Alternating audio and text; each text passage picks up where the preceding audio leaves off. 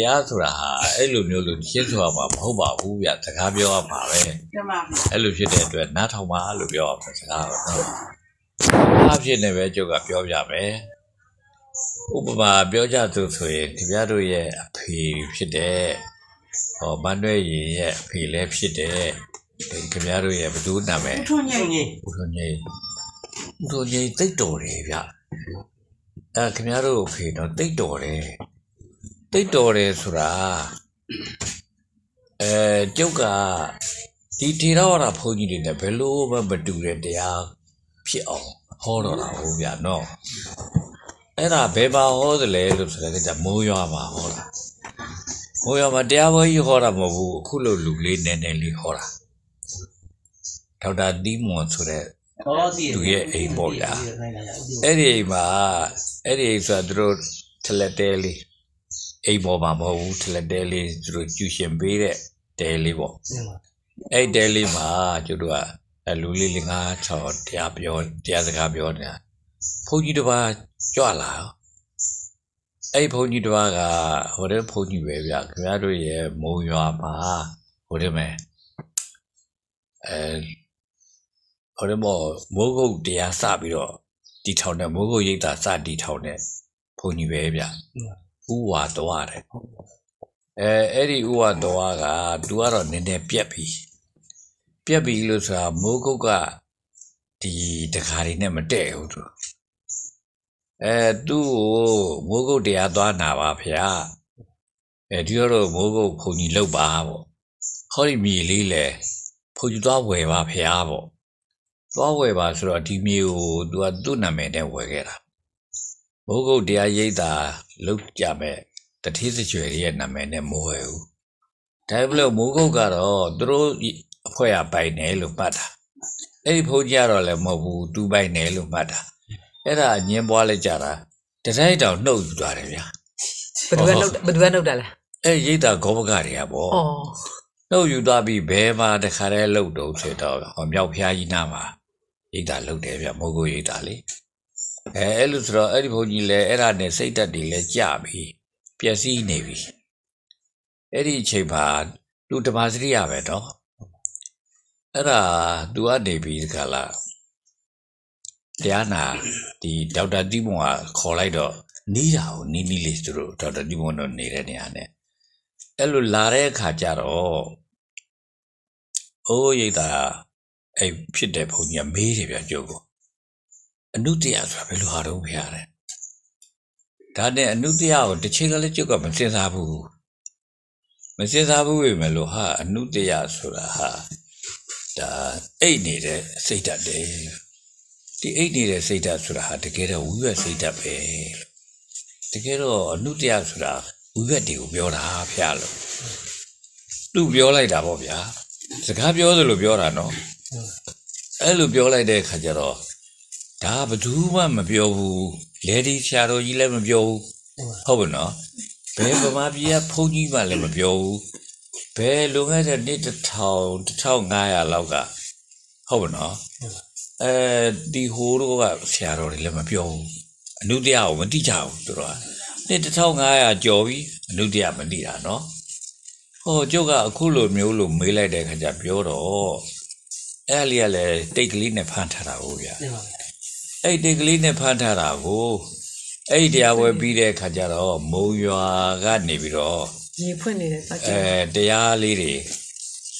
အဲဖြန့်လိုက်ကြတာပေါ့ဖြန့်တော့ဘယ်ရောက်သွားတော့ဆိုရင်တော့တပင်းရောက်သွားတယ်တပင်းကနေပြီးတော့ဘသူစီရောက်သွားတော့လို့ဆိုတဲ့အခါကျတော့ဘုရင်တို့စီလည်းရောက်သွားတယ်ခင်ဗျားတို့ရဲ့30နယ်တဲ့ကတဲအင်းလားတဲတဲတဲပြူခုံးလား ဆေးရုံအဲတဲပြူတဲပြူတဲပြူခုံးတယ်ဗျာဟာတဲပြူတဲဟိုရဲကိုဟိုရဲနို့တဲ့နေရာပေါ့ခမခမောင်တန်းဥက္ကမတန်းတို့ရဲ့တဲကုန်းတဲကုန်းဩဟုတ်တယ်အဲ့တဲကုန်းတဲကုန်းရောက်သွားတယ်ကြတဲကုန်းကနေပြီးတော့မှခင်ဗျားတို့အဖေကြီးရောက်တာဗျဒီမှာလေကုန်နဲ့နီးတယ်ဟုတ်တယ်ခင်ဗျားတို့အဖေကြီးရောက်တဲ့အခါကျတော့ဒီတရားလေးနာလိုက်တာနဲ့ နိုင်တော့တာပဲဘိုးဘူးအဲ့သဘောပေါက်သွားတော့တာဟောဒီတရားလေးကဒီအနုတ္တယဆိုတာဟာဝိဘက်တွေပဲလို့ပြောတဲ့ဟာကဘယ်သူစီမှမရှိဘူးဘယ်သူမှလည်းရှေးခါမပြောခဲ့ဘူးလေဒီဆရာတော်ကြီးဆိုလို့ရှိရင်အနုအနုသေးတိတိအနုတယံလို့ဒီလိုပြောတာဒီမှာအိတ်နေတာကိုအနုတယခေါ်တာပေါ့တယ်ဒီလိုပဲပြောတာနော်အော်ဘာမှရကောက်မသွားနိုင်ဘူးဟုတ်ပါနော်အဲအကြောင်းမို့လို့ဟာအနုတယဆိုတာဟာ ဝိဘတ်တရားပဲဒီဝိဘတ်တရားဟာကိလေသာကိုဖြစ်စေတယ်ဒီကိလေသာဆိုတာလည်းကံကိုဖြစ်စေတယ်ဒီကံဆိုတာလည်းပဲဝိဘတ်ကိုဖြစ်စေတာပဲလို့ဒီဘုဒ္ဓဘာကိုကျုပ်ကပြောလိုက်တာအဲ့ဒီတရားကွက်ကလေးဒီကျိုးွေလေးတစ်ခွေလောက်ကိုဘုန်းကြီးเจ้าမှနားရတာတဲ့မြတ်တို့တစ်စဲနေတဲ့က ဘယ်เจ้าလို့မသိဘူးမှတ်မှတ်သားသားတော့အက္ခဓမ္မကလည်းပဲအဲ့ဒီကိုလာပြီးတော့ဟိုရင်းရောက်တာတဲ့မျိုးသားတွေပါတွေရောက်တာ အဲ့ရောက်တဲ့အခါကျတော့အဲ့အကြောင်းကိုလာပြီးတော့သူလည်းကြော်ညာတာထဲမှာပါတာပေါ့နော်။ तू ကလည်းရှိတဲ့အခါကျတော့ तू ကလည်းမိုးကုတ်တပါ။မိုးကုတ်တပါဆိုတဲ့အခါကျတော့ तू ဟာဒီလိုပြောရသလားဆိုတော့ तू ကတော့လက်ခံမိုးကုတ်တရားပဲလက်ခံ။အဲခုနတော့ကသမီးတို့ရဲ့အဖေတို့ကတော့ဟောတာကိုနားလဲရတယ်ဆိုရင်တက်ခနဲ့ဆိုဖြစ်သွားပြီလို့ပြောကြဆိုရ။ဟုတ်နော်။အော်ဩစရာကောင်းတယ် ဒီစိတ်ဓာတ်ထက်မြက်တယ်ဆိုတာနော်အံ့ဩစရာကောင်းတယ်အဲဘေးထွက်ပြီးတော့တော့နည်းနည်းပြောလိုက်ဦးမယ်ရတယ်ဘေးထွက်ပြီးပြောလိုက်ဦးမယ်ဆိုတာမနေ့ကကျုပ်အဖမ်းခါရတဲ့နောက်ဆုံးပိတ်အဖမ်းခါရတဲ့အချိန်ကဟောဒီဘုန်းကြီးဖမ်းခါရတော့မှာလို့ဟောတဲ့စိတ်ဆရာတက္ကမတယောက်ရှိတယ်ဒီမှာအဲ့ဒါဦးစုနဲ့ရင်းနှီးတယ်ဦးစုတို့ရဲ့နေတဲ့မင်းကုန်းရဲ့မြောက်နားမှာထုံးဖို့ကသူကဘာလုပ်တာလို့ဆိုအဲ့ဒီတက္ကမက ကိုစုတို့လည်းတော့ငဲသလားအများကြီးငယ်အာအများကြီးတောင်ငဲတယ်တဲ့သူက45လောက်နေသူကဘာလုပ်လို့တာဆိုစိတ်ကြောင်းတာစိတ်ကြောင့်အဲစိတ်ကလေးမှအကောင်လေး15ကောင်လောက်လား20လောက်လားမသိဘူးကြောင်းတာတောင်မော်တက်ကြောင်းတာဟိုသူကထက်မြက်တယ်ယူသားဖြူစင်တယ်ပေါ့နော်စိတ်ကြောင်းသမားဖြစ်ပေမဲ့လေအဲ့တော့သူတောထဲမှာစိတ်ကြောင်းနေတော့မှာ လူကြီးတယောက်နဲ့တွေ့တယ်တဲ့အဲ့လူကြီးတယောက်ကအဲ့အဲ့လူကြီးတယောက်ကရေတောင်းတောက်တယ်တဲ့သူဆရာနဲ့သူကရေတိုက်လိုက်တယ်သူစိတ်ကြောင်းရင်းနဲ့စားဖို့အတွက်မုံလည်းပါဝင်ရပါတယ်မုံလည်းကျွေးလိုက်တယ်တဲ့အဲ့လိုပဲအဲ့ဒီအဖိုးကြီးကသူ့ဘုံလေးတို့စားပြူပြီးတဲ့ခါကျတော့တခါတည်းစကားတင်းတင်းပြောပြီးတော့နောက်ကျောကိုပုတ်သွားတယ်နောက်ကျောရိုက်သွားပြီးဒါပဲသူဟာ ဆိုလိုရတော့နောက်ကျောဘာဖြစ်လို့ရဲရတယ်လဲလို့ဆိုတဲ့ဟာကိုစိတ်လည်းမတူဘူးဟုတ်နော် ဟုတ်တယ်မှာ ငါ့ကိုဒီလိုလောက်သွားသလားလို့လဲစိတ်မတူဘူးအဲ့ဒါနေပြီးတော့ तू စိတ်အသည့်တွေရတော့တာဗျာစိတ်အသည့်တွေရတဲ့အခါကျတော့အဲကျုပ်ရဲ့တပည့်ဖြစ်တဲ့ဦးဝင်းတင်ဆိုတဲ့သူကအဲ့ဒီကိုသွားရင်းနဲ့သွားမေးရင်းနဲ့ကျုပ်เจ้าမေးလိုက်တော့ဟာဒီဘုန်းကြီးက ထောင်ကြတော့ဖမ်းတခါတော့ပါလို့ပြောတယ်အော်အဲ့ကလေးပါလေအဲအဲ့ဒီကလေးမလေးอ่ะအဲ့ဒီအဖို့ဖန်းခံရပြီးတော့ဒီဘုန်းကြီးနောက်တစ်နှစ်လောက်ဆိုရင်တေပါလို့ပြောတယ်တဲ့ဟုတ်နော်တေတဲ့အခါကျတော့ခေါင်းကအယိုးတွေကဗရဗရပြားတွေအနီရောင်နေဖြစ်မှာခြေထောက်ကအယိုးတွေကကြောက်စိမ့်နေလို့ဖြစ်ပါလို့ဟောအဲ့လိုပြောတယ်ဒီကနော် ဒါတဲ့အဲ့လိုပြောတဲ့အခါကျတော့ဥဝိတေဇာနေကျုပ်ပြောတာပေါ့ဘုန်းကြီးဖန်းခံရတော့ပါတယ်အဲ့ဒါခရူးဆိုင်နေတော့ပေါ့ဒီမှာအဲတယောက်တည်းကျုပ်ကိုဝိတ္တရားနေပြောတယ်အဲပြောလဲကျုပ်ကတော့ဒီတိုင်းပါပဲသာဟုတ်လားဒီမှာနောက်သူတို့လည်းပြောတယ်ဒီကိုစုတို့လည်းပေါ့နော်မန္တလေးကအဲဒီဂောဘကတွေကိုပြောတယ်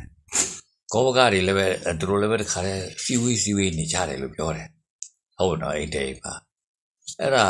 နောက်ကိုစုကလည်းပဲကဲဗနေနိုင်တာနဲ့အဲ့ဒီတက္ကမကြီးသွားမေးတာပေါ့ဒီမှာအဲ့ဒါလည်းသူနဲ့လည်းသိနေတဲ့သူကို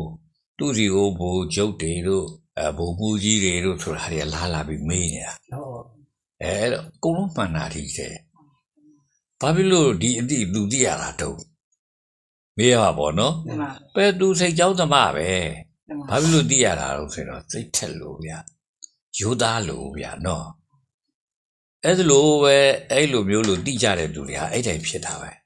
ဟုတ်ပါနော်ဒီမှာပြီးတော့သူတို့ပြောတာမမှန်ဘူးလားလို့ဆိုရင်အတော်များများမှန်တယ်မှားတာတော့မရှိဘူးလို့တော့မဟုတ်ဘူးအတော်များများမှန်နေတယ်ဟောကျုပ်တို့ရဲ့တက္ကတယောက်ရဲ့အိမ်နာတက္ကမလေးတယောက်ပဲသူသူလည်းလွယ်ဟိုသူဟိုလိုလေးပြောလိုက်မှန်တယ်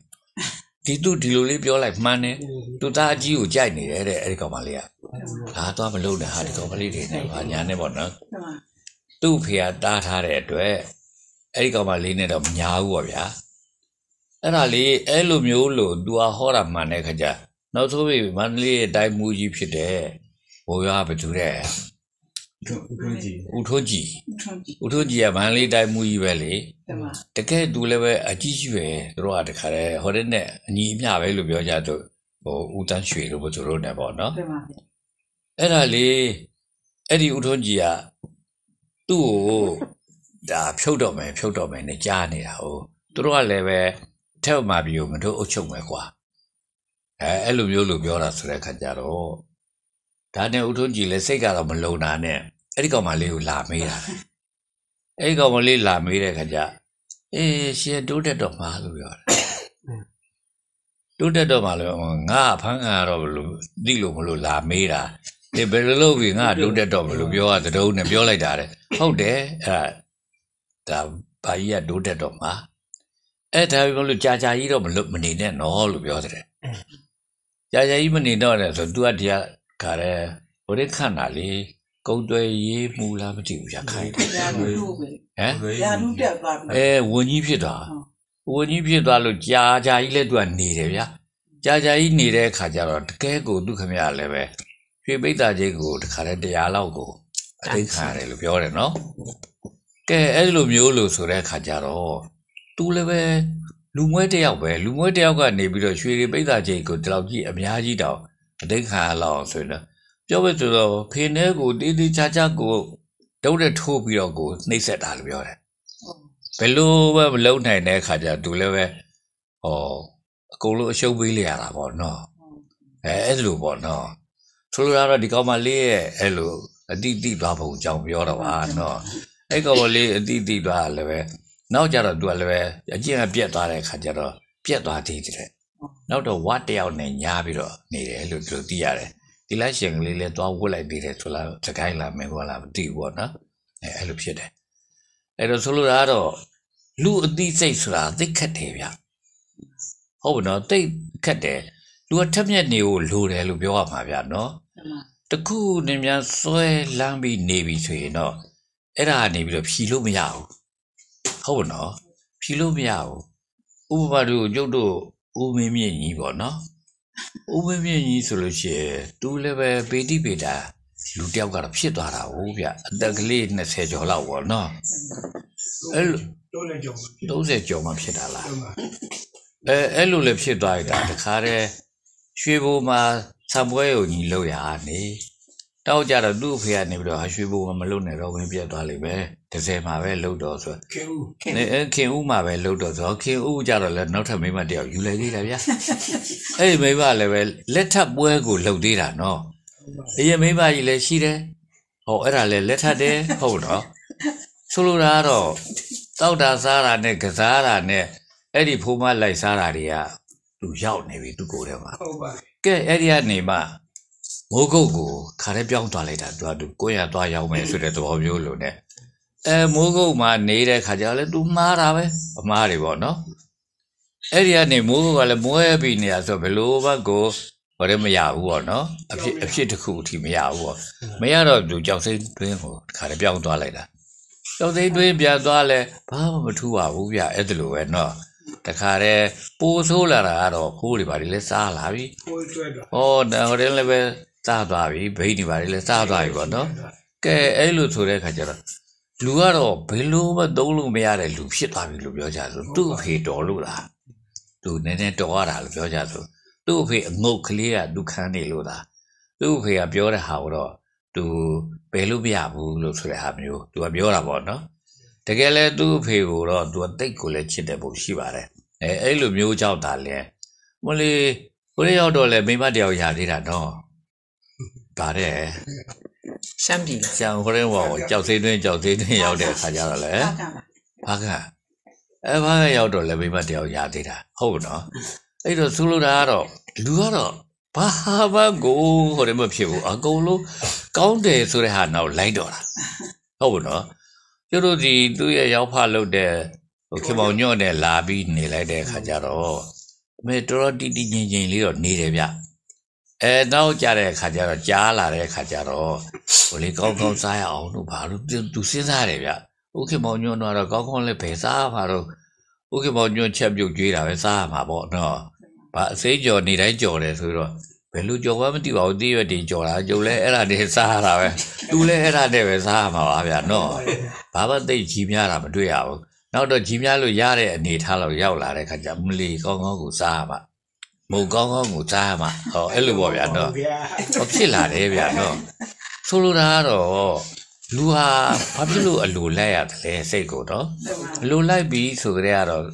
စိတ်ရဲ့အလိုလိုက်ပြီဆိုကြရတော့အမှားတွေအမှားရောက်နေပြီအဲဒါလို့အမှားရောက်နေပြီဆိုရင်တော့နားမလဲဘူး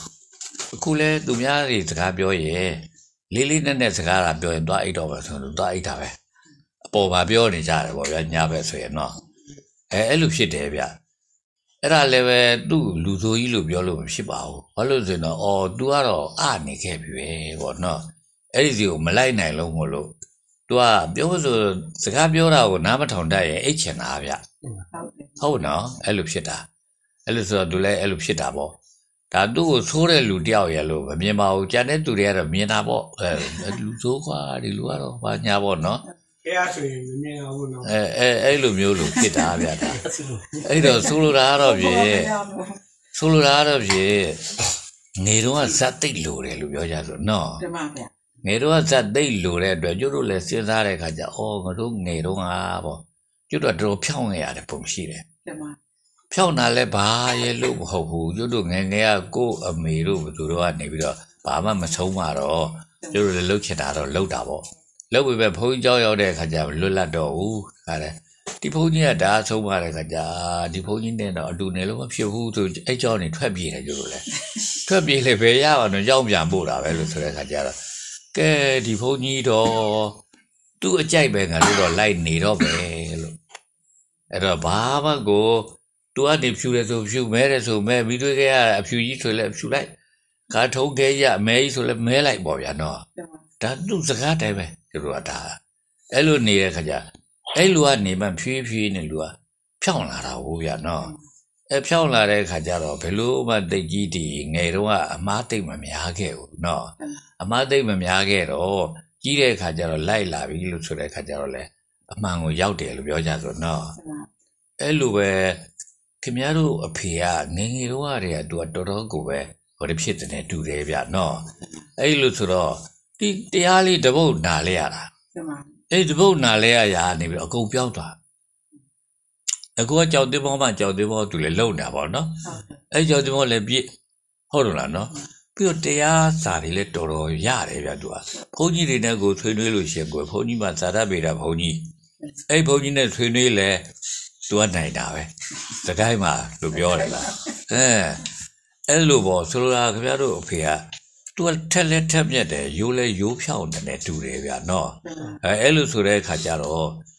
တကယ်ကိုကိုမကြဘူးတဲ့ထူးထူးခြားခြားဖြစ်ရတစ်ခုတွေ့ပြီဆိုတဲ့အခါကျတော့တက်ဆိုတခါတည်းယူသွားတာဗျတမန်ခုနကတော့ဟိုစိတ်ကြောင်းသမားလေးကနေပြီးတော့ဝရင်းသမားဖြစ်သွားတယ်လို့ပေါ့ဗျာတနော်မန်အဲ့ဒါကိုကိုစုကနေပြီးတော့အဲ့ဒါလိုပဲမင်းညတော့ကသူစိတ်ကြောင်းသမားဖြစ်တယ်လို့ဆိုတဲ့အကြောင်းပြောရနေမှာဟာဒီလူကြီးပဲဟာလို့မင်းတို့ဒီ ဟိုတဲ့ဒီရကန်းစင်တောင်ဖြာကြီးဆိုတာမင်းတို့ကြားဘူးတယ်မဟုတ်လားလို့ရကန်းစင်တောင်ဖြာကြီးကသူများရဲ့ဟိုဒီကြီးဟွာလို့စင်းငါကြီးလို့စင်းငါကြီးကသူများရဲ့လေကိုသူကထွန်းနေတာထဲနေတာအဲမြင်းကြီးတစ်ကောင်နဲ့လူတစ်ယောက်ကသူ့လေသေးရောက်တဲ့ခါကျသူ့လေကလမ်းဖေးမှာဆိုတော့သူ့လေနားရောက်တဲ့ခါကျရပ်ပြီးတကလားဟေ့လူလာအောင်လို့ခေါ်လိုက်တာအာကျွန်တော်ကအလုပ်လုပ်နေရတာဗျာမလာနိုင်ပါဘူးလို့ပြောတယ် အေးပါဗျာမင်းမလာနိုင်လဲငါလာပါပဲဆိုအဲ့လူကြီးကမြင်းမောကနေဆင်းလာတယ်ဗျာဆင်းလာပြီးတော့အဲ့ဒီခုနလူကြီးနားလဲထွန်းနေတဲ့လူကြီးနားရောက်တဲ့ခါကျနောက်ကျောကိုထုပြီးတော့ထားတယ်မေ့သွားရောအဲ့လူကြီးကကဲမေ့သွားပြီးတဲ့နောက်ကျတော့ဟော तू ကတခါလဲအတိတွေအကုန်လုံးသူ့မှာအားရရှိလာတော့တာဗျကြည့် ရိုးတဲ့လူဟာအဲ့လိုဖြစ်တယ်လို့ဆိုတဲ့အကြောင်းလေးပြောတာတော့တမန်စိတ်ဖြောက်တဲ့လူဟာအင်မတန်ကိုပြောင်းလဲလွယ်တယ်လို့ဒီလိုဆိုလိုတာသူဘာဖြစ်လို့ဆိုရင်တော့သူလည်းအဲ့ဒီအစီရင်ခါပဲစီရင်ခါကသူ့လိုစီရင်ခါက10ရောက်လောက်ရှိရလို့ပြောတယ်အဲ့စီရင်တိုင်ဖြစ်တဲ့လူကလည်းပေါ့နော်သူသမီးလေးကယူတယ်တဲ့ယူတဲ့ကကြအိမ်ကနေထွက်ထွက်ပြေးတယ်ဗျာအိမ်ကနေထွက်ထွက်ပြေးတော့သူစီရင်ခါတွေကိုလိုက်ရှာခဲရတာပေါ့နိရွာတဲ့ဒီပဲများရောက်နေတော့ဟာငါသမီးကိုဆိုရင်လိုက်ရှာကြအောင်ဆိုတော့ တော်တော်ရှာကြရတယ်တဲ့အဲနောက်ခုနကတော့လူကြီးကတွေ့ရောတွေ့တဲ့အခါကျတော့သမီးရဲ့လို့ပြောဒီထဲထဲနေပါဟာဆိုတဲ့ရကန်းစင်နဲ့ထည့်ထားတာရကန်းစင်ဆိုတာခင်ဗျားတို့သိမှာပါပဲเนาะခုခေတ်တော့မရှိတော့ပြီပဲလို့လည်းပဲခင်ဗျားတို့ခေတ်ကရကန်းစင်ဆိုတာရှိပါပါခင်ဗျားတို့ရရှိမှာเนาะရကန်းစင်တဲ့ကိုထည့်ပြီးတော့ဒီထဲပဲနေပါဟာညီတို့အလုပ်ကိုငါနေ့လည်းပဲတပင်တပန်းလုပ်နေရတာ ညကြတော့လေညီလိုက်ထွက်ပြေးလို့လိုက်ရှာရတာတဲ့ငါတို့မအိပ်ရတော့ဘူးဆိုတော့ငါတို့ပြင်ပန်းလှပါပြီအဲ့လိုမဖြစ်အောင်တဲ့ဒီရကန်းစင်တဲ့ပဲနေပါဟာလို့ပြောတဲ့ခါကျဒီကောင်မလေးကရကန်းစင်နဲ့ထုတ်လို့ကိုမရတော့ဘူးတဲ့ဘယ်ချိန်မှမထွက်တော့ဘူးတပြည့်ရကန်းစင်နဲ့ကဒါတဲ့အဲ့ဒီသမီးရဲ့အဖေလုပ်တဲ့စီးရဲတိုင်လူကြီးကနေပြီးတော့ဒီရကန်းစင်နဲ့ဘယ်သူထည့်ထားတော့ဟာလို့သူကလေးလာတော့တာလေအဲ့လိုပဲအဲ့ဒီစီးရဲငါကြီးထည့်ထားလို့ဆိုတဲ့ခါကျဒါနဲ့အဲ့ဒီစီးရဲငါကြီးကိုတိုးတိုးပြောတာပေါ့ ကသမီးကိုရကန်းစင်နဲ့ထွက်လို့ပဲပြောပြီးစမှာပွားလို့အဲပြောတော့ပြောတဲ့ခါကျအဲသမီးထွက်တော့ထွက်တော့လို့ပြောထွက်လာတာပဲတဲ့စကားလေဟိုတွင်းတဲ့လူကခိုင်းပါပဲတွင်းတဲ့လူကဟုတ်တယ်ခိုင်းတာထွက်တော့ထွက်တော့ဆိုထွက်လာတာပဲတကယ်အဲ့ဒီကနေပြီးလူတကောကပေါ်လွင်လာတပြေးတပြေးနဲ့ရွာထဲကလူတွေဟိုလူကတိဒီလူကတိနဲ့သူကလည်းအသက်ကနည်းနည်းရလာပြီဆိုတဲ့ခါကျအဲ့ဒီကနေပြီးတော့ဒီစီရင်ခါကနေပြီးတော့မလုံတော့ပဲနဲ့တခါတည်း ဟိုတောင်ပေါ်သွားသွားပြီးတော့ပတိစိတ်တာလေပတိစိတ်တော့အဲ့ဒီတောင်ကဘာတောင်ဖြစ်နေလို့ဆိုတော့ရကန်းစင်ထောင်တောင်ဖြစ်နေတာဩအခုတော့ထောင်မပါတော့ဘူးရကန်းစင်တောင်ပဲဖြစ်နေလားတကယ်တော့ရကန်းစင်တောင်မဟုတ်ဘူးရကန်းစင်ထောင်ဆရာကြီးသွားပြီးပတိစိတ်တဲ့တောင်မို့ဩရကန်းစင်ထောင်တောင်ပတိစိတ်တာလို့ဟောဒီလိုမျိုးလို့ဆိုတာနော်အဲ့တော့အဲ့ဒါကြီးကတပြေးတပြေးနဲ့အဆုံးအထိပြောလို့ရှိရင်တော်တော်ရှိပါတယ် တော်တော်ကိုအစိုးထက်တယ်လို့ပြောတယ်အဲ့ဒါကြော်ကြားနေရောအင်္ဂလိပ်လက်ထက်မှာကြော်ကြားနေတော့အာကြော်စောမှုနဲ့သူ့ဖမ်းတော့တာလေဗျာဩဖမ်းတဲ့အခါကျတော့အဲ့ဒါမန်းလေးထောင်ထဲထည့်ထားတယ်အဲသူအဖမ်းမခံရခင်တော့ရေစိတ်မှာတဲလေးနဲ့နေနေတာတဲ့နေနေတော့မှအဲ့ပညာရေးမှုလူလူတယောက်ကနေပြီးတကလားညဘက်မှာသူပညာရေးမှုရဲ့ပစ္စည်းတွေခိုးသွားလို့မလို့တကြီးသွားတိုင်တဲ့အခါကျတော့လူတယောက်ကလာပြောတာတဲ့ အဲတိုင်းမနေနဲ့ဆရာကြီးဟိုဆရာကြီးသာသွားမေးလိုက်လို့အဲ့လိုပြောတဲ့အခါကျအဲ့ဆရာကြီးသွားမေးမယ်ဆိုမေးတော့တာပေါ့နော်မေးတဲ့အခါကျဟောဒီမြစ်အဆက်တိုင်းသာအောက်ကိုစုံသွားလို့ပြောတယ်စုံသွားတွလည်းသွားနေရပဲသွားနေနဲ့တော်တော်ကိုမြင်ရတာဝေးသွားတဲ့အချိန်ကျဒီကနေអော်တာတဲ့ဆက်သွားပြိုးဆက်သွားဟောတွလည်းဆက်သွားတာပဲ ဟောသူပစ္စည်းတွေတွေ့ရတယ်ဗျတနေရာရောက်တဲ့ခါကျဟောရည်စပ်ပါပဲနော်ကဲအဲ့လိုကိုအစွန်းထက်တာလို့ပြောရမှာပေါ့နော်နောက်ဆုံးပိတ်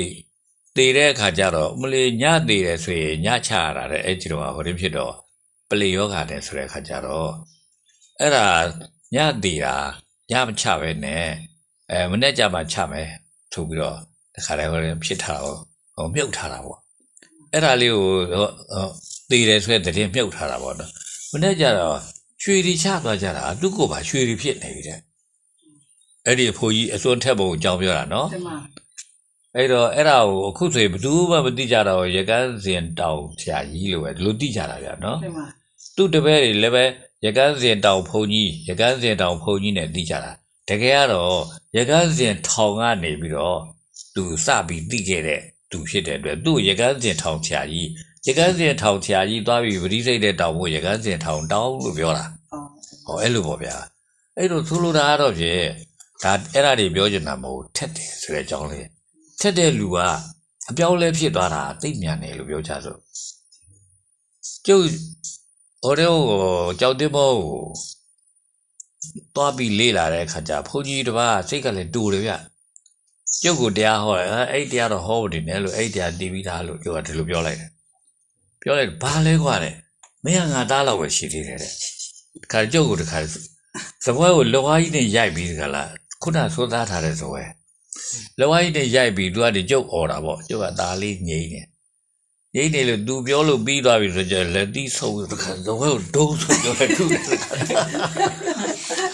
ကိုတော့ကြောင်းလာတာဟာ ကိုတော်တို့ပြောတာကိုနားထောင်ဖို့လာတာမဟုတ်ဘူးဘုလို့ဘအဲ့တော့အသက်ဘယ်လောက်လဲဘုဘ30ကျော်နေပါဘူးအဲ30တော့ကြော်သွားပြီ30ကြော်ယုံလေးနေကြော်ယုံလေးနေမှာပါဟုတ်တယ်ဟုတ်တယ်ဒီအသိတော့သိစသိပြီသိပြီပေါ့နဲအဲ့လိုပဲသူကဟာဒီလိုက်ရှင်နဲ့လက်ကုန်ကြရခါတယ်ဟာဒီဘုန်းကြီးလဲမဲမဲ66ပေပေကလေးနဲ့မလီထက်လိုက်တာဟာတော့တဲ့ခါတယ်သူတို့ကအဲ့လိုကြောက်ပြီးနေကြတော့တာဆိုပဲဗျာဒါ အဲနောက်တော့လဲ2ရက်လောက်ရှိတော့ကျော်လဲအဲ့ဒီကနေပြီးတော့ပြန်တာပါပဲအဲ့ဒီဘုန်းကြီးကဥဥထားတယ်သူနာမည်ကဥက္ကထားတယ်နော်အဲ့ဒီဥက္ကထားလည်းပဲဟောဒီဟိုဒီမြောင်နယ်တဲ့ကဘဲလို့ထင်တယ်ဗျရေချိုနယ်တဲ့ကလားမြောင်နယ်တဲ့ကလားမြင်းကြံနယ်တဲ့ကလားမသိဘူးအဲ့นั่นဒေတာပဲသူကကျွန်းထဲမှာသွားပြီးတော့ရာထွန်းနေပြီရာထွန်းနေတော့မှအဲရာရာမထွန်းသေးဘူးသူတကြီးလောက်ချင်တာအဲ့ဒီရွာမှာ အရွေးခံမှာသူ့အရွေးခံရဖို့ရအတွက်တောထဲမှာတရွာနဲ့တရွာမနီးတဲ့နေရာမှာတိမ်ပြက်ကြီးရှိတယ်တဲ့ရှေးခါတိမ်ချောင်းကြီးပေါ့ဗျာဒီမှာအဲ့ဒီတိမ်ချောင်းကြီးသွားပြီးဗတိစိတ်ပဲကွာငါဒီခါတည်းအရွေးခံရအောင်ဆိုပြီးတော့သူကအဲ့ဒါသွားစိတ်တာအဲ့ဒီတိမ်ချောင်းကြီးကလည်းတစ်ချေ6ထားလဲအလွန်ပဲတဲ့6 6ကွာငါစိတ်မှာပဲဆိုပြီးတော့စိတ်အမလေးသူ့ကိုခါရဲဘယ်ဘက်ကတစ်ချေရက်တစ်ဖက်ညာဘက်ကတစ်ချေရက်တစ်ဖက် ဘယ်ဘက်ခြေထောက်ကတစ်ဖက်ညာဘက်ခြေထောက်ကတစ်ဖက်ဆွဲဆွဲသွားနေတော့တာလေဗျာတွားသွားကွာငါတော့တေးလည်းပြီးတာပဲနေရမှာပဲဆိုပြီးတော့နေတာတဲ့ဗျာအဲနေလဲသူဘာမှတော့မရခဲ့ပါဘူးတကြီးလည်းမဖြစ်သေးဘူးနဲ့တူပါတယ်သူຢာထဲမှာသွားထွန်နေတော့ပါဟိုဒီအဖြစ်တစ်ခုဖြစ်တော့ပဲဆိုတဲ့အကြောင်းလေးကိုပြောတာနော်ဒီမှာအဲ့ဒါအဲ့လိုမျိုးလို့သူຢာထွန်နေတော့မှာအထက်မော့ကြည့်လိုက်တဲ့အခါကျအထက်ကနေပြီးတော့အလင်းတန်းကြီးတစ်ခုလာတယ်သူစီကိုဒီမှာ အလင်းတန်းကြီးလာပြီးတော့အာအဲ့ဒီအလင်းတန်းကြီးကဟောသူနှာခေါင်းကိုဝင်တော့တာလေဗျာဟောသူလည်းမေ့လဲသွားရောထွန်ရင်းတယ်နော်ဒီမှာထွင်းနဲ့မေးလဲသွားတဲ့ခါကျသူမိမလှုပ်တဲ့သူကသူ့ကိုလက်ဖိတ်လိုက်လာပြီပေါ့နော်ဒီမှာမနေ့စာကြွေးဖို့အတွက်ထွင်းကြော်လေးတပါလေးရင်သွင်းကြလေးနဲ့လာပြီပေါ့ဗျာဒါတဲ့ခါကျတွေ့အောင်ကြအဲ့လိုလဲနေတယ်ထွန်းကလည်းရက်နေတယ်ရက်နေတဲ့ခါကျသူကနေပြီးတော့တတိပေးရတာပေါ့နော် ဒီမှာ တတိပေးရဆိုတာတစ်သေးပါတယ်လို့ထင်တာပေါ့တစ်သေးပြူသားတယ်လို့ထင်လို့အမေတပိန်တွေပါချုပ်ပြီးတော့တော့အော်ရတာတဲ့တခါတည်းအဲ့ဒီဒီကို ဒါဟာငါမလုပ်ပါနဲ့ဟာနဲ့တတိယလာတဲ့ခါကျပြောရတယ်ငါဘာမှမဖြစ်ပါဘူးကောင်းတာပြောကဲ तू तू ကတခါ तू မိမကိုအိမ်ကြတော့ပြောတော့တာအေးငါအဖိုးမလည်းစိတ်ဓာတ်မရှိတော့ဘူးနော်ပေါ့အဲ့လိုဆိုတော့ငါတော့ဒါဒါမင်းကိုလင်မယားလို့မနေတာတော့မင်းခွန်းလို့အိမ်ကြ तू ပြောတော့တာဖိုးစိတ်မစိတ်မရှိတော့ဘူး အာ तू တော့ဖြစ်ပြောခါတော့ဖြစ်နေပြီဆိုပြီးတော့အဲ तू မိမကလည်းကုတာပေါ့နော်အမျိုးမျိုးနဲ့ဒီမှာကုလို့လည်းမရဘူးနောက်ဆုံးဝေးကြတော့ဘုန်းကြီးသွားလျှောက်တယ်ခကြဘုန်းကြီးဟာနှစ်ယောက်ကြောက်ကိုရင်လုတ်ပေးလိုက်တော့ဗျကိုရင်လုတ်မပေးလို့ရှိရင်နှစ်ယောက်ကြာတခါတရားရသွားတာဆိုတော့နောက်ခုနှစ်ရက်ဆိုရင်နေပါဗျလို့ပြောတယ်ဒါနဲ့ဒါနဲ့ကိုရင်ကိုပေးရတာကိုရင်ကိုပေးရနေမှနောက်အဲရှုပ်ရှုပ်ကထအဲ့ဒီခုနကြောက်တင်ဘောကြောက်မှာ အခုကြတော့ကြောက်တင်ဘောဆရာတော်ကလည်းတည်ပြီးပြီဆိုတော့တိုက်ကြက်ဖြစ်နေတာပေါ့နော်အဲ့ဒီဘုန်းကြီးကျုပ်ကိုဘာလို့ဖြစ်တာလဲနာအခုတက်ရှိချီသေးရမရှိတေရောဝရခုကြတော့တေရောဘောကျုပ်တို့အသက်30လောက်ကအဲတော်တော်ကြီးပြီဖြစ်တဲ့55လောက်ဘယ်လောက်လောက်6လောက်ဖြစ်နေပြီနဲ့တူပါတယ်60လောက်ဖြစ်နေပြီနဲ့တူတယ်အဲအဲ့လိုဖြစ်တာဗျာနော်ဆိုလိုတာကတော့ကြုံပြောတာစကားတစ်မျိုးတည်းပဲရှိတယ်စိတ်ထက်တဲ့လူဟာအပြောင်းလဲသိမ့်မြန်တယ်လို့ဒီလိုဆိုလိုတာနော်ဒီမှာ အဲ့လိုဆိုတော့ဟောခင်ဗျားတို့အဖေဟာအလွန်စိတ်ထက်လို့တာလေကျုပ်ရဲ့တရားကိုပြောင်းနိုင်တာဗျာဟုတ်ဘူးနော်ဒီမှာအဲသူကနေပြီးတော့ကိုအဲဘယ်တော့ခင်ဗျားတို့ရွာဒီကြောက်နေသွားတယ်လို့ပြောတယ်ကုန်းကျော်ကိုကျော်ကိုကျော်တို့လည်းပဲဟောသူနဲ့ဆက်ပြီးတော့ပဲခါတယ်သူကနေပြီးတော့ခေါင်းဖြစ်ပြီးတော့အားပေးတဲ့သူဆိုတဲ့ခါကျတော့တခါတည်းသူတို့လည်းရနေကြတော့လား အဲ့တို့ရွာမှာကျွတ်တို့တရားရတဲ့သူတွေမနေဘူးလို့သူတို့ပြောကြသူပေါ့နော်ဟုတ်တယ်အဲ့ဒါဘာဖြစ်လို့လဲလို့ဆိုရင်သူတိသွားလို့ဗျာနော်အဲ့တော့အခုလဲကျုပ်ကနေပြောမယ်ခင်ဗျားတို့နော်ပြောမယ်ဆိုရင်တကယ်ခင်ဗျားတို့ကိုစမ်းစမ်းပြပြအရာလေးတစ်ခုပြောမယ်နော်ဒီမှာခင်ဗျားတို့အကျင့်နေကျင့်နေတယ်ဘာကျင့်တော့လို့ပဲဘာကျင့်တယ်မှကိုမသိဘူးဟုတ်ဘူးနော်အဲထမင်းချက်ထမင်းစားတယ်အဲအလုံးလုံးပဲစားရတယ်ဟုတ်တယ်လားနော်အဲ့ဒီလိုမျိုးလောက်ပဲသိတာနော် အဲ့တော့တကယ်ကြတော့လူဖြစ်ရသားနဲ့လူအကျင့်ကျင့်ရမှာပေါ့လူအကျင့်ကျင့်ရမှာဖြစ်မယ်လူတိုင်းလည်းဘယ်သူကျင့်လို့လဲနော်ဘယ်သူမှကျင့်တာမဟုတ်ဘူးတကဘာလုံးမကျင့်တာနော်ဘယ်သူမှကျင့်မနေဘူးကျင့်မနေတာဆိုတော့ဘယ်သူလဲတရားရပါတော့အဲကျင့်မနေဘူးလို့ဆိုတာကျင့်စရာကိုသိတာမဟုတ်ဘူးကျင့်စရာပြောသူလည်းမရှိဘူးခရိယန်တွေကိုပြောတယ်ဟောမင်းတို့ငါဖန်ဆင်းထားတာ ခရိယန်ဘုရားပြောတာနော်ဘယ်နဲ့တို့ကိုသူကဖန်ဆင်းထားတာတဲ့ဟာပေါ့ဒါလည်းပဲပြောပါများလို့ကြားပါများတဲ့ခါကျသူတို့ယုံသွားတာဗျအဲ့ဒါကိုတန်း2000ကျော်လောက်ရှိတယ်လို့သိရတယ်ဗျနော်တင်ပါဗျာခရိယန်ယုံနေသူနော်တင်ပါဟောမွတ်စလင်ယုံနေသူလည်းဒီတိုင်းပဲဗျနော်သူတို့ရဲ့တန်း2000နီးနီးလောက်ရှိတယ်လို့သိရတယ်ဗျနော်ဟိန္ဒူဆိုရင်ကတော့တန်း900လောက်ရှိတယ်လို့သိရတယ်ဗျနော်အဲ့တော့ဆိုလိုတာကတော့ ဘာမှမဟုတ်တာတွေသူတို့လေတင်ပါအမင်းတို့ငါတို့ဖန်ငါဖန်ဆင်းထားတာဟောဒီလောကကြီးကငါဖန်ဆင်းထားတာတဲ့ပြောတာတယ်ဗျအဲပြောတာတစ်ခါပြောတာလည်းမဟုတ်ဆယ်ခါလောက်ပြောတာလည်းမဟုတ်အခါတရားမကပြောတာပေါ့နော်ဥပမာခင်ဗျားတို့တွေကိုခင်ဗျားတို့မိဘတွေကနေပြီးတော့ငယ်ငယ်ကလေးကလေးကအဲလင်္ကာရှစ်နှစ်လောက်ဆယ်နှစ်လောက်ရှိတယ်ဆိုကြောင်းသွားတယ်ဆိုခေါ်သွားတာပေါ့နော် ဖះသွားတယ်ဆိုခေါ်သွားတော့အခုတို့လုပ်တယ်ဆိုရင်လည်းတရားဝဲသွားတယ်ဆိုရင်လည်းခင်ဗျားတို့ခေါ်သွားတာပေါ့နော်အဲ့တော့အဲ့ဒါတွေကနေကြားပြီးတော့နားထဲဝင်ပြီးတော့ဘာမှမဟုတ်တာတွေပဲခင်ဗျားတို့နားဝင်တာဗျာနော်ဘာမှမဟုတ်တာဆိုတာခင်ဗျားတို့မသိဘူးဟုတ်နော်ဘာမသိတာဟုတ်ရင်တော့လေသိပါပေါ့မဟုတ်တော့သိလို့မရဘူးသိလို့မရတော့မသိဘူးအဲ့ဒါဘာလဲလို့မဆိုရင်နောက်ဘဝပဲဗျာဟုတ်နော် အဲ့မသိပဲတဲ့ခင်ဗျားတို့ဒီရောက်နေတာနောက်ဘဝရောက်နေနောက်ဘဝလက်မခံဘူးလားလက်ခံတယ်နော်မြောင်းတော့ဝါလောက်ထားဘူးလားခုပြောလိုက်လေလက်မခံတော့ဘူးဒီတော့တော့အရင်တည်းကပြောပြောဟောလက်မကောက်ခြင်းရမှာပေါ့နဲ့မကြည့်ရမဟုတ်ဘူးငကိုတော့ကလက်ခံနေတာပဲမဟုတ်လားပါဗျာအဲ့ဒါခင်ဗျားတို့ကိုမပြောတာမဟုတ်ဘသူဖြစ်ဖြစ်တော့ဘဝလက်ခံနေတာဟုတ် နော်တင်ပါခရိယန်လည်းတော့ဘဝလက်ခံတာပဲတင်ပါတေလို့မကောင်းရင်ငရဲကြမှာတဲ့ကောင်းလို့ရှိရင်ကောင်းကင်ဘုံရောက်မှာတဲ့လောက်ပြီးရောက်မွတ်စလင်ကလည်းဒီလိုပြောတာပဲဟိန္ဒူကလည်းဒီလိုလိုပါပဲဗျာနော်ကျုပ်တို့ဗုဒ္ဓဘာသာလည်းရိုးရဗုဒ္ဓဘာသာအဲ့ဒီတိုင်ပြောတာပဲကျုပ်တို့ဘုရားလုံးဝမပြောဘူးဟုတ်ပါနော်အဲ့လုံးဝမပြောတဲ့စကားကိုဘယ်သူမှမဟောဘူးဗျာဟုတ်ပါနော်အဲဘယ်သူမှမဟောတဲ့အခါကျတော့အကုန်လုံးလက်ခံတာပေါ့ ကျုပ်တို့ဗုဒ္ဓဘာသာလည်းလက်ခံတာပဲဆိုတော့အခါကျတော့အကုန်လုံးကနေပြီးတော့အဲ့ဒီနောက်ဘဝဆိုတာမပါတော့ဆိုရင်သူဘာသာမဲ့ပဲလို့တော့ဟောဒီလိုတော့ပြောချင်တယ်ဗျာကျွတ်တို့ဗုဒ္ဓကိုဘာသာမဲ့လားလို့မေးရမှာပေါ့နော်ကျွတ်တို့ခင်ဗျာဘဲဘာသာမဲ့ဟောထိတ်တန်းဘာသာပဲနော်အဲ့တော့ तू ကဘဲနောက်ဘဝကိုလက်ခံလားဆိုမလဲလက်မခံဘူးအဲလက်မခံဘူးဆိုရင်အဲ့ဒါဘာသာမဲ့ပဲလို့ပဲလူတွေပြောကြတယ်ကျွတ်တို့တော့ဗာမိစ္ဆာတိတိရဲ့ ကျွတ်တို့တင်ပါကဲမိစ္ဆာတိတိလို့ပြောကြတာဗျာကျုပ်တို့ကလည်းပဲဘာပြောလို့ဆိုရင်တော့အေးဟောဒီဟာကတော့အကုန်လုံးကငါတို့ကိုမိစ္ဆာဒိဋ္ဌိလို့လည်းပြောနေတာတကယ်ပဲများငါမသိတာလားသိတာလားအဲ့ဒီလိုမေးတဲ့အခါကျတိတိကျကျပြန်ပြီးတော့စီစစ်တယ်စီစစ်တော့နောက်ဘဝလက်ခံတာဟာတကယ်ကိုမလောက်ရမယ့်အရာဆိုတာပြီးပြီးသားသားသိတော့တာဗျပြီးပြီးသားသားသိတဲ့အခါကျတော့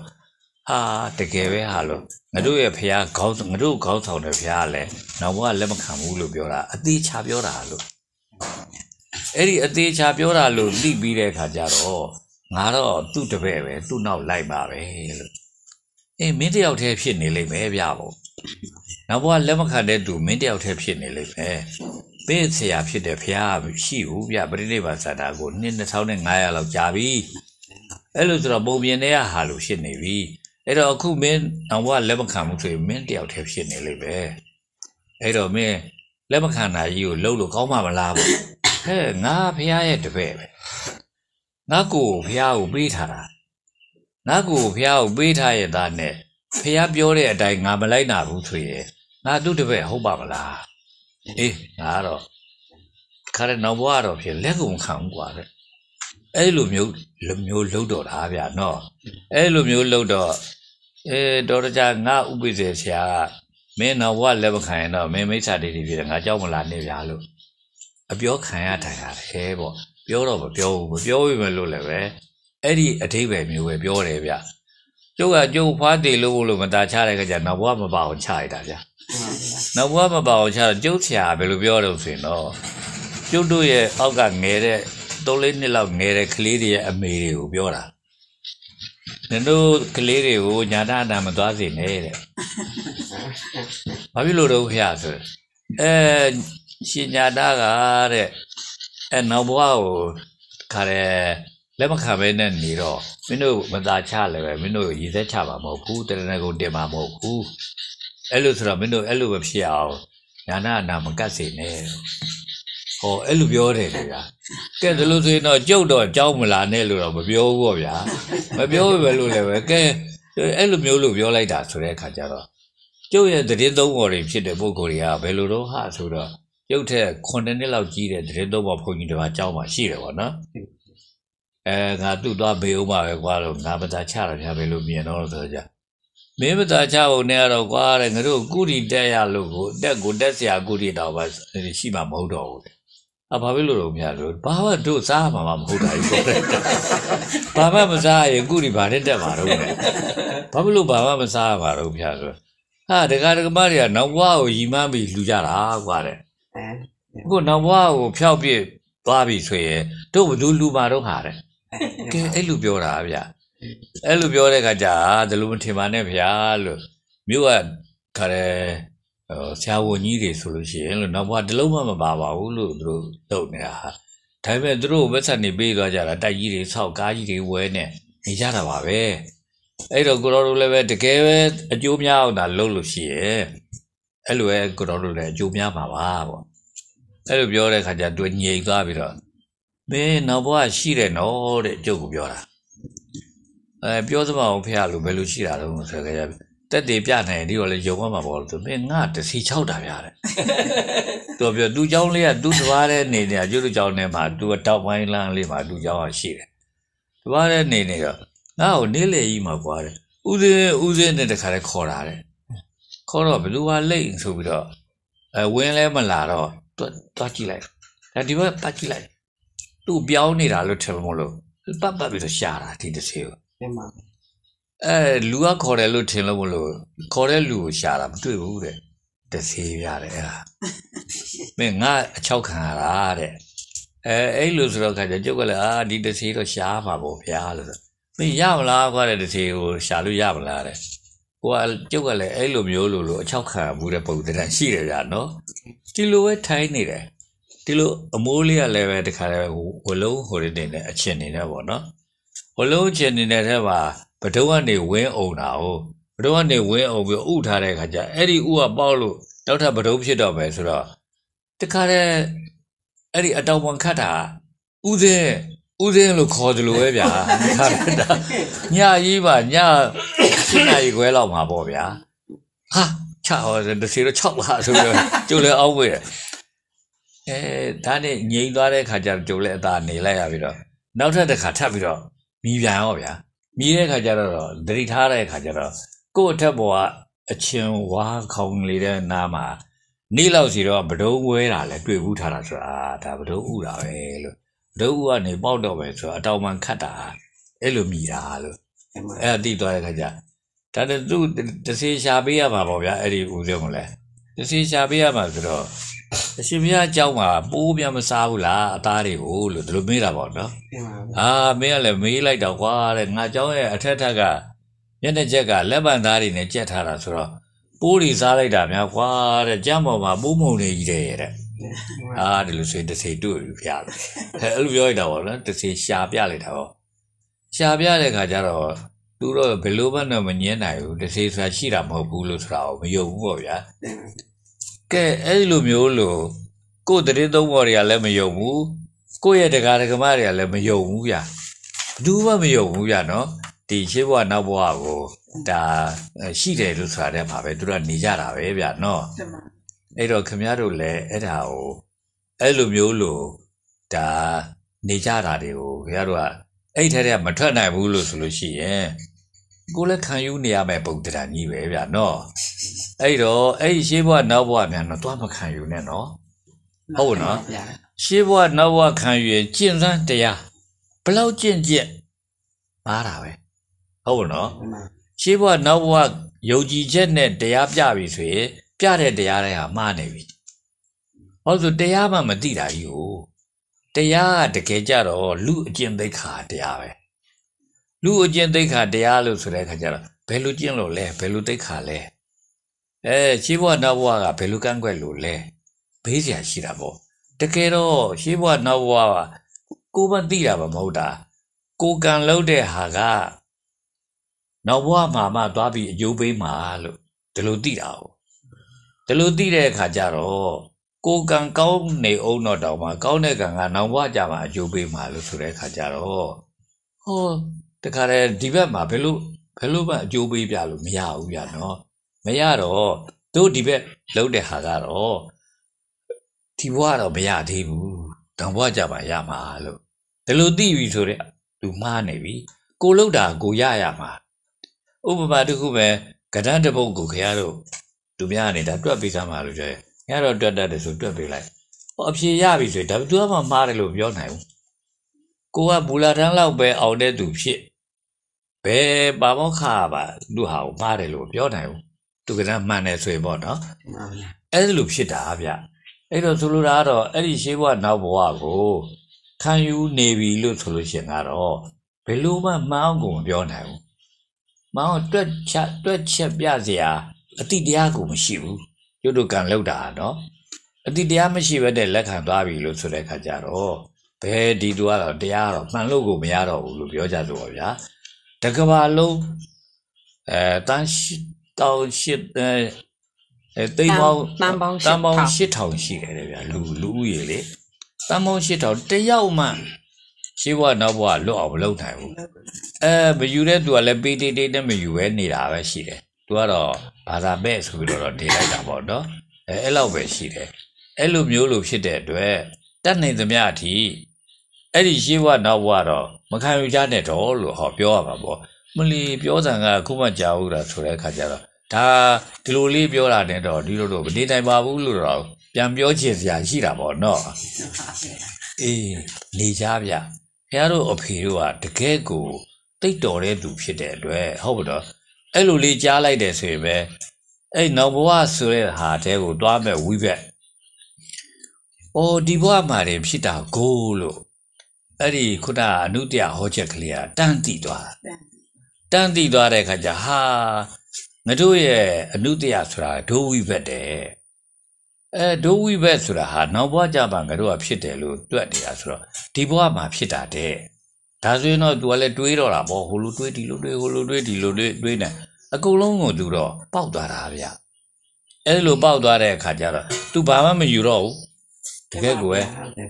အဲဒီဘဝအဲ့ဒီအဖြစ်အပျက်ပဲယူတော့တာပဲပြရဖုန်ဖိုးလိုပဲဟုတ်တယ်ပေါ်ပါပြရပြောသွားတယ်ဒီသမီးတို့ကစိတ်ချရပြီတဲ့ဒီဘာသာရေးအလိမ်မကန်ရတော့ဘူးတဲ့ဒီသမီးတို့ကစိတ်ချရတော့အမေတို့တော့စိတ်မချနိုင်ဘူးဗျာဟုတ်တာဗောရှေးဘဝနောက်ဘဝကြီးကပါနေပြီဆိုရင်တော့လည်းပဲကိုမမသိတာကြီးဆိုတာတဲ့မမတိတာကိုအဖက်အရွက်မခံနိုင်ဘူးလို့ဆိုလို့ရှိရင်ကတော့မှားရမှာပဲ အဲ့မတိတာနဲ့လိမ်ပြီဆိုလို့ရှိရင်ကတော့လိမ်မခံရပဲမနေဘူးမတိတာနဲ့နှွယ်ပြီးတော့ဟိုလုတ်ဒီလုတ်ဆိုရင်လည်းမမှားဘူးလို့ဘယ်သူမှမပြောနိုင်ဘူးဟုတ်ဘူးနော်အဲအတိနဲ့တာဆိုရင်တော့ဘယ်လေဟိုလည်းဖြစ်မလဲနော်ဥပမာတူပဲအာရန်ကုန်ကိုရန်ကုန်ကနေမန္တလေးသွားမယ်ဆိုရင်ဟောဒီလမ်းကြီးတိုင်တိုင်သွားဆိုရင်ဒါဒီလမ်းကြီးတော့သွားတယ်ပေါ့ကဟိုလမ်းသွားမယ်ကဒီလမ်းသွားမယ်နဲ့မော်လမြိုင်ဘက်သွားတဲ့လမ်းတို့ အင်းဟိုတဲ့ပေါ့ဒါပသိမ်ဘက်သွားတဲ့လမ်းတို့ပဲပြောင်းသွားဘယ်တော့မှမန္တလေးမရောက်ဘူးမော်လမြိုင်တို့ပသိမ်တို့ပဲရောက်မှာမဟုတ်လားအဲအဲ့လိုဆိုတဲ့အခါကျတော့လမ်းမားပြီဆိုရင်လမ်းကိုတကယ်ကို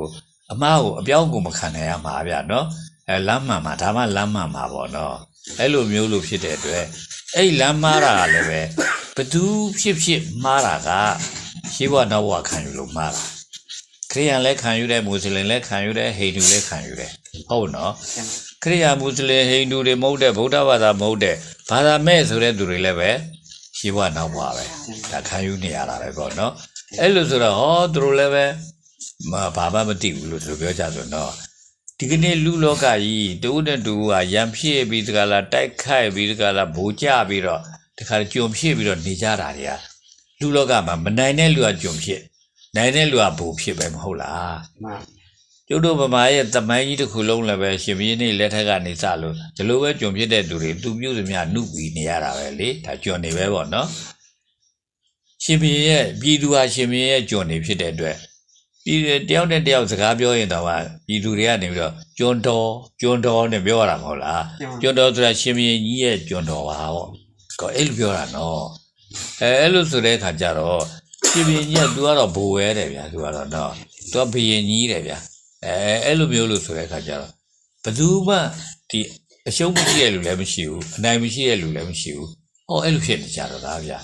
အဲ့လိုဆိုတဲ့အခါကျတော့ဒါဘာဖြစ်လို့လဲလို့မသိချလို့အဲမသိတော့ကိုယ်ကျင့်ကျင့်မှမှမကျင့်တတ်တာ哦အဲမကျင့်တတ်တဲ့အခါကျတော့သူများနိုင်တဲ့သူကနေကိုယ်လာကိုယ်ပေါ်လာနိုင်လို့ရှိရင်ကိုယ်အရှုံးပေးရမှာပဲရှုံးတဲ့လူပဲဖြစ်ရမှာပေါ့လို့သူပြောရမှာပေါ့နော် အဲ့တော့အဲ့လိုမျိုးကနေလွတ်မြောက်ခြင်းတယ်ဆိုရင်ဘာလုပ်ရမလဲလို့ဆိုတဲ့အခါကျတော့ခုနပြောဆိုရှေးဘဝနောက်ဘဝကိုနံပါတ်1ပဲပါအဲ့ဒါမှမပယ်နိုင်တော့ကျွန်စနစ်ကဘယ်တော့မှမရှင်းဘူးဟုတ်ပြီနော်အဲဘယ်တော့မှမရှင်းဘူးလို့ဆိုတာ तू ကရှေးဘဝနောက်ဘဝခံယူထားတော့ကြောက်တတ်တယ်ဗျာ तू ကလည်းအဲ့လိုကြောက်တတ်တဲ့အခါကျတော့ तू က6ရင်လဲကိုကကြောက်တယ်ဗျာနော်ကျွတ်တို့ဗမာပြည်မှာ စစ်တပ်ကတည်းအုပ်ချုပ်ထားကိုနှစ်တရာလည်းပဲ160ကြာသွားပြီဗျအဲ့ဒါဘာလို့တာလဲလို့မေးသူတို့ကလည်းဖိစည်းလို့ပဲကျွတ်တို့ပြည်သူကိုဖိစည်းတာဆိုတဲ့အခါကျတော့ဟောပြည်သူကသူ့နိုင်အောင်မှကိုမတိုက်နိုင်တာဆိုတဲ့အခါကျတော့ကျွတ်တို့ကလည်းသူပြုတ်သမျှပဲနှုတ်ရတာဗျာသူထားသမျှပဲနေရတာဥနေဝေလက်ထက်ကဆိုလို့ရှိရင်လေဆက်ရလေရဲဆန်စပါးတွေသူ့ပေးရတာဗျာနော်မြေပဲဆိုင်ရင်လည်းမြေလေရာရဲရတဲ့မြေပဲတွေလည်းသူ့ပေးရတာပဲလို့ဆိုကိုပြဘာမှဟုတ်ဒီဘက်တွေမသုံးရဘူး ဟုတ်တော့တက်တက်ကြုံပဲဗျာနော်ကဲအဲ့လိုမျိုးတွေဖြစ်နေတာဆိုတဲ့အခါကျတော့ဒါဘာဖြစ်လို့ဖြစ်ရတာလို့ဖြစ်တော့အဲ့ရှေးဘဝနောက်ဘဝခံယူချက်ကနေပြီးတော့စဖြစ်ရတာဗျာနော်အဲအဲ့လိုမျိုးလို့ဖြစ်ရတော့ဟောဒီသူကတော့ပြဘယ်လိုမှမတက်တာဘူးလို့ပြောကြတော့တော့အခုခေတ်ရောက်လာတဲ့အခါကျတယ်လီဖုန်းတွေကလည်းပေါ်လာတော့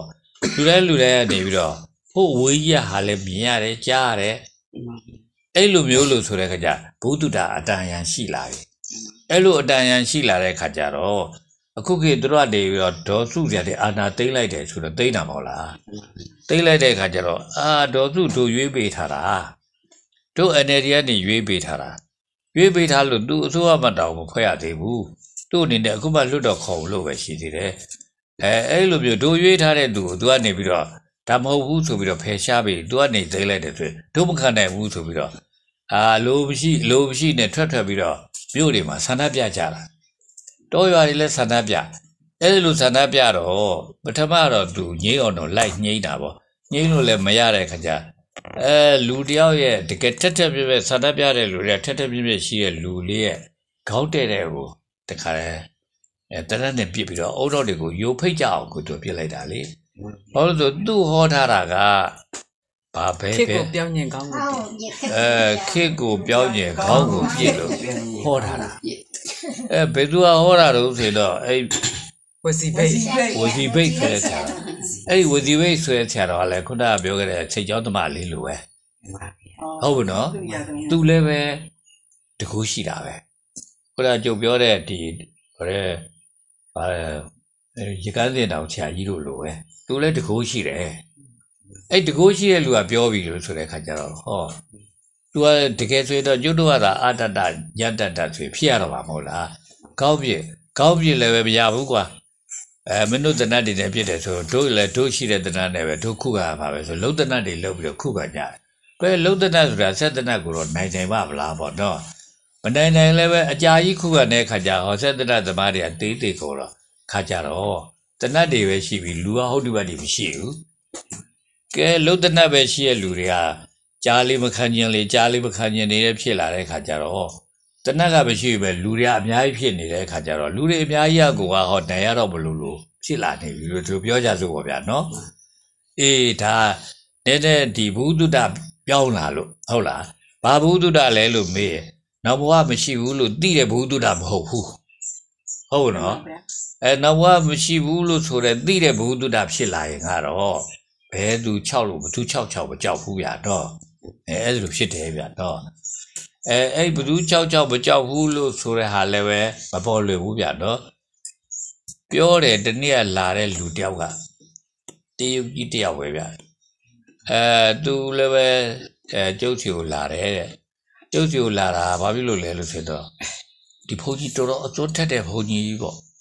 အဲသူကလည်း86နှစ်ရှိပြီဆိုတော့တေတော့ပါပေါ့ အဲ့လိုဆိုတော့ငါတော့တွေးဖို့ကိုတော့သွားကူသွားပါပဲဆိုပြီးတော့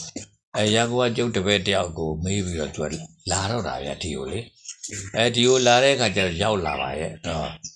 သူကဘာပြောလဲဆိုတော့ဘုန်းကြီးသိထက်တယ်တဲ့ဟောကျုပ်ကပြောတာပေါ့ဗျာဟာကျုပ်ကရအတရားဆိုဘာထက်လို့တော့ဗျာလို့ဆိုဒေါ်စုတဲ့ဘယ်လို့မှဒီခါလဲအဲသူ့ဟာကိုဖဲ့လို့မရဘူးတဲ့ဘလောက်ဖမ်းဖမ်းဘလောက်ထဲထားထားသူ့ဟာကိုလှုပ်ဘူးတဲ့ ဟောဟုတ်နော်တခါဒေါ်စုရင်တော့ဖုန်းကြီးတဲ့ဖုန်းကြီးလည်းဘယ်လို့ဖမ်းဖမ်းဘယ်လို့ထောင်ချထောင်ချဘာမရဘူးတဲ့အဲ့တော့ဒီရောဘုံမှာပြည်မှာရှိတာဒေါ်စုနဲ့ဘုန်းကြီးပဲရှိတာလေဗျာအဲ့လိုပြောသွားတာဗျာနော်အာကိုစရာကျွတ်တော့ပြင်အဲ့လိုမသိဘူးဟုတ်နော်တို့အဲ့လိုသိတယ်ဗျာအဲ့ကရကအဲ့လိုတကယ်အဲ့လိုပဲဒါသူ့စိတ်ထဲမှာရှိတာအတိုင်းကိုသူကလည်းပြီးပြီးသားသားပြောလိုက်တော့တာဗျာနော်အဲ့ဒါအတွက်ဘုန်းကြီးကိုမြင်းကိုမြင်မြင်ကျင်တဲ့အတွက်တော့ကြ သေသွားလို့ရှိရင်သူ့လည်းမြင်ရမှာမဟုတ်တော့ဘူးတို့တော့သွားကူသွားပါပဲဆိုပြီးဒီကလာမလာဘူးပဲနဲ့လာတဲ့ခါကျတနားရီလောက်ကြာတယ်တဲ့မျက်စိလဲနေတာဒီထဲပါဟောအဲအဲ့ကြမှာလူတယောက်ကိုတခါလဲအပြခိုင်းပြီးဒီကလာအဲ့လူခေါ်လာပြီးလာရတာလေဗျာအဲတပည့်တော်ရဲ့ပတ်ဝန်းကျင်တို့တပည့်တော်တို့နဲ့စကားဆက်မိရင်တပည့်တော်လည်းအဲ့လိုပဲပြောတာဗျာ။ဩဟုတ်လား။အေးဟုတ်တယ်ဒါမင်းတို့လည်းထက်မြက်လို့ပြောတာပြောနိုင်တာလို့ပြောရမှာဗျာနော်။ အထက်မြက်တယ်လို့မသိဘူးကွာဒါ။ဖုန်းဖုန်းကိုယ်တိုင်ကနေပြီးတော့မလိုက်တာမလိုက်တာတခြားပဲတကယ်စိတ်ဓာတ်အဲ့လိုမျိုးလို့ဒါဖြင့်ဒေါ်စုလို့ထိတ်တန်းကြတဲ့လူတယောက်ဖြစ်တယ်လို့ကိုယ့်ကိုယ်ထင်ပါဦးပြန်ပါ။ဘာလို့လဲဆိုတော့ကိုကလည်းစားရေးလည်းပဲလည်းဖြစ်တယ်လို့စားပဲကွာ။ကိုရေးလည်းဖြစ်တယ်လို့ပဲကွာ။နေရေးလည်းဖြစ်တယ်လို့နေပဲကွာ။ အဲတကားတကမလည်းမစီဘူးလို့သူ့ဘာသာသူလိုက်ငါတို့တော့လိုက်ချင်တယ်လို့ကလိုက်မလိုက်ချင်တယ်လို့ကနေဟုတ်တယ်မလားနော်။အဲလိုဆိုတော့စီစီယုံနဲ့မလုပ်တော့ကျွတ်တို့လည်းကြီးပွားပြီးမလာဘူးလေဗျာ။အဲမလာလည်းပြီးရပဲလို့ဒီလိုလေးတင်ရတာအေးတယ်လို့ပဲကျွတ်တို့စိတ်ထဲမှာဖြစ်တာပေါ့ဗျာနော်။ဒါတော့မှကျွတ်တို့ဒီကနေ့လောက်ရောက်လာပြီလို့ဆိုတဲ့အခါကျဒီကြောင်းကြီးကလည်းဒီလိုကြီးဖြစ်လာပြီဗျာနော်။ဟာဒီကြောင်းကတော့ဖြစ်ဖို့တောကြောင်းဘုန်းကြီးရဲ့ကြောင်းနဲ့လည်းမတူတော့ပါဘူးကွာတဲ့ကြော်ပြောရတယ်ဗျာနော်အဲဆိုလိုတာကတော့ဖြင့် စားရေးလည်းပဲပူစရာမရှိတော့အောင်ပါပဲတကယ်ကဲခင်ဗျားတို့ရဲ့ညီမတို့ဆိုရင်လည်းကျွတ်တို့ကိုထောက်ပံ့တာဟာအတိုင်းအဆမရှိပါပဲလို့ဒီလိုပြောရမှာပေါ့နော်အဲတကယ်တော့အာသူတို့ငါထောက်ပံ့တာမဟုတ်ဘူးဟာလို့ငါရဲ့သဘောတရားကိုထောက်ပံ့နေတာလို့ဒီလိုပဲသူတို့လည်းသိအောင်တော့ပြောရတာပေါ့နော်အဲဆိုလိုတာကတော့ဖြင့်ကျွတ်တို့ဖြင့်တကယ်ကိုယ့်ကိုယ်ကိုအဲ့လောက်ကလေးပဲသိတာပါလို့ဒီလိုပြောကြသလိုပေါ့နော်ဒါပေမဲ့ အဲ့လောက်တတ္တိကလည်းပဲကျုပ်တို့ကအမှုမဲ့မတ်မဲ့တတ္တိကလေးကိုသူတို့ကတော့သိတတ္တိရှိတဲ့သူလို့ကျုပ်တို့ကိုထင်သွားတော့တာဗျာနော်ဖမ်းမယ်ဆိုလဲဖမ်းအဲကျုပ်တို့ကအဲ့လိုမျိုးလို့ဖြစ်တာဟုတ်ဗျာနော်အဲအဲ့လိုဆိုတဲ့အခါကျတော့ကျုပ်တို့ကမှန်းနေတဲ့ဟာဆိုတော့ဘယ်သူမှဖဲလို့မရဘူးလို့ဆိုတော့ကျုပ်တို့ကသိတယ်ဗျာကျုပ်တို့လူတွေအကုန်လုံးကိုဖမ်းမယ်လို့ဆိုတာထီပြောတယ်ဗျာခင်ဗျားတို့ရဲ့ဒဇယ်နယ်တဲ့ကတခါတည်းခေါ်ပြီးတခါလာလက်မှတ်ထိုးခိုင်းတယ် လက်မှတ်ထိုးခိုင်းတဲ့အခါကျတော့အဲတယောက်ကနေပြီးတော့ခင်မောင်သိန်းဆိုတဲ့ခင်မောင်တန်းရဲ့ညီပေါ့နော်ခင်မောင်သိန်းဆိုတဲ့သူကအာကျွန်တော်တို့ကကျွန်ကျွန်တော်တို့ကိုးရတဲ့ဘာသာကတော့မစွတ်နိုင်ဘူးထေရဝါဒဘာသာကိုပဲကျွန်တော်တို့ကစွတ်မယ်တဲ့ပြောရတာတယ်ဗျာကဲအဲ့ဒီသူတွေကဥရိယလောက်တာမဟုတ်ဘဲတဲ့ဥရိယလောက်တယ်လို့လို့လေးနဲ့အရှိန်နဲ့ခြောက်တာဥရိယလောက်လို့မဖြစ်ဘူးဆိုပြီးသူတို့ကတော့ဘယ်ရပြည်ထောင်ရေးဝန်ကြီးကပြောပြီးပြီ ပြောပြီးသားနဲ့အဲ့ဒီအချိန်နဲ့6တဲ့ခါကျအဲ့လိုပြောတော့လေသူတို့လည်းပြန်သွားရှာတာပဲတဲ့ဗျအဲ့ဒီဘုန်းကြီးတွေလည်းနော်အဲ့ဒီဒီမြို့နယ်မူတွေဘာတွေပြန်သွားရတာပဲပေါ့နော်အဲဆိုလိုတာကတော့တိပြီဆိုရင်ကြောက်ဘူးရနော်ဘယ်တင်းတဲ့တင်းတဲ့ပေါင်းသုံးဖြစ်တာကိုမဟုတ်ဘူးလို့ပြောရင်ဘယ်ဘယ်သူညင်းလို့ရမှာလို့ဗျာတင်းတဲ့တင်းတဲ့ကိုပြင်ပေါင်းလို့လည်းပဲလေးတွေငါးတွေကလည်းဖြစ်တာမှမဟုတ်တာဆိုတော့သုံးမယ်ဖြစ်မှာပဲပေါ့နော်အဲအဲ့လိုဖြစ်တာဗျာ အဲ့တော့တော့ခင်ဗျားတို့ကိုကျုပ်ကလည်းပြောရမယ်ဆိုရင်တော့အဓိကပြောချင်တာကတော့ပြင်အဲ့ရှေးဘဝနောက်ဘဝဆိုတာကိုလုံးဝခင်ဗျားတို့မသိဘူးမသိတာဖြစ်တဲ့အတွက်လုံးဝအဲ့ဒီဟာကိုတော့ဖြင့်ပယ်ပါလို့သူတို့ပြောရမှာပေါ့ခင်ဗျားတို့အသက်တွေကြီးနေကြပါပြီမှန်ပါဗျာကြီးနေတော့အဲ့လိုပယ်တော့ဘာဖြစ်မှာတုံးလို့မေးရင်ခင်ဗျားတို့လည်းမကောင်းမှုလုပ်စရာမရှိတော့ဘူးဘာလို့ဆိုတော့ငယ်ရွယ်သေးတယ်ဆိုရင်တော့အကြောင်းအလျော်ဆိုတာမကောင်းမှုဆိုတာလည်းပဲကြုံလာရင်လုံးမိပါပေါ့နော် ကြီးလာပြီလို့ဆိုတဲ့အခါကျတော့အသက်ကြီးတဲ့လူဆိုတာမကောင်းမှုကိုလုပ်ဖို့ရန်သိမ့်မလွယ်တော့ဘူးပေါ့နော်အဲမကောင်းမှုလုပ်ဖို့ရန်အတွက်အဲမရှိတော့တာဆိုတော့ဒီလိုတော့ဘာလို့ရှိဘွားနောက်ဘွားပဲနေရမှာလို့ဆိုတော့ခင်ဗျားတို့မွေးထားတဲ့လူတွေရှိသေးတယ်နော်ခင်ဗျားတို့မွေးထားတဲ့လူတွေဆိုတာခင်ဗျားတို့ကနေပြီးတော့တင်ကြရမယ့်တာဝန်ရှိတယ်ဗျနော်သူတို့စကားပြောတာအောင်ခင်ဗျားတို့တင်တာပဲသူတို့အဝဝတ်တာအောင်ခင်ဗျားတို့တင်တာပဲသူတို့ထမင်းစားတတ်အောင်လမ်းသွားတတ်အောင် အကုန်လုံးချိပါတတ်အောင်တေးပေါက်တတ်အောင်အကုန်လုံးခင်ဗျားတို့တင်တာဗျနော်နှုတ်မဝင်လည်းပဲသူတို့ကလည်းကြီးလေသူတို့ပါရံပါမှာပေါ့ခင်ဗျားတို့ကနေအိမ်သာသွားပြီးပါမယ်ဘယ်လိုပါမယ်နဲ့ဆိုတာမျိုးလို့လို့မတင်ကြဘူးဆိုရင်ခင်ဗျားတို့တင်တာအကုန်လုံးပဲလူတွေကိုရောက်လာရင်လူနဲ့တူတဲ့တူလေးတွေဖြစ်ဖို့ရတဲ့ဆိုရင်ခင်ဗျားတို့ပဲတင်ကြကြရတာအဲ့လိုတင်ကြရတဲ့ထဲမှာအဓိကတင်ကြရမယ့်အချက်တစ်ချက်ဖြစ်တယ်အဲ့ရှေးဘဝနောက်ဘဝကိုယူတဲ့ဟာကြီးကိုတော့ ခင်ဗျားတို့ကလည်းယူမိနေတော့ခင်ဗျားတို့တာသမီတွေကိုမယူအောင်ခင်ဗျားတို့မတင်နိုင်ဘူးနော်အဲ့တော့မတင်နိုင်ဘူးလို့ဆိုတော့ဟောဒါခင်ဗျားတို့လိုတာပဲလို့ဒီလိုပြောကြလို့နော်အဲ့တော့အဲ့လိုမဖြစ်ရလေအောင်ဟဲ့တို့ဟာတကယ်ကိုအရင်အကြဆုံးဟာတို့ငယ်တုန်းကမသိခဲ့ဘူးတို့ငယ်တုန်းကမသိခဲ့တာအခုချိန်ထိရောက်လာပြီဆိုတော့တို့တော့တိတ်တော့မချိုးတော့ဘူးပေါ့သူတို့တွေဟာငါတို့ကမွေးထားတာဆိုတော့ငါတို့အရွယ်ကိုသူတို့ရောက်ဖို့ရန်လဲသူတို့လာကြအောင်ပါ အဲ့ဒါလိုလာတဲ့အခါမှာတော့အမားတွေ့ရင်မလုပ်ဖို့မမားဖို့သူတို့ပြောနိုင်ဖို့ရန်ဟာလိုတယ်အဲ့လိုဆိုတော့ဟောဒီရှေးဘဝနောက်ဘဝကိုအဲမယူဖို့ရန်အတွက်သူတို့လည်းပြောဖို့လိုတယ်လို့ဆိုတာမျိုးခင်ဗျားတို့တင်ကြားတာလို့ကြိုကပြောကြပါစို့ဗျာနော်ပြန်ပါဗျာအဲ့တော့ဆိုလိုတာကတော့ဖြင့်ကိုသားကိုသမီးကိုမြီကိုမြစ်ရှိမှာပေါ့နော်အဲကိုကနေပြီးသားသမီးမွေးထားပြီဆိုဒီသားသမီးကလည်းပဲနောက်မြီးတွေရရပါပဲမြစ်တွေလည်းရကြရပါပဲဗျာနော် အဆက်ကမပြတ်ဘူးဖြစ်နေပါအဲ့တော့ကိုကနေပြီးတော့အဲဒီအမားအယူစာကြီးဖြစ်တဲ့နောက်ဘဝအယူစာကြီးကိုတော့ဖြင့်ကာရသင်းမြစ်ကိုဖြုတ်ပြလိုက်မယ်လို့ဆိုတာဖြုတ်ပြရင်အေးငါစီကိုတော့လားကုန်မလာနဲ့တော့ဒီရှေးဘဝနောက်ဘဝတွေဘာခါရရုပ်ကိုသိုးကြီးရှိတယ်တို့ဘာတရေတရေကြီးရှိတယ်တို့ဘာငရဲကြီးကလည်းအောက်ထပ်မှာရှိတယ်လို့ဘာအထက်မှာနတ်ပြည်ကြီးလည်းရှိတယ်လို့ဘလို့မှအဲ့ဒါတွေကိုမခံယူနဲ့တော့လို့ဒီလိုပြောကြဆိုနော် တကယ်ကတော့အခုခေတ်ကလူတွေကရှေ့ကလူတွေမတူတော့ဘူးမြေကြီးလည်းပဲတူးပြီးတော့ကြည့်နိုင်ကြတာပဲနော်ဟုတ်ပြီဟုတ်မိုးပေါ်လည်းပဲတက်ကြည့်နိုင်ကြတာနော်လာဘောဒီတော့ရောက်တယ်ဗျာနော်အဲနေသားစီလည်းရောက်တာပဲဗျာနော်ဒီကပ္ပရဲ့အပြင်ဘက်ဒီစက်ကြောလာရဲ့အပြင်ဘက်တောင်မှယူထုထွေထွက်နိုင်နေပြီယူထုထွက်နိုင်တယ်ဆိုရင်ကိုကမလိုက်နိုင်မိမယ်လို့လည်းပဲအကျိုးထုကပြောတဲ့ဟာတွေကကိုတရားနဲ့ညင်းနေရတာပဲအဲ့ဒီယူထုတဲ့ပါသွားတဲ့လူမြင်ရတာကြားရတာမျိုး ကြားနေရမြင်နေရတာပဲဆိုတော့ဘာနှက်ပြေမှမရှိဘူးဟုတ်နော်ဘာမြင်းမို့တောင်ကြီးမှမရှိဘူးဟုတ်တယ်လားဘာပင်လေကြီးကလည်းပဲယူဇနာပေါင်း8400နဲ့တာမရှိဘူးဟုတ်နော်ပင်လေအနဲ့ဆုံးကမှ9ပိုင်6ပိုင်လောက်နဲ့တာဗျဟုတ်နော်ကျုပ်တို့ဖြစ်ရှေးခါမြင်းမို့တောင်ကြီးရဲ့အခြေမှာရှိနေစမ်းကြောင်းကလေးရတောင်မှာဘယ်လောက်နဲ့တုံဆိုတော့ယူဇနာပေါင်း8400နဲ့တယ်ဗျာအမလီရှေးခါကတော့အားတာပဲလို့ခါရဲအဲ့လိုပြောရမှာ အဲ့တော့အဲ့ဓာတွေရဲ့မှားတာတွေကိုအခုခေတ်ကအတော်ကြီးကိုပြီးပြင်းပြင်းသိနေကြပြီဖြစ်တဲ့အတွက်ဒီယူဆတွေမဟုတ်တာကိုကျွတ်တို့ဖျားမပြောပါဘူးဘယ်လိုမှမပြောတာဖြစ်တဲ့အတွက်မပြောပေမဲ့ကျွတ်တို့ကလည်းအဲ့ဓာတွေလည်းမသိတော့ဟုတ်တယ်လို့ကလည်းမှတ်ယူနေတာအဲ့ဓာကြီးကိုရှင်းပြကြဟောဒီလိုမျိုးလို့ဆိုလိုတာနော်တကယ်လို့သာအဲ့ဒီရှေးဝနောက်ဘဝမရှင်းနိုင်ရင်အချက်ကလေးကတော့ဒါလေးပဲအဲ့ဒါလေးကိုမရှင်းနိုင်ရင်အဲ့ဒီအမြင်မှားတာ မဟုတ်တဲ့ဟာကိုမြင်တာဟုတ်ဗျာနော်ပြန်ပါအဲ့ဒီမဟုတ်တဲ့အရာဖြစ်တဲ့အပြင်မှားတာကိုမြင်ရင်ဘယ်ဟာမှကိုတွေးတာတွေမှန်တယ်လို့မဟုတ်ဘူးမတော်တဆမှန်နေကြရတာပဲလို့ဒီလိုပြောပါပေါ့နော်မှန်တာကိုတကယ်သိလို့မရဘူးလို့ပြောကြဆိုအဲရှေးဘဝတောက်ဘဝမပါဘူးလို့ဆိုရတော့ဟဲ့ငါဖြစ်တာဘာလို့ဖြစ်တာတော့ငါအခုလိုမျိုးလို့နေရတာဘာဖြစ်လို့နေရတာတော့ငါအခုလိုဝေးရစားရတာဘာဖြစ်လို့ဝေးရစားရတာတော့အကုန်ပြန်တွေးလို့ရတယ် ဟုတ်ပါတော့ပြန်ပါဗျာအကုန်ပြန်တွေးလို့ရတယ်လူကလေးလေးလို့လေးလေးလောက်ပဲဖြစ်တယ်လို့ဆိုရင်တော့လည်းပဲဟိုနှိမ့်နှိမ့်ပဲတည်မယ်လူကတွတ်တွတ်ဆိုလို့ရှိရင်ကတော့တွတ်တွတ်တည်မယ်ဟိုကမစိတ်ကတော့မြန်နေဗျစိတ်ကလည်းပဲပြောလို့ဆိုရင်တော့လျှက်စစ်ပဲဗျလျှက်စစ်ဆိုတဲ့အခါကျတော့လျှက်စစ်ကတိတ်မြန်တာဗျ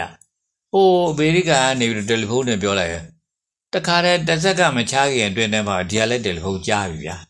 ဩ ဒါပါလဲဆိုလျှက်စစ်သွားလိုက်တာ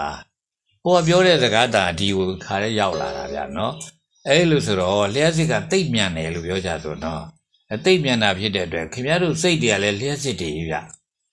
တကယ်တော့ခင်ဗျားတို့ရှေးခါကစိတ်ကိုလည်းလျှက်စစ်မှမသိပါဘူးစိတ်ကိုဘာလို့သိလို့ဆိုရင်တော့စမ်းကြဲတဲ့ဟာလေးတဲ့စမ်းကြဲတယ်ဆိုတော့ဘာလို့မသိတဲ့ဟာကိုစမ်းကြဲတဲ့ဟာလို့ပြောတာဗျနော်ဘာလို့ကိုမပြောတတ်ဘူးလို့ဆိုတဲ့ဟာလေးအဲစမ်းကြဲတဲ့ဟာလေးလို့အဲ့ဒါကိုစိတ်တရလို့ပြော စိတ်တရကိုစိတ်တလို့ပြောပြီးတော့စိတ်တဆိုတာစိတ်ပြောတာပဲဟွန်းစိတ်ဆိုတာကိုယ်တိုင်ကိုယ်ကမသိတဲ့အရာလို့ပဲဟောပြောတာဗျအဲအဲ့ဒီစိတ်ကနံတရားပဲလို့ဆိုတာဟာနံတရားပဲလို့ပြောဟွန်းနံတရားဆိုတာဘာလို့နံတရားဆိုတာနာမည်ခေါ်စရာပစ္စည်းလို့ပြောတာပဲဘယ်ခေါ်စရာပစ္စည်းပဲရှိတယ်ဗျနံဆိုတာနော်တကယ်ကတော့လျှက်စစ်ကိုရှေးခါကမတိကြတော့နံလို့ပြောလို့ပြောစိတ်လို့ပြောလို့ပြောဟောအဲ့လိုမျိုးလို့ပြောကြရတာလို့ဒီလိုပြောရမှာပေါ့နော် အဲ့တော့ခင်ဗျားတို့ပြောရမယ်ဆိုရင်ကတော့အဲ့ဒီတကယ်တော့စိတ်ဆိုတာတိတ်မြန်တာဖြစ်တဲ့အတွက်ခင်ဗျားတို့လည်းပဲတကယ်လို့သာထက်ထက်ပြင်းပြင်းနဲ့တွေးကျင်ခေါ်ကျင်တယ်ဆိုရင်ထက်ထက်ပြင်းပြင်းနဲ့တွေးတိုင်းခေါ်တိုင်းတဲ့အဆင့်ရှိတယ်ဆိုရင်ခင်ဗျားတို့မွေးရနေပြီးတော့ဒီကနေ့အတွင်းဖြစ်ပြနေတဲ့ဟာတွေတော့မှရောက်ခနဲ့ဆိုသိနိုင်တဲ့အနေအထားရှိတယ်လို့ပြောကြဆိုတော့ကျုပ်တို့ TV ကြီးတစ်လုံးအဲ TV ကြီးတစ်လုံးမှာ point ပေါင်းတတောင်းပါတယ်တဲ့လျှက်စစ် point ပေါင်း တတောင်းပါတာမှာပထမတစ်တိုင်က point 100ပါတယ်တဲ့ဟောဒုတိယတစ်တိုင်ကလည်း point 100ပါတယ်တဲ့ point ပေါင်းအဲ့ဒီတိုင်ပေါင်းဘယ်လောက်ရှိလို့ဆိုတိုင်100ပါတယ်တဲ့တိုင်100ဆိုဒီတိုင်ပထမတိုင်ကလည်း100ဒုတိယကလည်း100တတိယကလည်း100နောက်ဆုံး69မြောက်ကလည်း100 100မြောက်ကလည်း100ဆိုတဲ့အခါဒါတွေကိုတွက်လိုက်တဲ့အခါကျတော့ point 1000ပါတာပေါ့ TV မှာအယုတ်ထင်တယ်ဆိုတာဒီ point နေဟာတစ်ခုပြီးမှတစ်ခုထင်တာ တစ်နံပါတ် point ကိုလျှက်စစ်ဝင်တဲ့အချိန်မှာကျန်တဲ့ဟိုအဲ900 9999ကူ point တွေကမလာသေးဘူးနှစ်နံပါတ် point ကိုလျှက်စစ်ဝင်ပြီဆိုရင်ဟောတစ်နံပါတ် point မှာလည်းလျှက်စစ်မရှိတော့ဘူးကျန်တဲ့ဟာတွေမှာလည်းလျှက်စစ်မရှိတော့ဘူးအကုန်လုံးအဲ့ဒါတောင်မှပဲအယုတ်တွေကတခါတည်းလူလူပဲလှုပ်ရှားပြီးတခါတည်းပြောဆိုလှုပ်ကိုင်းနေကြတာပေါ့နော်တကယ်ဆိုတော့ဒါပါလို့ဆိုတော့တခုပြီးမှတခုဖြစ်တာပဲဘယ်လိုမှမမြင်ဘူးကျွတ်တော့ဖြစ် တခါတည်းဖြစ်တာတပြိုင်တည်းဖြစ်တာနဲ့ပဲအဲ့လိုတည်တာဒါလက်စီရဲ့မြန်နာအကြောင်းပြောတာရတို့စိတ်တွေလည်းမြန်တယ်ခုတတော့ကစိတ်ကြောင်းသမလေးပဲပြောကြပါစို့နော်ကဲစိတ်ကြောင်းသမလေးဟာအခုထိလူအဲ့လိုဟောနိုင်တုံးရှိသေးတယ်ဗျာသူကခုထိဟောနိုင်တုံးရှိတယ်သူဆိုလို့ရှိရင်ဟိုလူကတိုက်ကြီးတွေပေးသွားဒီလူကအိမ်ကြီးတွေပေးသွားတယ်အခုကျတော့သူနေတဲ့အိမ်ကိုဘိုးဘူးတွေတို့ဘာတွေတို့ကလည်းလာလာပြီးမေးအဲ့ဒီမှာလည်းပဲတခါလဲတတ်တယ်လည်းဆွဲဆွဲထားနေဆိုတဲ့ခါကျ နောက်ကျတော့သူတို့ရွာလည်းဟိုလေးဖြစ် PDF ရွာဖြစ်နေပြီလေ PDF ရွာဖြစ်နေတဲ့ခါကျတော့ PDF တွေနေတဲ့ဟာပဲဆိုတော့နောက်လာတဲ့တတ်တရကလည်းမိနစ်ရှုပ်သွားတယ်ဘလို့ခုတော့မရှိတော့ဘူးတွေကတွေ့နေတာဟုတ်ပါဗျာဗျာဟိုလေအဲ့ဒီကလေးမလေးရယ်ဆောဆောဟိုဗာလဲစေးကိုင်းတွေကိုပေါက်လိုက်တဲ့ဟာအဲအဲပေါက်လိုက်တဲ့အခါကျတော့သူကဘလူးဖြစ်လို့အဲ့ဒီလူမျိုးဖြစ်သွားတယ်။ဩဒါကိုမသိဘူးလေကျွတ်တော့တော့မသိဘူးလေ။ဆိုလိုတာကသူ့စိတ်ပြောင်းသွားစီတာပဲဗျာ။အော်။ သူ့စိတ်ပြောင်းတာကခုနကလိုပဲဘတ်ဆိုတခါလဲအဆုံးအစမရှိစိတ်ကလည်းရောက်သွားတာမဟုတ်လားအော်။တိတ်မထူးဘူးဗျာကျွတ်တို့ဗန္ဒလီကတင်တင်လင်းဆိုတဲ့တက္ကမလေ။မတင်တင်လင်းနဲ့သူ့ဖေကတည်သွားသူ့ဖေကလောက်ကကျွေးတာတယောက်တည်းသမီးသူကသူ့ဖေကလောက်ကကျွေးနေသူ့ဖေတည်သွားတယ်သူ့အမေကစိတ်ညစ်သွားစိတ်ညစ်သွားတဲ့အခါကျတော့တခါတဲ့ဖះတွေလဲပြီးပတိစိတ်တာသူ့အမေကနော်ဒီမှာ ဖះတွေလဲပတိစိတ်တော့ဟာငါအမေကငါထဲဦးမှာကြိုက်မှာဆိုတော့အမေနောက်ကိုလိုက်ပြီးသူကလည်းလိုက်ပြီးပတိစိတ်ရတာပေါ့ဒီမှာအမေထိမ့်ဖို့ရအတွက်ပေါ့နော်အဲ့လိုပဲအမေလည်းဒီဖះပတိစိတ်လိုက်ဟိုဖះပတိစိတ်လိုက်ပေါ့ဟောဗျာအဲ့ဒီလိုစိတ်ရနေပြီးတော့တမိလုတ်တဲ့သူကပေါက်သွားရောကဲပတိစိတ်တာကိုစိတ်ကြတဲ့လူတွေအများပြားပဲဘသူပေါက်လို့လဲနော်ဒီရှင်မှာရှင်ရင်းတော်မှာရောက်လာအဲအယုတ်အယုတ်ဟုတ်တယ် ရှင်ပြင်းတင်တောင်ကို तू ကနေပြီးတော့ဟောကျုပ်ကနေတစ်ချင်းယူလိုက်တာဗျအော်ယူလိုက်တဲ့အခါကျတော့အဲ့ဒီဖျားကိုလည်းပြင်တယ်အဲ့ဒီဖျားရဲ့တစောင်းကိုလည်းပြင်တယ်အဲ့လိုပေါ့ဗျာအော်အဲ့ဒီတဲ့ထဲမှာဗျာအဲ့ဒီဖျားရှိတဲ့တဲ့မှာဖျားရှိခိုးနေတဲ့ပုံကြီးမတ်တင်တင်လင်းပုံထုတ်ပြီးတော့လှုပ်ထားတာဗျာအော်ကိုကရက်နဲ့ကိုကရက်နဲ့လှုပ်ထားတယ်အဲ့ဒီကြောင်ပြောနေတာဘုလေးကြတာသူကရှိသေးတယ်လားခုရှိရှိသေးတယ်မတ်တင်တင်လင်းလည်းရှိသေးတယ်သူကျုပ်ထက် तू က 20လောက်15နှစ်လောက်ငယ်ပဲထင်တယ်ဟုတ်တယ်ခုခုငရှိယ်ငယ်လေးရှိအေးခင်ဗျားတို့အရွယ်ကြော်ကြော်လောက်ပဲပေါ့နော်80လားအဲ့ဒါလေကျုပ်စီကို तू လာတယ်ဗျာဒီလားကျုပ်စီလာတဲ့ကကြသူနဲ့တူပါလာတဲ့လူတွေ30လောက်ရှိတယ်အမလီပွဲလန်းလာတယ်လို့ပဲအဝတ်အစားတစ်တွေနဲ့မှန်ပါဗျာအေးသူတို့ဘယ်သွားကြမလို့ပါလိမ့်မယ်ကြော်လဲအောက်မေးတာပေါ့ဗျာဟုတ်ပါဘူးအဲကျုပ်စီကိုရောက်လာတဲ့အခါကျတော့ အဲခင်ဗျားဘာလို့လာလာတော့ဆိုဒီလိုပဋိစိတ်လာတာပါဗျာတဲ့အဲသူဒီလိုပြောတာပေါ့နော်ပဋိစိတ်လာတာပါဗျာဆိုတော့ခင်ဗျားရည်ရွယ်ချက်ကဘာတုံးလို့မေးတာပေါ့ရန်တာဖြစ်ဖို့ပါဗျာတဲ့ရဟန္တာဖြစ်ကဲဘလောက်မြန်ထက်တယ်လဲဆိုတဲ့အခါကျတော့ဒါနဲ့ရန်တာဖြစ်ဖို့ပါဗျာလို့ပြောတဲ့အခါကျကျုပ်ကသူ့ပြောရတယ်အင်းခင်ဗျားယုံကြည်ချက်ကတော့အတော့ကိုမြင်လွန်းနေဗျာလို့အဲယုံကြည်ချက်တွေကတိတ်ကြီးလို့ရှိရဲ့ တရားလွန်နေဆိုရင်တဏှာကြွန်တတ်တယ်လို့ဟောကျုပ်ကလည်းသူပြောတာပေါ့ဗျာအဲတဏှာပဲကြွန်သွားရင်ပို့ပြီးဒုက္ခရောက်လိမ့်မယ်နော်သူကတဏှာကြွန်နေဆိုတာကတော့အဲယုံကြည်ရာကနေပြီးတော့စိကရင်စိကရင်နဲ့ကိုစိကခံရတဲ့ပုဂ္ဂိုလ်တရားရောက်နေညားသွားတဲ့ဟာမျိုးကိုတဏှာကြွန်နေလို့ပြောတတ်ကြတာဟုတ်ဗျာနော်သူကအဲခါရဲဟိုပြောင်းရီးတီတီရီးပြတာပေါ့ဗျာနော်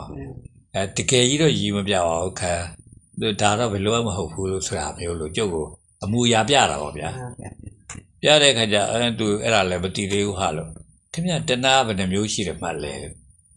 တဏှာကတကယ်ကာမတဏှာတစ်ခုတည်းရှိတာမဟုတ်ဘူးဗျလို့ဘဝတဏှာဆိုတာလည်းရှိသေးတယ်လို့ဘဝတဏှာတစ်ခုတည်းလည်းပြီးသွားတာမဟုတ်ဘူးဗျလို့ဝိဘဝတဏှာဆိုတာလည်းတစ်ခုရှိသေးတယ်လို့အဲ့ဒီတဏှာတွေကို အဲ့ဒီတဏှာတွေကလည်းလူကိုစပြစ်တာပဲဗျာလို့လူဒုက္ခပေးပြစ်တာပဲလို့ဆိုတဲ့အခါကျတော့ तू ကအဲ့ဒါမှာအဲဟိုရဖြစ်သွားတာပေါ့လေ तू မတိသွားဘူးဘဝတဏှာဝိဘဝတဏှာကိုမတိသွားဘူးလို့ဆိုတဲ့အခါကျတော့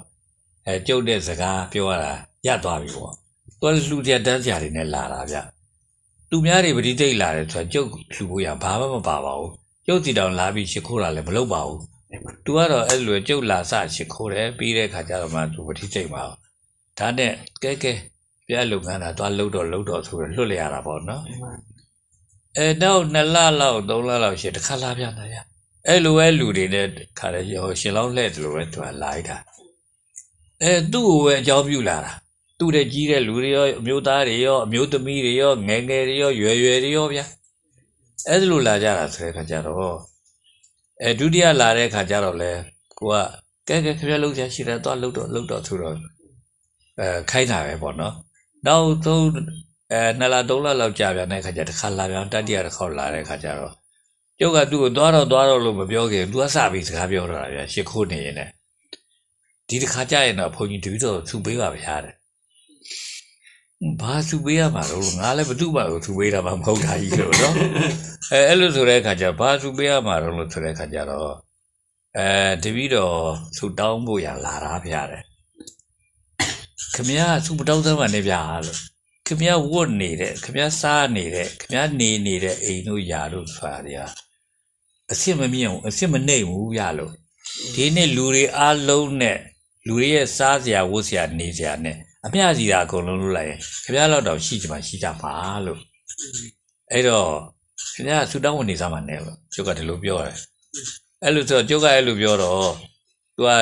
သုံးသွားချက်လိုက်ဦးမယ်ဖျားတဲ့ အဲ့ဒီနေ့ကတော့သုံးသုံးလက်ချက်ကမှာဆိုတော့သူ့တပည့်တွေကတော့သုံးချက်နေကြပြီဒါတဲ့ तू သွားတော့သူ့အမေကကြံခဲ့တယ်ကြုံတာမှာအဲ့သူ့အမေကကြံခဲ့ပြီးတော့ဘာပြောလဲဆိုတော့ဘုန်းကြီးဖျားတဲ့တပည့်တော်လျှောက်ပြစီတဲ့တပည့်တော်သမီးကဆုလို့ခြင်းတယ်ဆိုတာဘုန်းကြီးပြောတဲ့ဆုမဟုတ်ပါဘူးဖျားတဲ့ဘုန်းကြီးစီကိုတူလာတာအခုခောက်တွေပြားလာပြီတဲ့ဘာလို့လာရဲဆိုတော့ဟောဒီဘုန်းကြီးအတိရှိတယ်အဲကျုပ်ကပေါ့ဗျာ သူအိမ်ကနေမြင်လာတယ်ဗျာကဲရွှေပြင်းတက်တော့မင်းကုန်းတောင်ကြီးပေါ်မှာဗျာသူလည်းရောက်ဘူးလားမဟုတ်ဘူးနဲ့ဘယ်လိုလုပ်မြင်မှာတော့နော်ကျုပ်ကိုမြင်လာတဲ့မြင်လို့မို့လို့ဒီဘုန်းကြီးစီကိုပဲစီးကပ်ရမယ်ဆိုပြီးတော့သူလာတာတဲ့မေးပြန်ပြီးတော့ပေါ့နော်အဲ့လိုဆိုတော့ तू မမရောက်ဘူးနဲ့ဘာလို့မြင်ရတာတော့ तू ထက်မြက်လို့ပေါ့နော်အဲ့ဒါတဲ့သူတဲ့တရားတွေကိုအဲသူ့ဘာအမြင်နေဖြစ်နေတာပဲလို့ထင်တော့သူအဲ့လိုမျိုးလို့ ပေါက်သွားပြီးတဲ့နောက်ပိုင်းကျတော့ဖျားပွဲတွေမှာဇေရနေခင်းတဲ့ခါမှာဇေရတစ်ခန်းဝယ်လိုက်တယ်ဇေရတစ်ခန်းဝယ်ပြီးဒီကလာတယောက်၅ချက်နဲ့သူဟောပြောတာလောက်တာတဲ့အဲလုံရင်းနဲ့အဲ့ဒီအခန်းတွေကဟောတဲ့ဟောတာကိုရခံရတဲ့သူတွေကသူဟောတဲ့အတိုင်းအကုန်မှန်တဲ့ဗျာအကုန်မှန်တဲ့အခါကျတော့နောက်ကြတဲ့အခါကျတော့သူ့လိပ်စာလည်းပဲမန္တလေးတွေကဟိုဒီမော ညောင်ပင်ဈေးရဲ့အနောက်မြောင်နားစီပါဦးဗျာတွေ့ကလည်းအဲ့ဒီအနောက်မြောင်နားအိမ်မှာ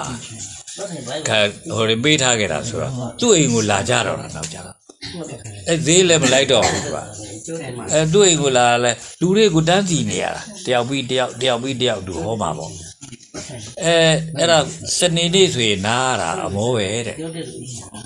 ကျန်တဲ့နေ့တွေကတော့ဖြစ်တနေ့လုံးဟောနေရတာတဲ့အဲ့လိုပတ်စံနေလည်းအများကြီးရတာပေါ့ဗျာနော်အဲပတ်စံနေလည်းအများကြီးရတော့သူလည်းချမ်းသာနေတော့တာပေါ့နော်အဲ့တော့အဲ့လိုသာသူဖြစ်နေတာပေါ့သူဖြစ်ရှေ့ဆက်လည်းလုံးလို့မရဘူးလို့သူစိတ်ထဲမှာဖြစ်တယ်တဲ့ရှေ့ဆက်လုံးလို့မရဘူးလို့ဆိုရင်ငါဘယ်လိုလုပ်အောင်မထုံးလို့ဆိုတာအဲဘသူမေးရမထုံးလို့ဆိုရင်ကြုံမျက်နှာကိုမြင်လာတယ်ဟုတ်နော်မန္တလေးထဲကနေပြီးတော့နော် မန္တလေးထဲကနေပြီးတော့မင်းကုန်းကိုမင်းကုန်းကနေတော့ရွှေပြည်နေတောင်ပေါ်ကိုမြင်လာတယ်လှမ်းပြီးတော့အဲ့ဒီရွှေပြည်နေတောင်ကျုပ်စီကိုလာတာအဲ့ဒါအတွက်လာတာပါဗျာပေါ့တခြားစုကိုလိုချင်လို့မဟုတ်ပါဘူးပေါ့အဲ့ဒီဟောတာလေးကိုဓာတ်ထုံညင်လို့ပါနဲ့ဆိုတဲ့ခါကျတယ်ကဲပါဗျာလားဒီလိုဆိုရင်လဲစိုးစားပြီးမှပဲပြောကြတာပေါ့လို့ပြောပြောရတာပေါ့သူကကဲဟုတ်ပြီစိုးစားပြီးတဲ့ခါကျတော့သူတို့လာကြရောအဲသူ့တပည့်တွေမပါစေနဲ့တော့လို့အဲခင်ဗျားတို့နှစ်ယောက်တည်းပဲလာပေါ့တ ယောက်တည်းပဲလာဆိုတော့သူသားမိနှစ်ယောက်တည်းပဲလာပါတယ်သားမိနှစ်ယောက်တည်းလာတဲ့ခါကျတော့အမေပတိစိတ်တာကိုလိုက်ထိန်ရင်ကထိတ်ပြီးပတိစိတ်ရင်ကနေပြီးတော့သူကပတိစိတ်ပေါက်သွားတာကဲပေါက်သွားတဲ့အခါကျတော့သူကအဲ့ဒါကိုဟောရဲကနေပြီးတော့အကုန်လုံးသူဟောတာတွေမှန်တာတွေကြီးဖြစ်နေတော့ဟောအဲ့လိုဖြစ်သွားတာဗျာအဲ့လိုဖြစ်တဲ့အခါကျတော့ဒါရှေ့ဆက်ပြီးတော့သူအဲ့ဒီဟာကို ခုနအရတ္တဖို့ရအောင်ရဟနာဖြောင်းဘယ်လိုလုပ်အောင်ပါတော့ပေါ့ဘာဖြစ်လို့လဲဆိုတော့အေးရှေ့ဆက်ပြီးတော့နိုင်ဝက်လောက်လုံးလိုက်ရက်သွားရောတယ်အဲ့ဒီဟာအော်ရှိမတက်ချင်နေအဲရှေ့တက်ချင်နေတာဒါနဲ့သူ့ရဲ့အစကနေပြီးတော့ပြောလိုက်တာအဲ့ဒီရှေ့တက်မဲ့နေရာသားကိုရောက်တဲ့အခါကျတော့သူမရတော့ဘူးပေါ့နော်စမအဲ့ဒါကိုဘယ်လိုတက်ရမလဲဆိုတာခွန်ကြီးကိုမေးချင်လို့ပါဗျာနဲ့ဆိုတဲ့ခါကျ ကျုပ်ကတော့သိတာပေါ့အဲ့ဒါကိုစမဘာလို့သိတာတော့လို့ဆိုတော့ကျုပ်လည်းပဲသိသိထင်ထင်ပညာကြီးရှင်ပြီးသိတာမဟုတ်ဘူးသိတယ်ဘယ်လိုသိတာတော့ဆိုတော့ဒါကဘာမှမလုပ်အောင်ပဲဟာဟာလို့သိတာပေါ့ဗျာတော့အဲ့လိုဆိုတဲ့အခါကျတော့အေးခင်ဗျားပြောတာသုံးပါပြီလို့ကျုပ်လည်းခင်ဗျားကိုပြောနိုင်သွားပြီလို့ပြောတော့မယ်နော်လို့ပြောတာပေါ့နော်ပြောပါဗျာပေါ့ဟောတာပေးပါပေါ့အဲ့တော့ကျုပ်ကသူ့ပြောတယ်ပြရက်တော်လို့အဲ့လိုလေးပဲပြောလိုက်တာပဲဗျာနော် အဲရက်တော်ဗျာလို့အဲမရရင်ဘာဖြစ်မှာတုံးလို့ဆိုရင်တော့လို့မရရင်ခမရအခက်ခဲကြုံတော့မှာလို့ဘယ်လိုအခက်ခဲကြုံမှာလဲလို့ဆိုတော့ခမရမရဘူးလို့ဆိုလို့ရှိရင်ခမရအတိတွေအကုန်လုံးမဲ့ပါပဲအတိတွေအကုန်လုံးမဲ့သွားပြီလို့ဆိုလို့ရှိရင်ခမရဘာလုပ်စားရမယ်လဲမသိတော့ဘူးဘာဟောပြောရမယ်လဲမသိတော့ဘူးဘယ်ဟာမားတယ်လဲမသိတော့ဘူးဖြစ်သွားမယ်လို့အဲ့လိုဖြစ်သွားတာဟာတကယ်တော့အတ္တညာတတ္တာဖြစ်မှာပဲဗျာလို့ ဟောတင်ညာပဲ့သွားတာလို့ကျုပ်ကလည်းအဲ့ဒါကိုလည်းသိနေတာဗျာ။ဟောအဲ့လိုဆိုတဲ့အခါကျတော့သူ့အဲ့ဒါကိုအဲ့လိုပြောလိုက်တဲ့အခါကျတော့သူလည်းပဲတကယ်ကိုပဲဟိုတဖြစ်သွားတာပဲပေါ့ဗျာ။ရက်ဆိုလို့အခုလိုမျိုးလို့လှုပ်ရှားနေတာလဲပြတ်မသွားအောင်ဆိုရင်တော့တစ်တစ်နဲ့စိတ်ဓာတ်ကလေးနဲ့တစ်တစ်နဲ့မျှတနေအောင်တော့နေပေါ်လို့အဲ့လိုလေးနေပြီးဒီကလားအဲကောင်းတယ်လို့ထင်ရတဲ့ဟာလေးတွေလည်းလှုပ်ဆောင်ပြီးလို့ဒီလိုနေပေါ်အဲ့ဒီလုပ်ငန်းကြီးကိုတော့ဖြစ်ပွားမနေနဲ့တော့လို့ပြောတာ အခုထိမတည်သေးဘူးရရှိတယ်ဗျာစမအဲညောင်ပင်စည်းရဲ့အနောက်မြောက်နားစီလောက်ပါငကွာမန္တလေးရုပ်ရှင်ချမ်းဆိုပြီးတော့အဲချမ်းကြီးရဲ့တောင်ဘက်ကချာသူ့ချမ်းပဲဟုတ်ဟုတ်အဲ့လိုဟောကတော့နောက်ထပ်မလာတော့ဘူးလာတယ်နောက်ထပ်လဲအဲနောက်ထပ်လာသူတို့အိမ်နေမီးလောင်ဟောဗျာမီးလောင်တဲ့အခါကျတော့ဟင်းခင်ဗျာသူမြအိမ်နေမီးလောင်တာတော့သိတယ်လေခင်ဗျာအိမ်မီးလောင်တာခင်ဗျာမသိဘူးလားလို့ပြောတာဟုတ်တယ်ဗျာတဲ့ဒီရောအိမ်လည်းဒီရောဆင်ញင်တာမှမဟုတ်တာဆိုတော့တဲ့ ဟောသူစိတ်ကတွေးထားတာမဟုတ်တဲ့အခါကျမသိနေဘူးပေါ့ဗျာအကျိုးကအဲ့လိုပဲသူပြောတဲ့ခါကျအဲ तू ကအဲ့လိုပဲအဲ့လိုခံရတာတော့အဲ့လိုပဲဖျားတယ်အဲ့လိုဒီတော့လေသုံးပါပါအောင်ဖျားပေါ့အဲ့တော့ဘယ်လိုနေရမယ်ဆိုတာပေါ့ဗျာအဲ့မှာအဲသုံးပါပါအောင်ဆိုကျွတ်တော့လည်းအဲ့လိုသုံးပါစားတယ်လို့ကလည်းမဟုတ်တာဆိုတဲ့ခါကျကဲဗျာသုံးပါဆိုလည်းသုံးပါရမှာပေါ့လို့အဲ့ဒါတော့ဘာလို့အဲကောင်းအောင်ကတော့ကောင်းတာကိုလုပ်နေနော်ကောင်းတာလုပ်လို့ရှင်တော့ကောင်းပါပဲမကောင်းအောင်ကတော့မကောင်းတာကိုရှောင်းနေနော် မကောင်းတာကိုရှောင်းရင်လည်းပဲဒါကောင်းလာမှာပဲလို့ဟောအကျုပ်ကအဲ့လိုပြောလိုက်တာပေါ့ဗျာအဲအဲ့ဒါကျုပ်ရဲ့အထုံးပါပဲလို့အဲ့ဒီတိုင်းသာနေပြီးတော့လို့ကျုပ်ပြောတော့ဗောဗျာအဲတကယ်သူလည်းအဲ့လိုနေတဲ့ပုံရှိပါတယ်ဗျာနော်အဲတော့ကျုပ်ကအခုလိုမျိုးလို့ဓမ္မဝိဟာရီလောက်သွားတဲ့အခါကျတော့ဟောသူတည်းကမဆိုင်တော့ဆိုမလာတော့ဘူးဗျာနော်ဟမ်ဒီလိုလားတွေ့တော့ဘူးအဲ့ဒါပြောတာအဲအဲ့ကြတော့အဲလူနေနေတာပေါ့နော်အဲဆိုလိုတာကတော့ဖြင့် ဒါလူဟာထက်မြက်လို့ရှိရင်တကယ်အဲ့လိုပဲလုပ်တယ်လို့ဆိုတဲ့အကြောင်းပေါ့ဗျာနော်အဲ့တော့ဆိုတော့မကောင်းတာတို့ကောင်းတာတို့ဟာတစ်ချက်တည်းနဲ့တက်ကနေဆိုအပြောင်းလဲဖြစ်နိုင်တယ်ဗျာနော်ဒီမှာအဲ့တော့ဘယ်လိုမှအပြောင်းလဲမမဖြစ်ဖို့ရန်တားထားတာကတော့အဲ့ရှေးဘဝနောက်ဘဝအမြင်ပဲဗျာရှေးဘဝနောက်ဘဝအမြင်ကိုကိုကတခါတည်းတိတ်တိတ်သေးသေးထင်မြင်ပြီးတော့ယူမိရင်ကတော့မရဘူးလို့ပြောကြဆိုပေါ့နော် အဲအဲ့ဒါလိုမယူမိဘူးရိုးရိုးပဲနေတယ်ရိုးရိုးမှန်မှန်ပဲနေတယ်လို့ဆိုရင်တော့သူလည်းပေါက်သွားနိုင်တယ်လို့ဒီလိုပြောကြပါဆိုတော့အဲ့တော့ခင်ဗျားတို့လည်းပဲခင်ဗျားတို့အဖေတို့လည်းအဲ့လိုပဲလေဒါသူတို့တကယ်ဒါပေါက်သွားတာလို့ပြောကြဆိုဒီအနုတ္တယဆိုတဲ့တရားကျိုးဝေလေးကနေပြီးတော့ပေါက်သွားတာဗျာနော်အဲ့တော့ဆိုလိုတာကတော့ခင်ဗျားတို့အဖေကပေါက်သွားပြီမလို့လည်းပဲသူကနောက်ကျတာ哦အဲနောက်ကျတာဆိုတော့ခင်ဗျားတို့တတွေက အဲ့ဒီအချိန်ကျတော့သူ့ရဲ့ွယ်ထဲမှာမရှိတော့ဘူးဖြစ်လိမ့်မယ်ဟောခင်ဗျားတို့အိမ်တော်နဲ့ခင်ဗျားတို့နေနေကြရအောင်ပဲလေအဲခင်ဗျားတို့အလုပ်ပဲခင်ဗျားတို့ကလုပ်နေကြတဲ့အခါကျတော့ဩခင်ဗျားတို့အဖေအိတ်သွားတာမင်းဖေးသွားတာအဲ့ဒီအဖေနဲ့ခင်တာမျက်စိကြည့်ပါအဲအဲ့တော့ပြောမဲ့ဆိုရင်ကတော့အဲ့လိုနဲ့ဒါ အဲခင်ဗျားတို့လက်လွတ်သွားတာလို့ပြောကြလို့တော့အဲခင်ဗျားတို့လက်လွတ်သွားတဲ့ခါကျခင်ဗျားတို့ကလည်းတီးခြားစီနေဟုတ်တော့လားဗျာသွားတဲ့နော်အခါတခါတလေတွေ့တော့လေအဲ့လိုတခါတလေပြောတော့လေနာအရင်ဖြစ်နေတော့ဒီတော့တော့သူတို့တွေ့တိုင်းအဲ့ပြောသူနဲ့တွေ့တော့တော်တော်လေးဟွာလုံးပါလို့ဟုတ်တယ်ဗျာဟုတ်တယ်တကယ်ဒီကြရဒီမှာဆရာတော်နဲ့အမြဲတမ်းညီမတွေ့ရဆိုလို့ရင်လို့ဆရာတော်ရဲ့တရားကိုညီကလေးလေးနဲ့နဲ့အတွင်းကြတိအောင်ညီကလေးလာ ပြီးတော့နာယူထားလို့ညီမတွေကမှတစင်ကတို့က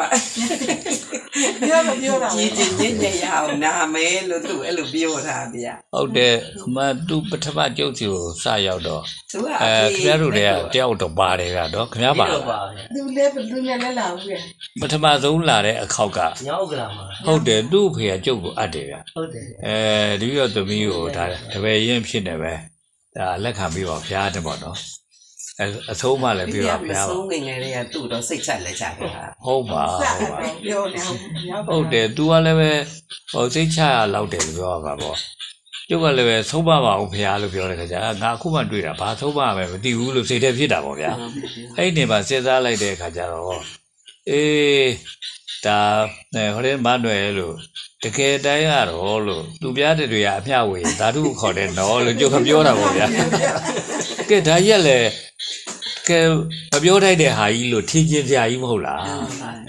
သူများအမျှဝေသားနဲ့ဗဇက်ကသာဓုမခေါ်ဘူးလို့ဆိုရင်ကိုပဲသူများတွေကဘယ်လိုပြင်မလဲဟာဒီတို့ကဘာလဲဟာနဲ့ဆိုမျိုးတွတ်တော့မှာပေါ့နော်တယ်မှာဗျာသာဓုမခေါ်နဲ့တော့လို့ဘာဖြစ်လို့လို့ဆိုရင်တော့သာဓုခေါ်တာကသူများအမျှဝေတဲ့ဟာကိုကိုကတည်းအမျှယူတာလို့အမျှယူတယ်လို့ဆိုတာသူတို့ကောင်းမှုလုပ်တဲ့ဟာကိုဟာကောင်းလိုက်တာကောင်းလိုက်တာနဲ့ကိုကပါလိုက်ကောင်းရတာလို့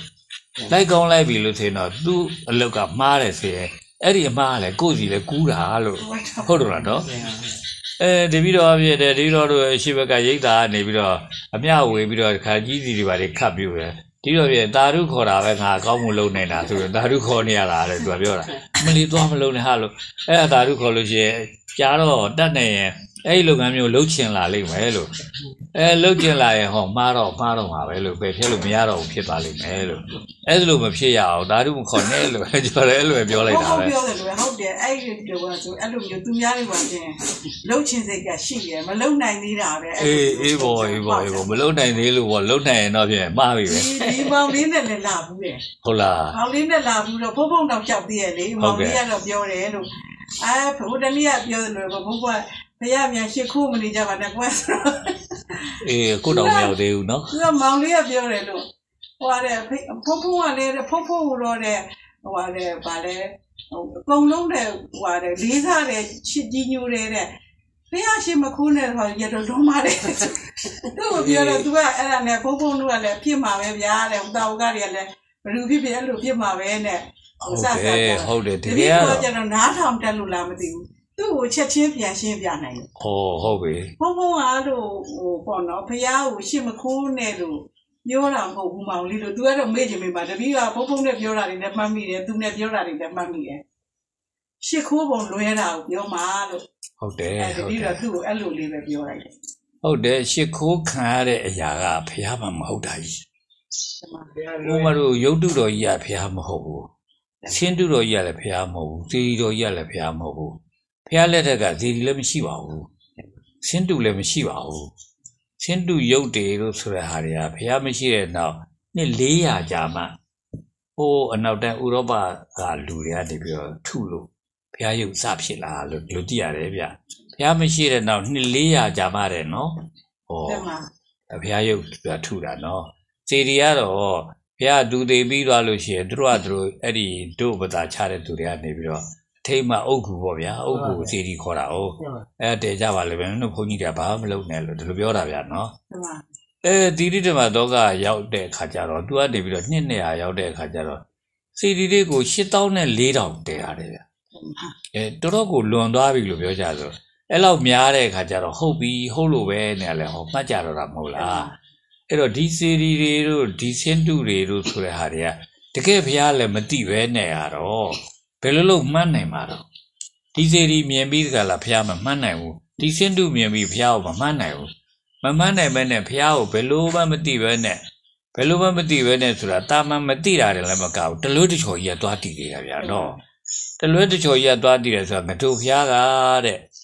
ဟိုးရင်တော့ကတဲ့တကဘာလည်းမကဘူးတဲ့ပါရမီဖြစ်ခဲ့တာဆယ်ကဘာလည်းမကဘူးတဲ့ကဘာတရားလည်းမကဘူးတဲ့ကဘာလေးကိုတခါတည်း ဟုတ်ပါနော်ဒီသင်ချီလေးအတင်ချေးနဲ့ကဘာပေါင်းတစ်သိန်းနေဗျာဟာလို့တကယ်တော့ဘုရားအပြင်ဘာပြောလို့ဆိုတော့အဲ့ရှိဘနောက်ဘဝဖြစ်တယ်တော့ဖြစ်ဘူးလို့တော့ငါမပြောဘူးနော်ကဲဒီလိုပြောချလိုက်တဲ့စကားလေးတစ်လုံးကနေပြီးတော့အဲ့အရာတွေကိုအကုန်လုံးကိုပြတ်တောက်တော့မပယ်ပြီဘူးလားဒီမှာဘယ် तू ကမှရှေ့ဘဝနောက်ဘဝကိုဖြစ်တယ်လို့မဖြစ်ဘူးလို့ဆိုတာငါမပြောဘူးလို့ပြောမှတော့ तू လေးသိချင်းတဲ့ကဘာတသိန်းက ပါရမီဖြည့်ခဲ့ရပါတယ်လို့ဆိုတာဘယ်လိုလုပ်ပြောမှတော့ဗျာတော့အဲ့ဒါကတော့မှိန်သွားပြီ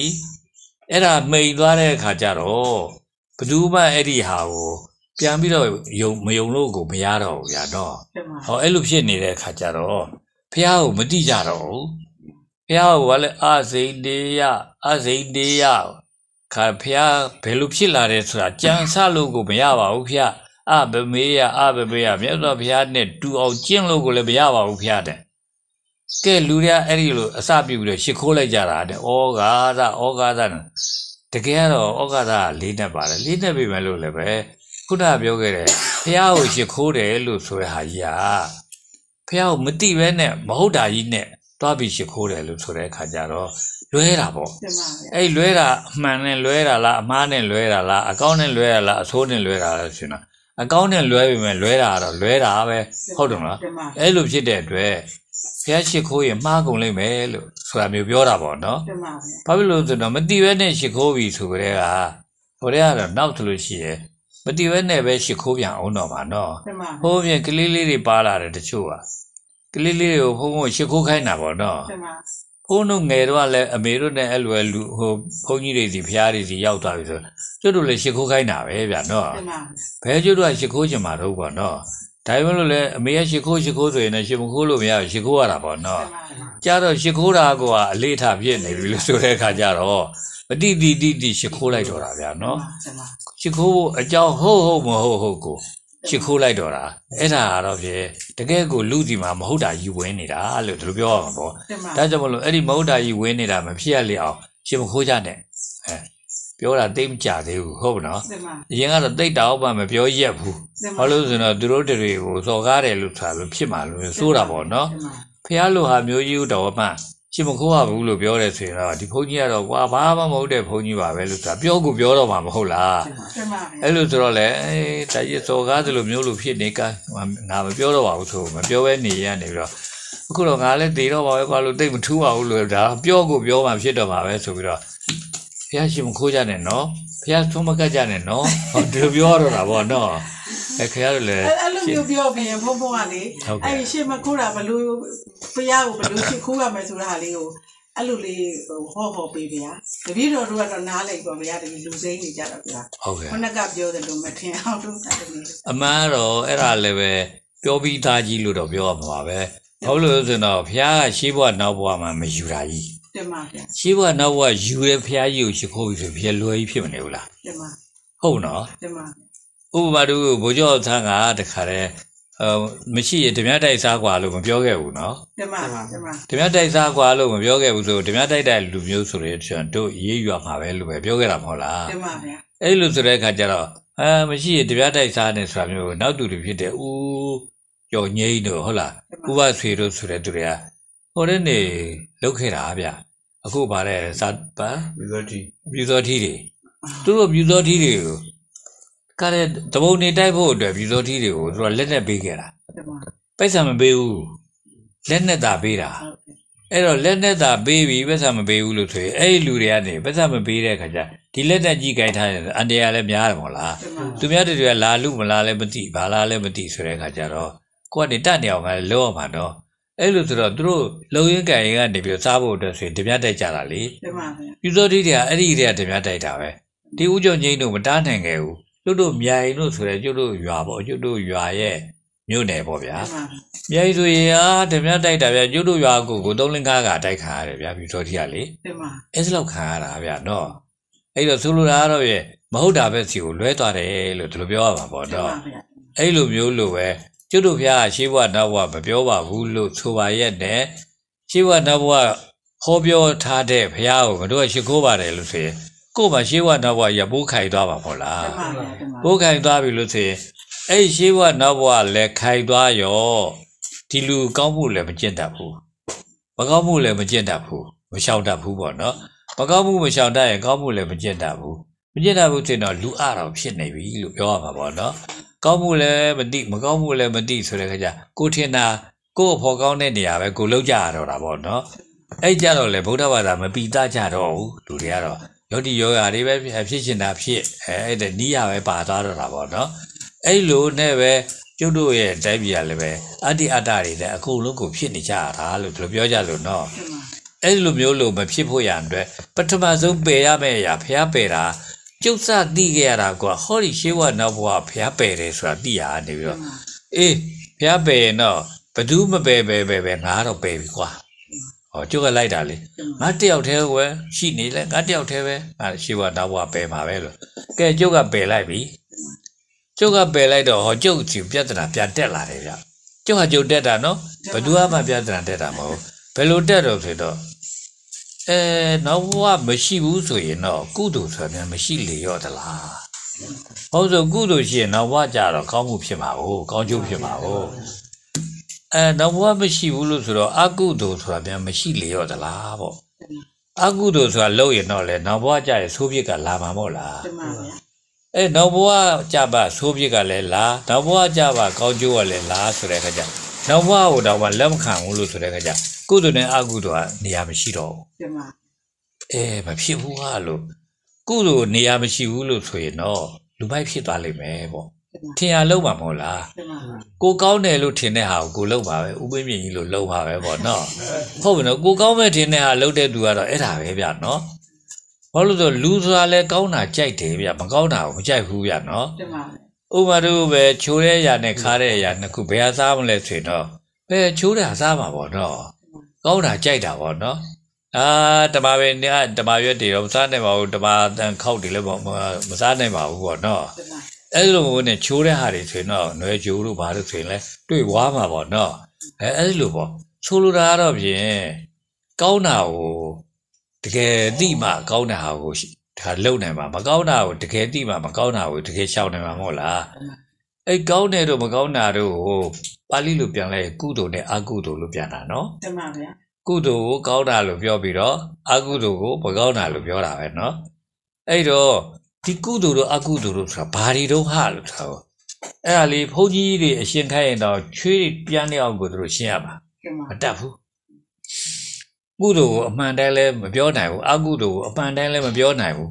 ခင်ဗျားတို့လည်းအဲ့ဒီဘုန်းကြီးတွေရဲ့အဆိုဆုံးပါတွေရနေတဲ့သူတွေနတ်ထောင်ဘောင်းကလည်းပဲအဲ30မက100မကရှိနေတဲ့သူဖြစ်တဲ့အတွက်ကုသိုလ်တွေလည်းတို့သိပါတယ်အကုသိုလ်တွေလည်းတို့သိပါတယ်နဲ့တော့ပြောမှာဖြစ်ပေမဲ့တကယ်တမ်းကုသိုလ်နဲ့အကုသိုလ်သိကိုမသိဘူးတကယ်တော့ကုသိုလ်တို့အကုသိုလ်တို့ဆိုတာတွေကကမ္မကံရဲ့နာမည်တွေကုသိုလ်ကြတော့ကောင်းတဲ့ကံ အကုသိုလ်ကြတော့မကောင်းတဲ့ကံလို့ဒီလိုပြောတာပေါ့ဗျာဟောကံမဲသိတော့တာဗျာအာကောင်းတဲ့ကံတွေလောက်တာကိုကုသိုလ်ပြောတာဟာမကောင်းတဲ့ကံလောက်တာကိုအကုသိုလ်ပြောတာဟာတဲ့သူဆိုကောင်းတဲ့ကံကဘယ်လိုဟာပါလိမ့်မကောင်းတဲ့ကံကဘယ်လိုဟာပါလိမ့်ကိုကောင်းတဲ့ထင်တဲ့ဟာကိုဥပမာတို့ကိုပန်းလေးတွေကြိုက်တယ်ဆိုတော့ပန်းလေးတွေကြိုက်တယ်ဆိုပန်းလေးလှလှလေးမြင်လို့ရှိရင်အဖျားလှူခြင်းတာတဲ့ဒီမှာဟောဒါဖြစ်တော့တာမဟုတ်လားကနော်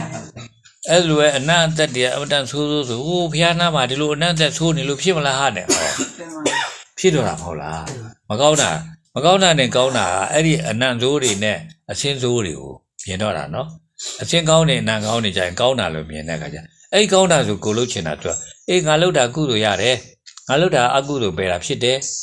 ဟောအဲ့လိုကလည်းကိုယ့်ကိုပြန်ထင်ပြန်တော့တာနော်ဒီမှာလေတကယ်ကတော့အဲ့လိုမဟုတ်ဘူး ကံဆိုတာကတကယ်ကြတော့နေရာတိုင်းမှာကံဖြစ်တာမဟုတ်ဘူးလူချင်းလူတယောက်နဲ့တယောက်ဆက်ဆံရတာပေါ့နော်ခင်ဗျားတို့ကအိတ်ထောင်နေကြကြတယ်ကိုယ့်အိတ်ထောင်ဟာတကယ်ကိုကိုယ်နဲ့အရင်ဆုံးလူပဲမဟုတ်လား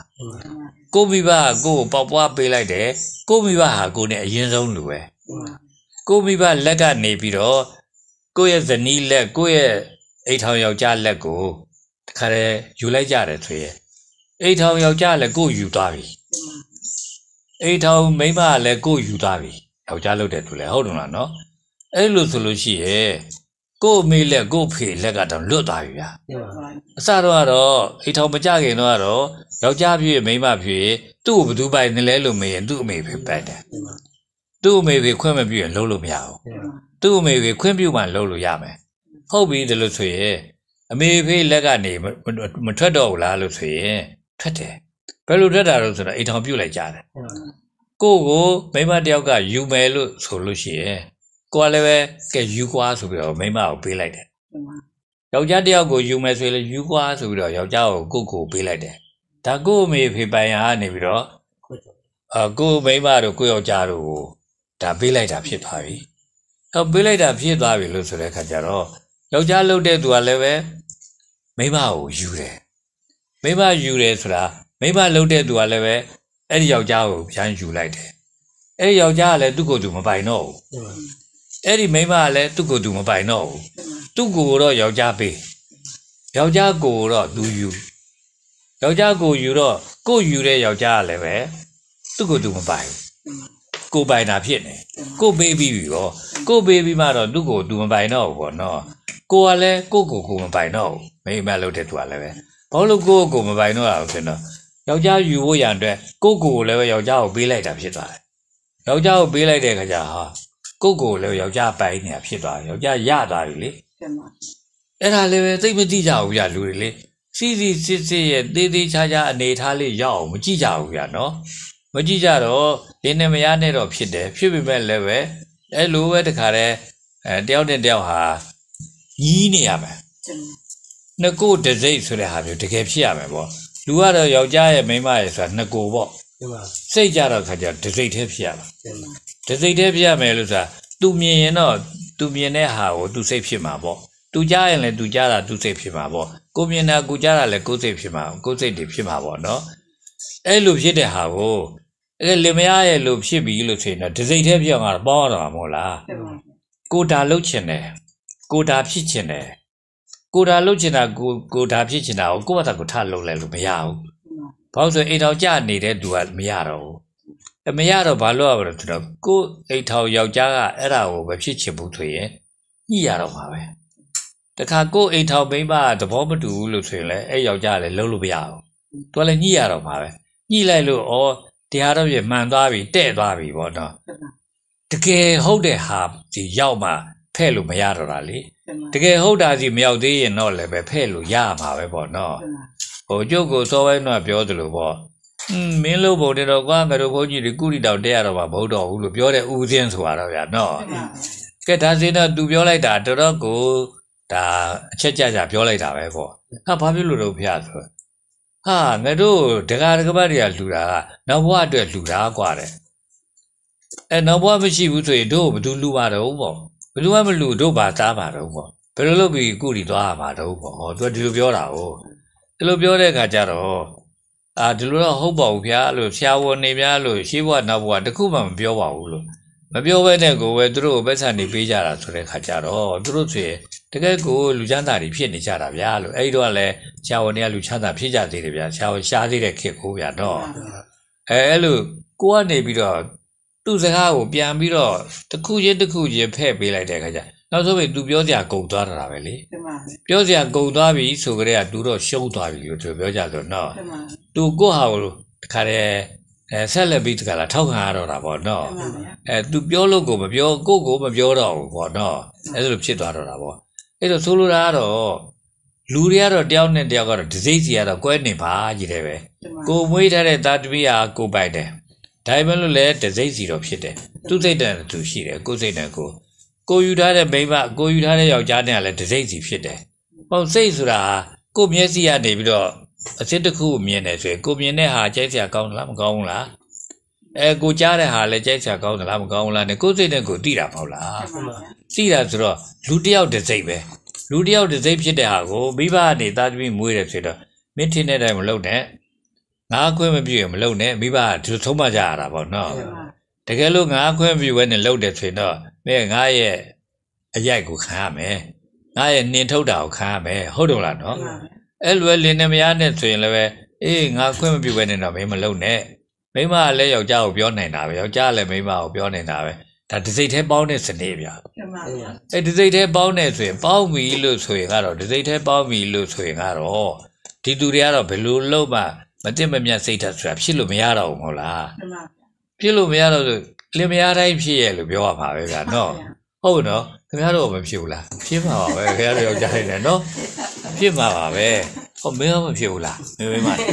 ဖြစ်မှာပါပဲကွာဟုတ်တယ်မလားနော်ဆိုလိုတာတော့မိဘတဲ့သားသမီးတွေလည်းဖြစ်ကြတာပဲအဲ့တို့ဒီနားမှာထိုင်းနေတဲ့ဥထွေလာမြင့်ဆိုတာကြားတော့လေ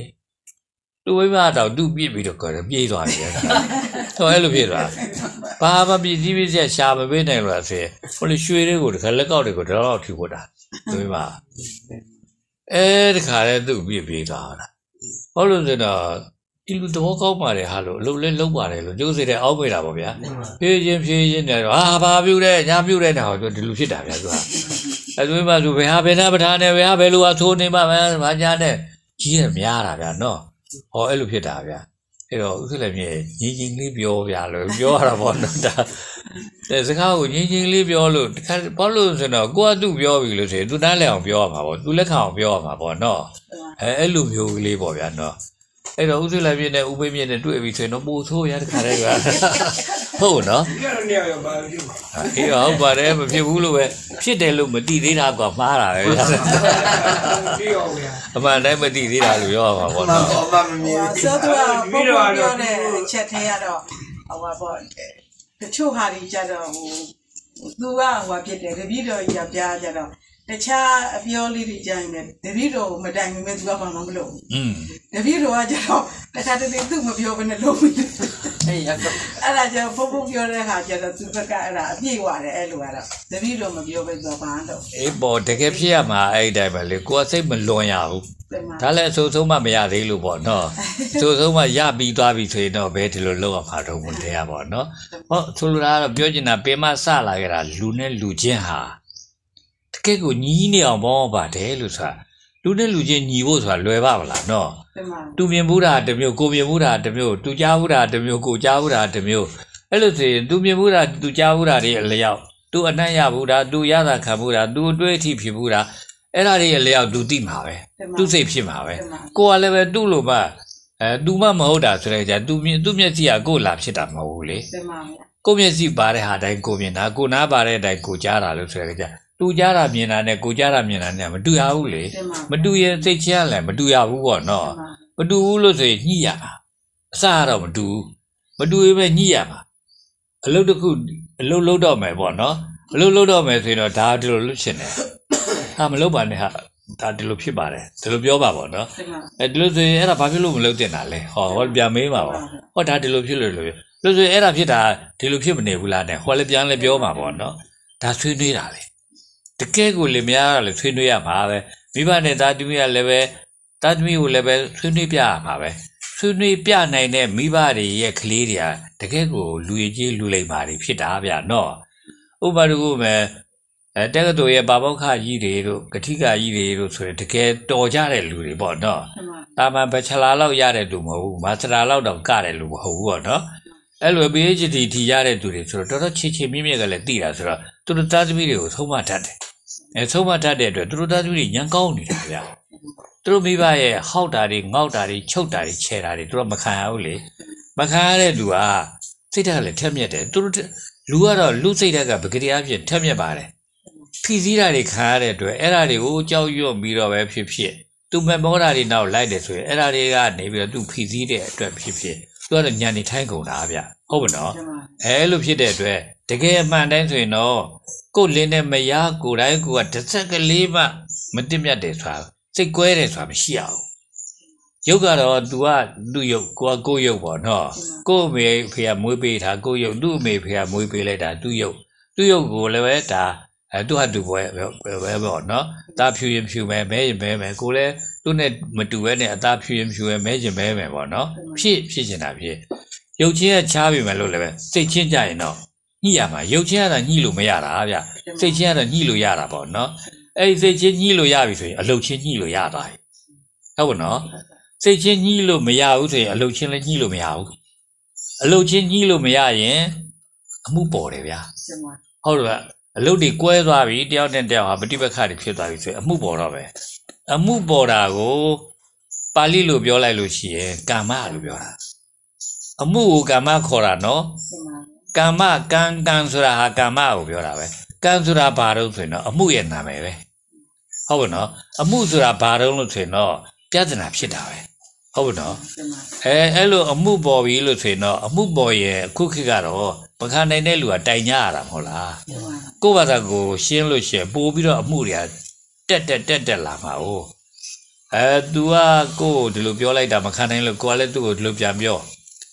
အဲ तू ပြန်ပြောတာမခံနိုင်လို့သူ့ကိုတစ်ခါလက်သီးတဲ့ထိုးသူက तू ကလည်းတစ်ခါဒုံနေရိုက်နေအသက်ရှင်ဓာတ်နဲ့ခုံနေတကြဖျက်ကြဒီလိုတွေဖြစ်လာတာမဟုတ်လားအဲ့တော့အဲ့လိုမျိုးလို့အမှုကိုတဲ့ပေါ်လာရင်ကိုယ့်ဘာသာကိုမရှင်းကြနဲ့လို့ဟိုးရှေးတဲ့လူအစပိုင်းလောက်ကတည်းကကျတို့အုတ်ချုပ်ရေးစနစ်ဆိုတာပေါ်လာတာအဲ့ဒါပဲ တမန်ဗျာလူတွေကတော့ဒုနဲ့ဒုကတော့အမှုကတော့ပေါ်တာပဲလေဟောရအမှုကပေါ်ပြီလို့ဆိုလို့ရှိရင်ကိုယ့်ဘာသာကိုမရှင်းနဲ့ကိုယ့်ဘာသာကိုရှင်းရင်သူ့မကျေတတ်လို့ကလေးတွေလိုပေါ့ကလေးတွေရဖြစ်တာအဲ့ဒီတိုင်းပဲလေသူကကိုယ့်ကိုတခါတည်းမဟုတ်တာပြောရင်ကိုယ်ကလည်းသူ့မဟုတ်တာပြပြော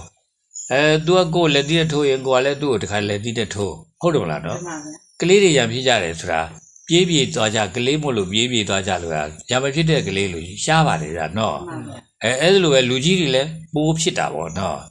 ပိုးပြီးတော့ဖြစ်တာပေါ့အဲ့တော့အမှုကိုကိုယ့်ဘာသာကိုမရှင်းရဘူးအမှုကိုကိုယ့်ဘာသာကိုမရှင်းတော့ဘယ်လိုလုပ်ရမှာတော့ဖြစ်တော့ကိုကနေပြီးတော့လူအုပ်စုတစုကိုခါစုစုပြီးကြလားတို့အဲ့ဒီလူတယောက်ကိုခတ်ရအောင်ပေါ့ခုခေတ်ဆိုရင်တော့အစိုးရပေါ့ဗျာမဲရွေးတာတွေပါတွေဟာအဲ့ဒါခတ်တာပဲဗျာတမန်မဲရွေးတယ်ဆိုတာဘာလို့တာလို့တာဟုတ်မှတိတ်မတိကျင်တတ်ကြဘူးဗျာနော်တကယ်တော့မဲရွေးတယ်ဆိုတာကိုကကိုယ်အုပ်ချုပ်ပဲသူအဖြစ်နဲ့ ဒါကိုယ်အမှုပေါ်လို့ရှိရင်သူ့ကိုတိုက်ကြဖို့တိုက်ကြလို့ရှိရင် तू ကနေပြီးတော့ကိုယ့်ကိုယ်စားအဲ့ဒီအမှုလုပ်တဲ့သူကိုအေးအေးယူပေးဖို့ရအတွက်ပေါ့တော့တမန်အဲအဲ့လိုအတွက်တဲ့အုပ်ချုပ်ရေးမှုကကျွတ်တော့မဲရွေးပေးကြရတာဖြစ်တယ်အဲ့တော့ပြောမစရဲ့ဒါဘောလို့အဲ့လိုမျိုးလို့အုပ်ချုပ်ရေးမှုကိုခန့်ရတာလဲလို့မေးလို့ရှိရင်ကိုယ့်ဟာကိုယ့်အမှုကိုကိုယ်ရှင်းလို့ရှိရင်ပြဿနာတက်တာပဲတမန်ကိုကသူ့မကျေတတ်လို့ရှိရင်နိုင်လို့ရှိရင်လည်းပဲသူတို့ကမကျေတတ်ဘူး အဲနောက်တစ်ခါသူကလည်းပိုးပြီးနိုင်အောင်အတွက်သူလည်းအဖွဲ့အစည်းတွေဖွဲ့ပြပြီးကိုပြန်ပြီးတော့ဖိပြအဲ့လိုဖိရင်လည်းကိုကလည်းမခံနိုင်တဲ့အခါကိုလည်းအဖွဲ့အစည်းတွေဖွဲ့ပြီးတော့သူပြန်တိုက်ပြကြားတော့ပြောပြလို့စစ်တွေဖြစ်လာရောလို့ဒီလိုပြောရမှာပေါ့တော့တမန်အဲ့ဒါဘယ်ကနေလာလဲဆိုရင်အမှုကနေလာတာပဲအမှုကိုအခုမရောက်လိုက်ရှင်းခါတဲ့တကယ်ကိုယ်စိတ်နဲ့ပဲအမှန်ကန်တိုင်းရောက်အောင်သာရှင်းမလားဟုတ်လား तू ကတော့ကာကျုပ်ပဲဖြစ်တယ်ကာကျုပ်ပဲဖြစ်တာဆိုတော့ तू ကဝန်ကြီးမှမဟုတ်တာပဲနော် သူဝန်ကြီးချုပ်မှမဟုတ်တာပဲလို့ဆိုတဲ့အခါကျတော့ဘယ်သူဘာလုပ်လို့ရပါလဲတပဒကိုသူကနေဖမ်းပိုင်ခွင့်ရှိတာမှမဟုတ်တာပဲနော်တပဒဖမ်းပိုင်ခွင့်မရှိဘဲနဲ့သူ့ရဲ့စီမင်းအခြေခံဥပဒေဟာတပဒဆိုတာဟာဟောဒီပြည်သူလွတ်တော်တဲ့ဟောနိုင်ငံတော်လွတ်တော်ပေါ့နော်အဲ့ဒီလွတ်တော်နေရာပေါင်းကနေပြီးဒီကလာမဲခွဲလိုက်တဲ့အခါကျတော့အဲဒီတမတဟာတော့အပြစ်ရှိတဲ့အနေထားရှိတယ်လို့သုံးဖြတ်လိုက်မှသူ့ဖမ်းမဲ့လူဖမ်းခဲလို့ရတာ နှုတ်မို့ရင်ဖန်ခဲလို့ဖန်လို့မရဘူးတမတခါပေါ့နော်အခြေခံဥပဒေကဒီလိုပြောထားရတာနဲ့သူတို့ပဲအခြေခံဥပဒေဆွဲတယ်ဆိုပြီးတော့ကဲသူတို့ကပဲအဲ့ဒါလုံးလိုက်ပြီဆိုတာသူတို့ပြည့်သူတို့စီကံကိုတိုက်ပြည့်ဖွဲ့စည်းထားတဲ့စီကံကိုဟောသူဖောက်လိုက်ပြီပေါ့လားဖောက်လိုက်တော့လူတွေလည်းမကြည်တတ်ကြတဲ့ခါကျဆန္ဒပြကြတာပေါ့နော်အဲ့ဒီဆန္ဒပြတဲ့ခါကျသူကလည်းတနတ်နဲ့လူတွေစီတနတ်မှရှိတာမှမဟုတ်တာဆိုတော့သူတို့စီမှာတနတ်ကောင်းတဲ့ရှိရဆိုတော့တနတ်နဲ့ပြည့်တော့တနတ်နဲ့ပြည့်တော့လဲ အေးတနတ်နဲ့ပြည့်တာခံလာတို့မခံနိုင်ဘူးကွာဗောအဲ့လိုဆိုတော့ तू ကတို့တနတ်နဲ့ပြည့်ပြီဆိုရင်တို့ကလည်းလုံးတနတ်နဲ့ပြည့်ရမှာပဲဆိုတော့လုံးတနတ်တွေလုံးကြပြီးတော့တိုက်ကြရဲနဲ့ကိုယ်နည်းနည်းခွဲလောက်ကြာလာတဲ့အခါကျတော်တော်ကြီးကိုသူတို့ကြဆုံးနေရတော့ပြီလို့သူတို့ပြောမှာပေါ့နော်အဲ့ဒါဘာဖြစ်လဲဆိုတကယ်ကိုဒါဟို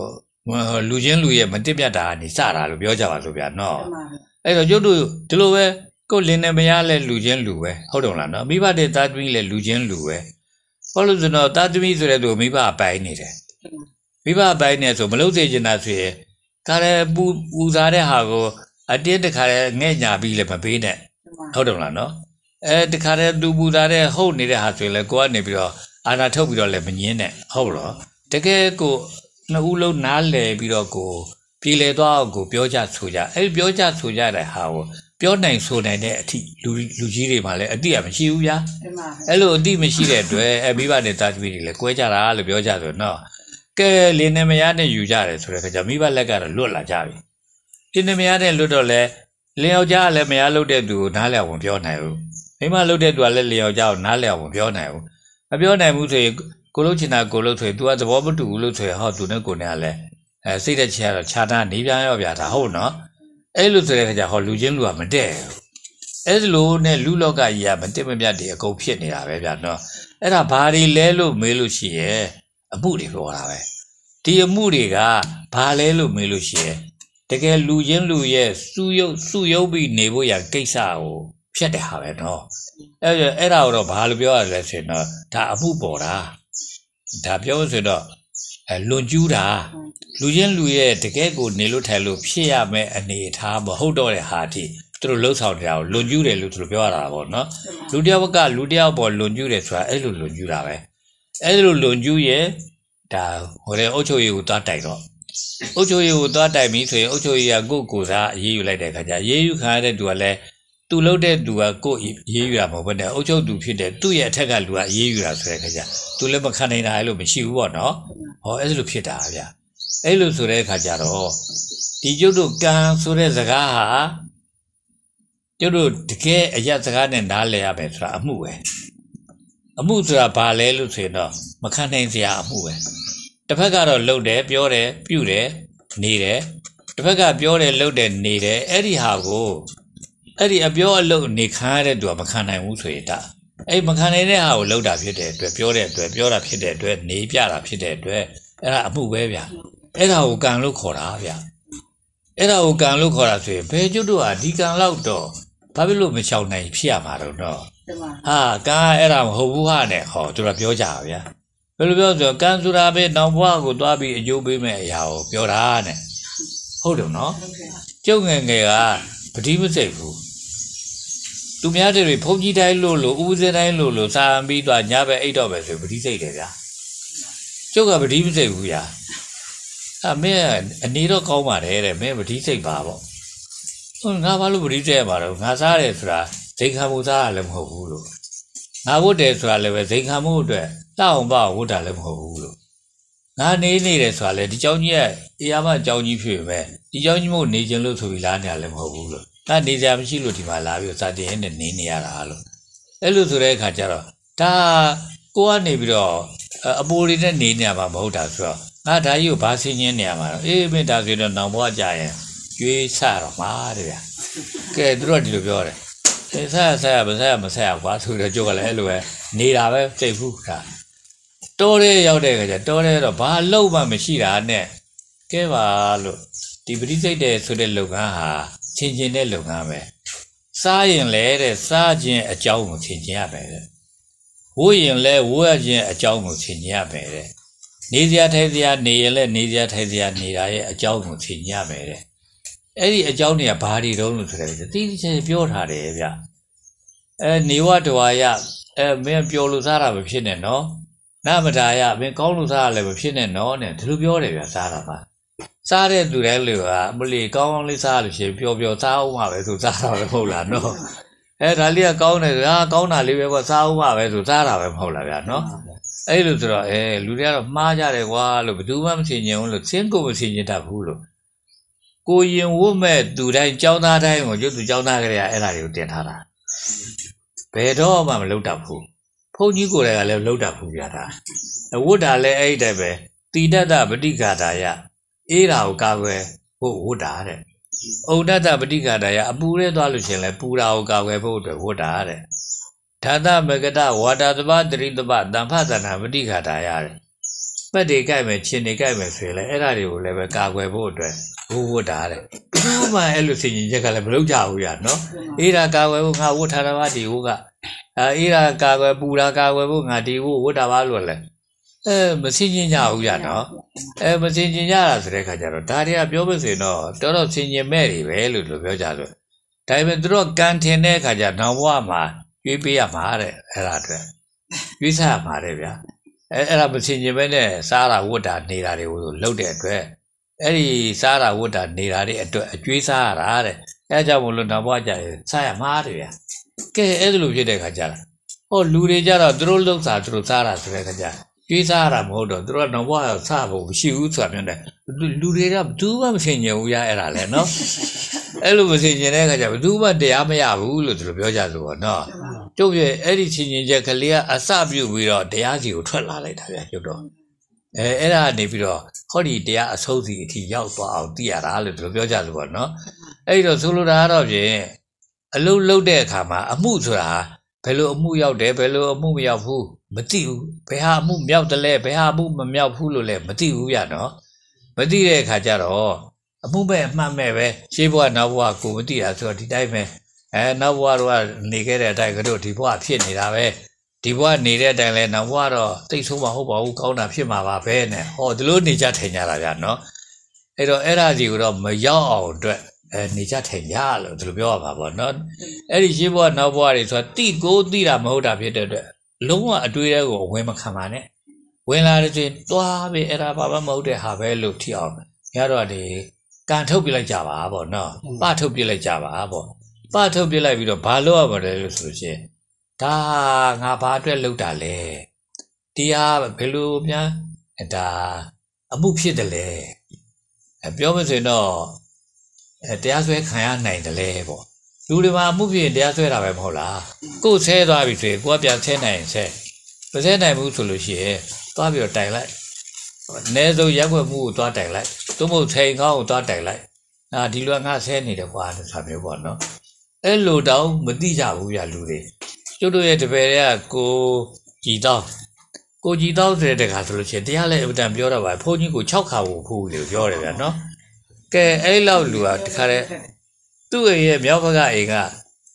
သူ့အိမ်ယောက်ျားကတေဘောကပတိတ်ဆိုတဲ့ခါကျတော့ပိဿနေရလဲတလတလကိုကိုတိဘော580ရတာ ਨੇ တူတယ်ဗျအဲ580 190ရတာပေါ့ဗျာရတာဆိုတော့ပိဿလဲတအားကိုချမ်းသာနေတာပေါ့သူနေခြင်းလို့နေတယ်ဘယ်ဖျားဘူးသွားခြင်းနဲ့သူသွားဘယ်ဘုန်းကြီးနဲ့အတူတခါသွားခြင်းနဲ့သူသွားပေါ့ဗျာသွားရင်နဲ့အဲ့ဒါတွေမကပဲနဲ့သူ့အိမ်ကအမိုက်တွေကို သူ့အိမ်ဝိုင်းရဲ့ရှင်နာထီလမ်းအောင်အဲ့ဒီအတွင်းထဲမှာမလုပ်ဘဲနဲ့ဥကြည်တော်အိမ်ဘက်ကိုမိုက်တွေလာလာပုံနေတယ်ဗျာဒါလာလာပုံတော့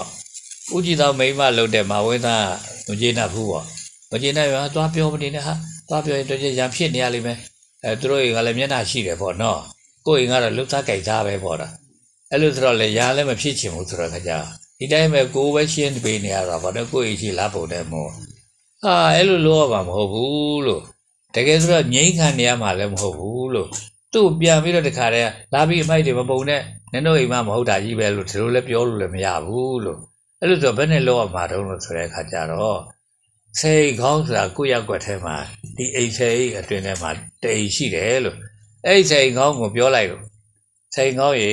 ဘဝရေကနေပြီးတော့သူတို့မိုက်တွေကိုကျမတို့အိမ်ဘက်ကိုလာပြီးတော့ပုံနေပါတယ်အဲ့ဒါလည်းပြောပြီးသားမှအုံးလို့ပဲအဲ့ဒါတိုင်လိုက်တာပဲ အဲ့ဒါတိုင်လိုက်ပြီဆိုရင်တော့ချိန်ကောင်းလည်းပဲဟိုဘက်အိမ်ကိုသွားပြောရတာပေါ့အဲ့နင်တို့အိမ်ကအမိုက်တွေကိုဘယ်နဲ့နင်တို့အိမ်ဝိုင်းနဲ့မပုံမဲနဲ့သူမြအိမ်ဝိုင်းနဲ့သွားပုံရသလားလို့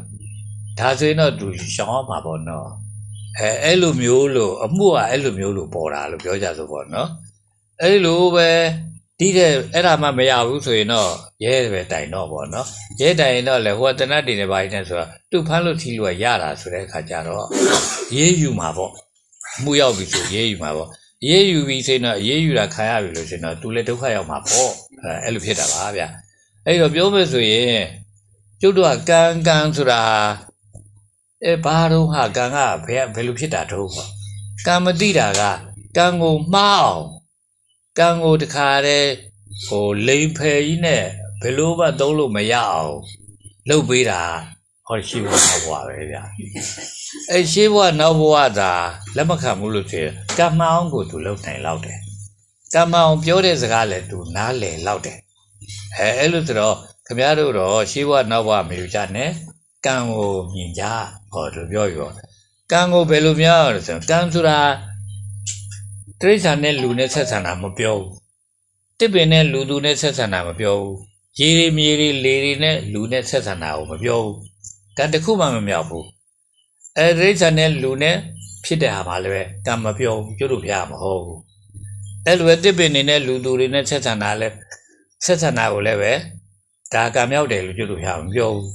အဲ့လိုပဲမြေရီရေရီလေရီနဲ့လူနဲ့ဆက်ဆံတာလည်းပဲသူရေတွေကိုဘယ်လိုလုပ်ဖြစ်တယ်အဲရေနဲ့လေတွေကိုဘယ်လိုဖြစ်ဘယ်လိုဖြစ်ဖြစ်တယ်နဲ့အဲ့ဒါလည်းပဲဒါပြောလို့ဆိုရင်တော့ကာမပြောက်ဘူးလို့သူတို့ပြောကြဆို လူကတော့လူချင်းချင်းဆက်ဆံတာမှာပဲကံပြောတာကံမြောက်တယ်လို့ပြောတာဗျာလူချင်းချင်းဆက်ဆံတယ်ဆိုတာဘယ်လိုဆက်ဆံလို့လဲသူမခံနိုင်တဲ့ဟာကိုကိုကနေပြောတယ်ကိုကနေလှုပ်တယ်ကိုကနေပြီးတော့မျက်နှာအနေထားကိုလက်ဟာပန်ချိုးပြတယ်အဲ့ဒါဆိုရင်တော့ကံမြောက်ပြီမျက်နှာအနေထားချိုးရကြီးကမျက်နှာကြီးကကိုကတခါလဲဟိုကောက်တိကောက်ကွေကြီးချိုးပြလိုက်တယ်ဆိုရင်ကိုပဲဒါဆိုရင်တော့ကံမြောက်သွားပြီ ဒါမှမဟုတ်လည်းပဲကိုလက်ကနေတော့သူ့ကိုသွားပြီးရိုက်လိုက်ပဲပါရိုက်လိုက်ပဲဆိုရင်တော့ကံကတော့မြောက်သွားပြီဒါမှမဟုတ်လည်းဆဲလိုက်ဆိုလိုက်ပြီဆိုရင်လည်းကံကတော့မြောက်သွားပြီလို့ပြောရတယ်လေလိုက်ကောက်လိုက်ပဲဆိုရင်လည်းကံကတော့မြောက်သွားပြီအဲ့တော့လူချင်းလူပေါ်မှာဖြစ်တဲ့အဖြစ်လူချင်းလက်လူပေါ်မှာဖြစ်တာလည်းဘယ်နှမျိုးလို့ဆိုအပြောရဲ့အလုပ်ရဲ့အနေရဲ့ကာယရဲ့ဝစီရဲ့မနှောရဲ့ပေါ့ဗျာဟောဒီသုံးခုတည်းပဲ ဒီသုံးခုကလည်းပဲဘယ်လိုလုပ်ဒီအပြောကဘယ်လိုလုပ်ကံမြောက်တာလဲဒီအပြုတ်မှုကလည်းဘယ်လိုလုပ်ကံမြောက်တာတော့ဒီမျက်နှာအနေထားကိုလည်းပန်ချိုးကဘယ်လိုလုပ်ကံမြောက်တာတော့ဖြစ်တော့အဲသူမခံနိုင်တဲ့ဟာကိုကိုကပြောတာကိုပြုတာကိုနေတာကိုအဲသူမခံနိုင်တဲ့ဟာကိုပြောပြီးပြုပြီးနေပြီးလို့ဆိုရင်တော့သူကမခံနိုင်ဘူးလို့ဆိုရင်တော့အမှုကပေါ်ပြီပေါ့အဲ့ဒီအမှုပေါ်တဲ့ဟာကိုကံပြောတာအဲ့လိုမျိုးလို့အမှုမပေါ်ရင်ကံမမြောက်ဘူးကံမမြောက်ရင် ကဲသူလှုပ်ချင်တဲ့ဟာကိုကိုကလည်းပဲအဲလှုပ်ချင်ရလားအဲမလှုပ်ချင်ဘူးဆိုလို့ရှိရင်ဒါလှုပ်ချင်သင့်မုံကိုသူ့ကိုပြောပြရမယ်အဲသူကလည်းဒါကိုမလှုပ်ချင်သင့်ဘူးလို့ဆိုတာပြန်ခြေပရမယ်ခြေပလို့မရဘူးဆိုရင်ဟောလှုပ်ချင်သင့်တာဖြစ်လာတော့မှာပေါ့နော်နှစ်ကွက်သုံးကွက်လေးကွက်ထက်မပူပါဘူးခြေပတဲ့ခါပါလဲတယောက်နဲ့တယောက်ကတော့မှန်ကန်တဲ့စီကိုရောက်သွားမှာပါအကွက်ကလေး၃လေးကွက်လောက်သာညင်းကြပါညင်းပြီးသွားပြီဆိုရင်တော့အဲဟုတ်တာမင်းပြောတာဟုတ်တာပဲလို့ထားအောင် ကိုယ်စီရင်လဲသူကဒီလိုပြောရတော့ပါကိုကရင်လဲသူ့ကိုဒီလိုပြောရတော့ပါအဲ့လိုဖြစ်ပြီဆိုတော့ဟောစိတ်ချင်းညီသွားပြီတစိတ်แท้ဖြစ်သွားပြီနှစ်ကိုဖြစ်ပေမဲ့တစိတ်แท้ဖြစ်သွားပြီလို့သူပြောကြဆိုနော်ဒါဆိုရင်ဒီသူကတော့အတော်ငြိမ်းချမ်းတာပေါ့လို့ပြောကြဆိုတကယ်လို့များကံကိုလွန်ကျူးပြီးသွားပြီဆိုရင်အမဲလွန်ကျူးတော့ဖြစ်တာပဲလွန်ကျူးပြီးပြီးတာပဲဘာဖြစ်တာမှတ်လို့ပဲနဲ့ဟောဒီလိုကလည်းပြောတတ်ကြသေးတယ်ဗျာနော်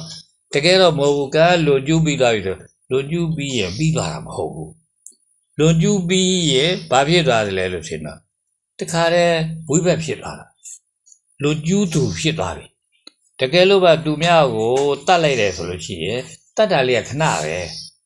တနတ်နဲ့ပြည့်တတ်သလားဓာတ်နဲ့ထိုးတတ်သလားဓာတ်ထိုးတတ်လို့သေးပြီဆိုရင်ပြီးပြီတတ်တာတနတ်နဲ့ပြည့်တတ်လို့သေးပြီဆိုရင်တနတ်နဲ့ပြည့်ဆိုရည်တန်ထွက်ပြီးနောက်သေးလူသေးသွားပြီးပြီ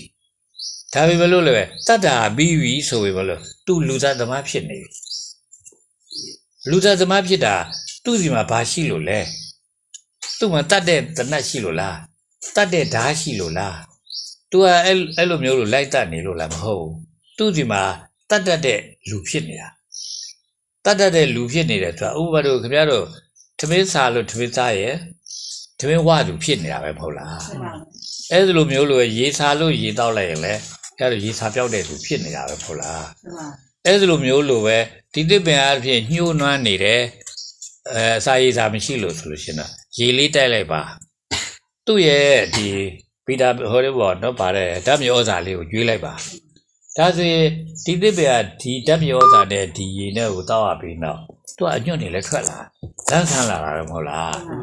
ဓာတ်မြေဩဇာကနေပြီးတော့ဒီတစ်ပင်ကိုဖြစ်လာစေတာပဲအခုဒီသူပြောတယ်ပြုတယ်နေတယ်လို့ဆိုတဲ့အမှုအသုံးခုကလည်းပဲအဲ့ဒါသူလောက်ပြီးသွားရင်အဲ့လူသူဖြစ်သွားတာ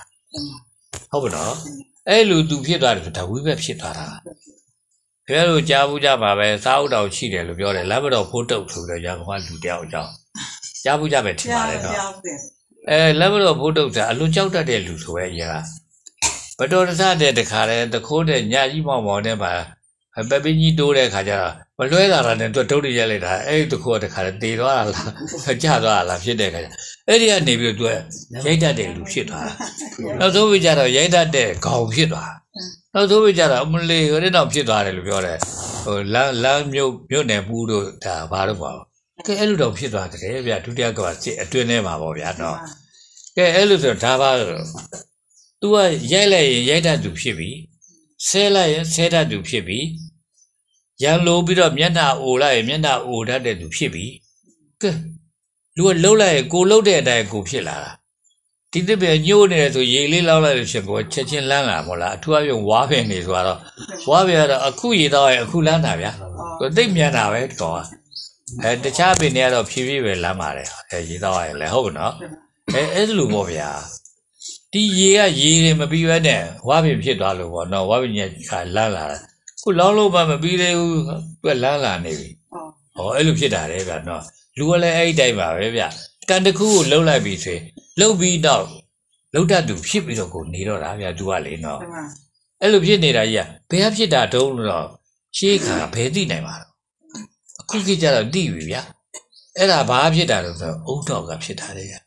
အုံတော့ကကျွတ်တို့ကိုတခါတည်းစကားပြောအောင်လဲအုံတော့ကလှုပ်တာလက်လှုပ်ရှားအောင်ခြေလှုပ်ရှားအောင်လဲအုံတော့ကလှုပ်တာဝတ်တော့ဟုတ်စားတော့အောင်လဲအုံတော့ကနေလှုပ်တာ အုံတော့ကဘယ်ကနေရအောင်ဆိုတော့စလှုပ်တယ်ဟာနေပြီးတော့သူကတည်းလှုပ်တတ်သွားတာလို့ဘယ်လိုပြောရမလဲဗျာနော်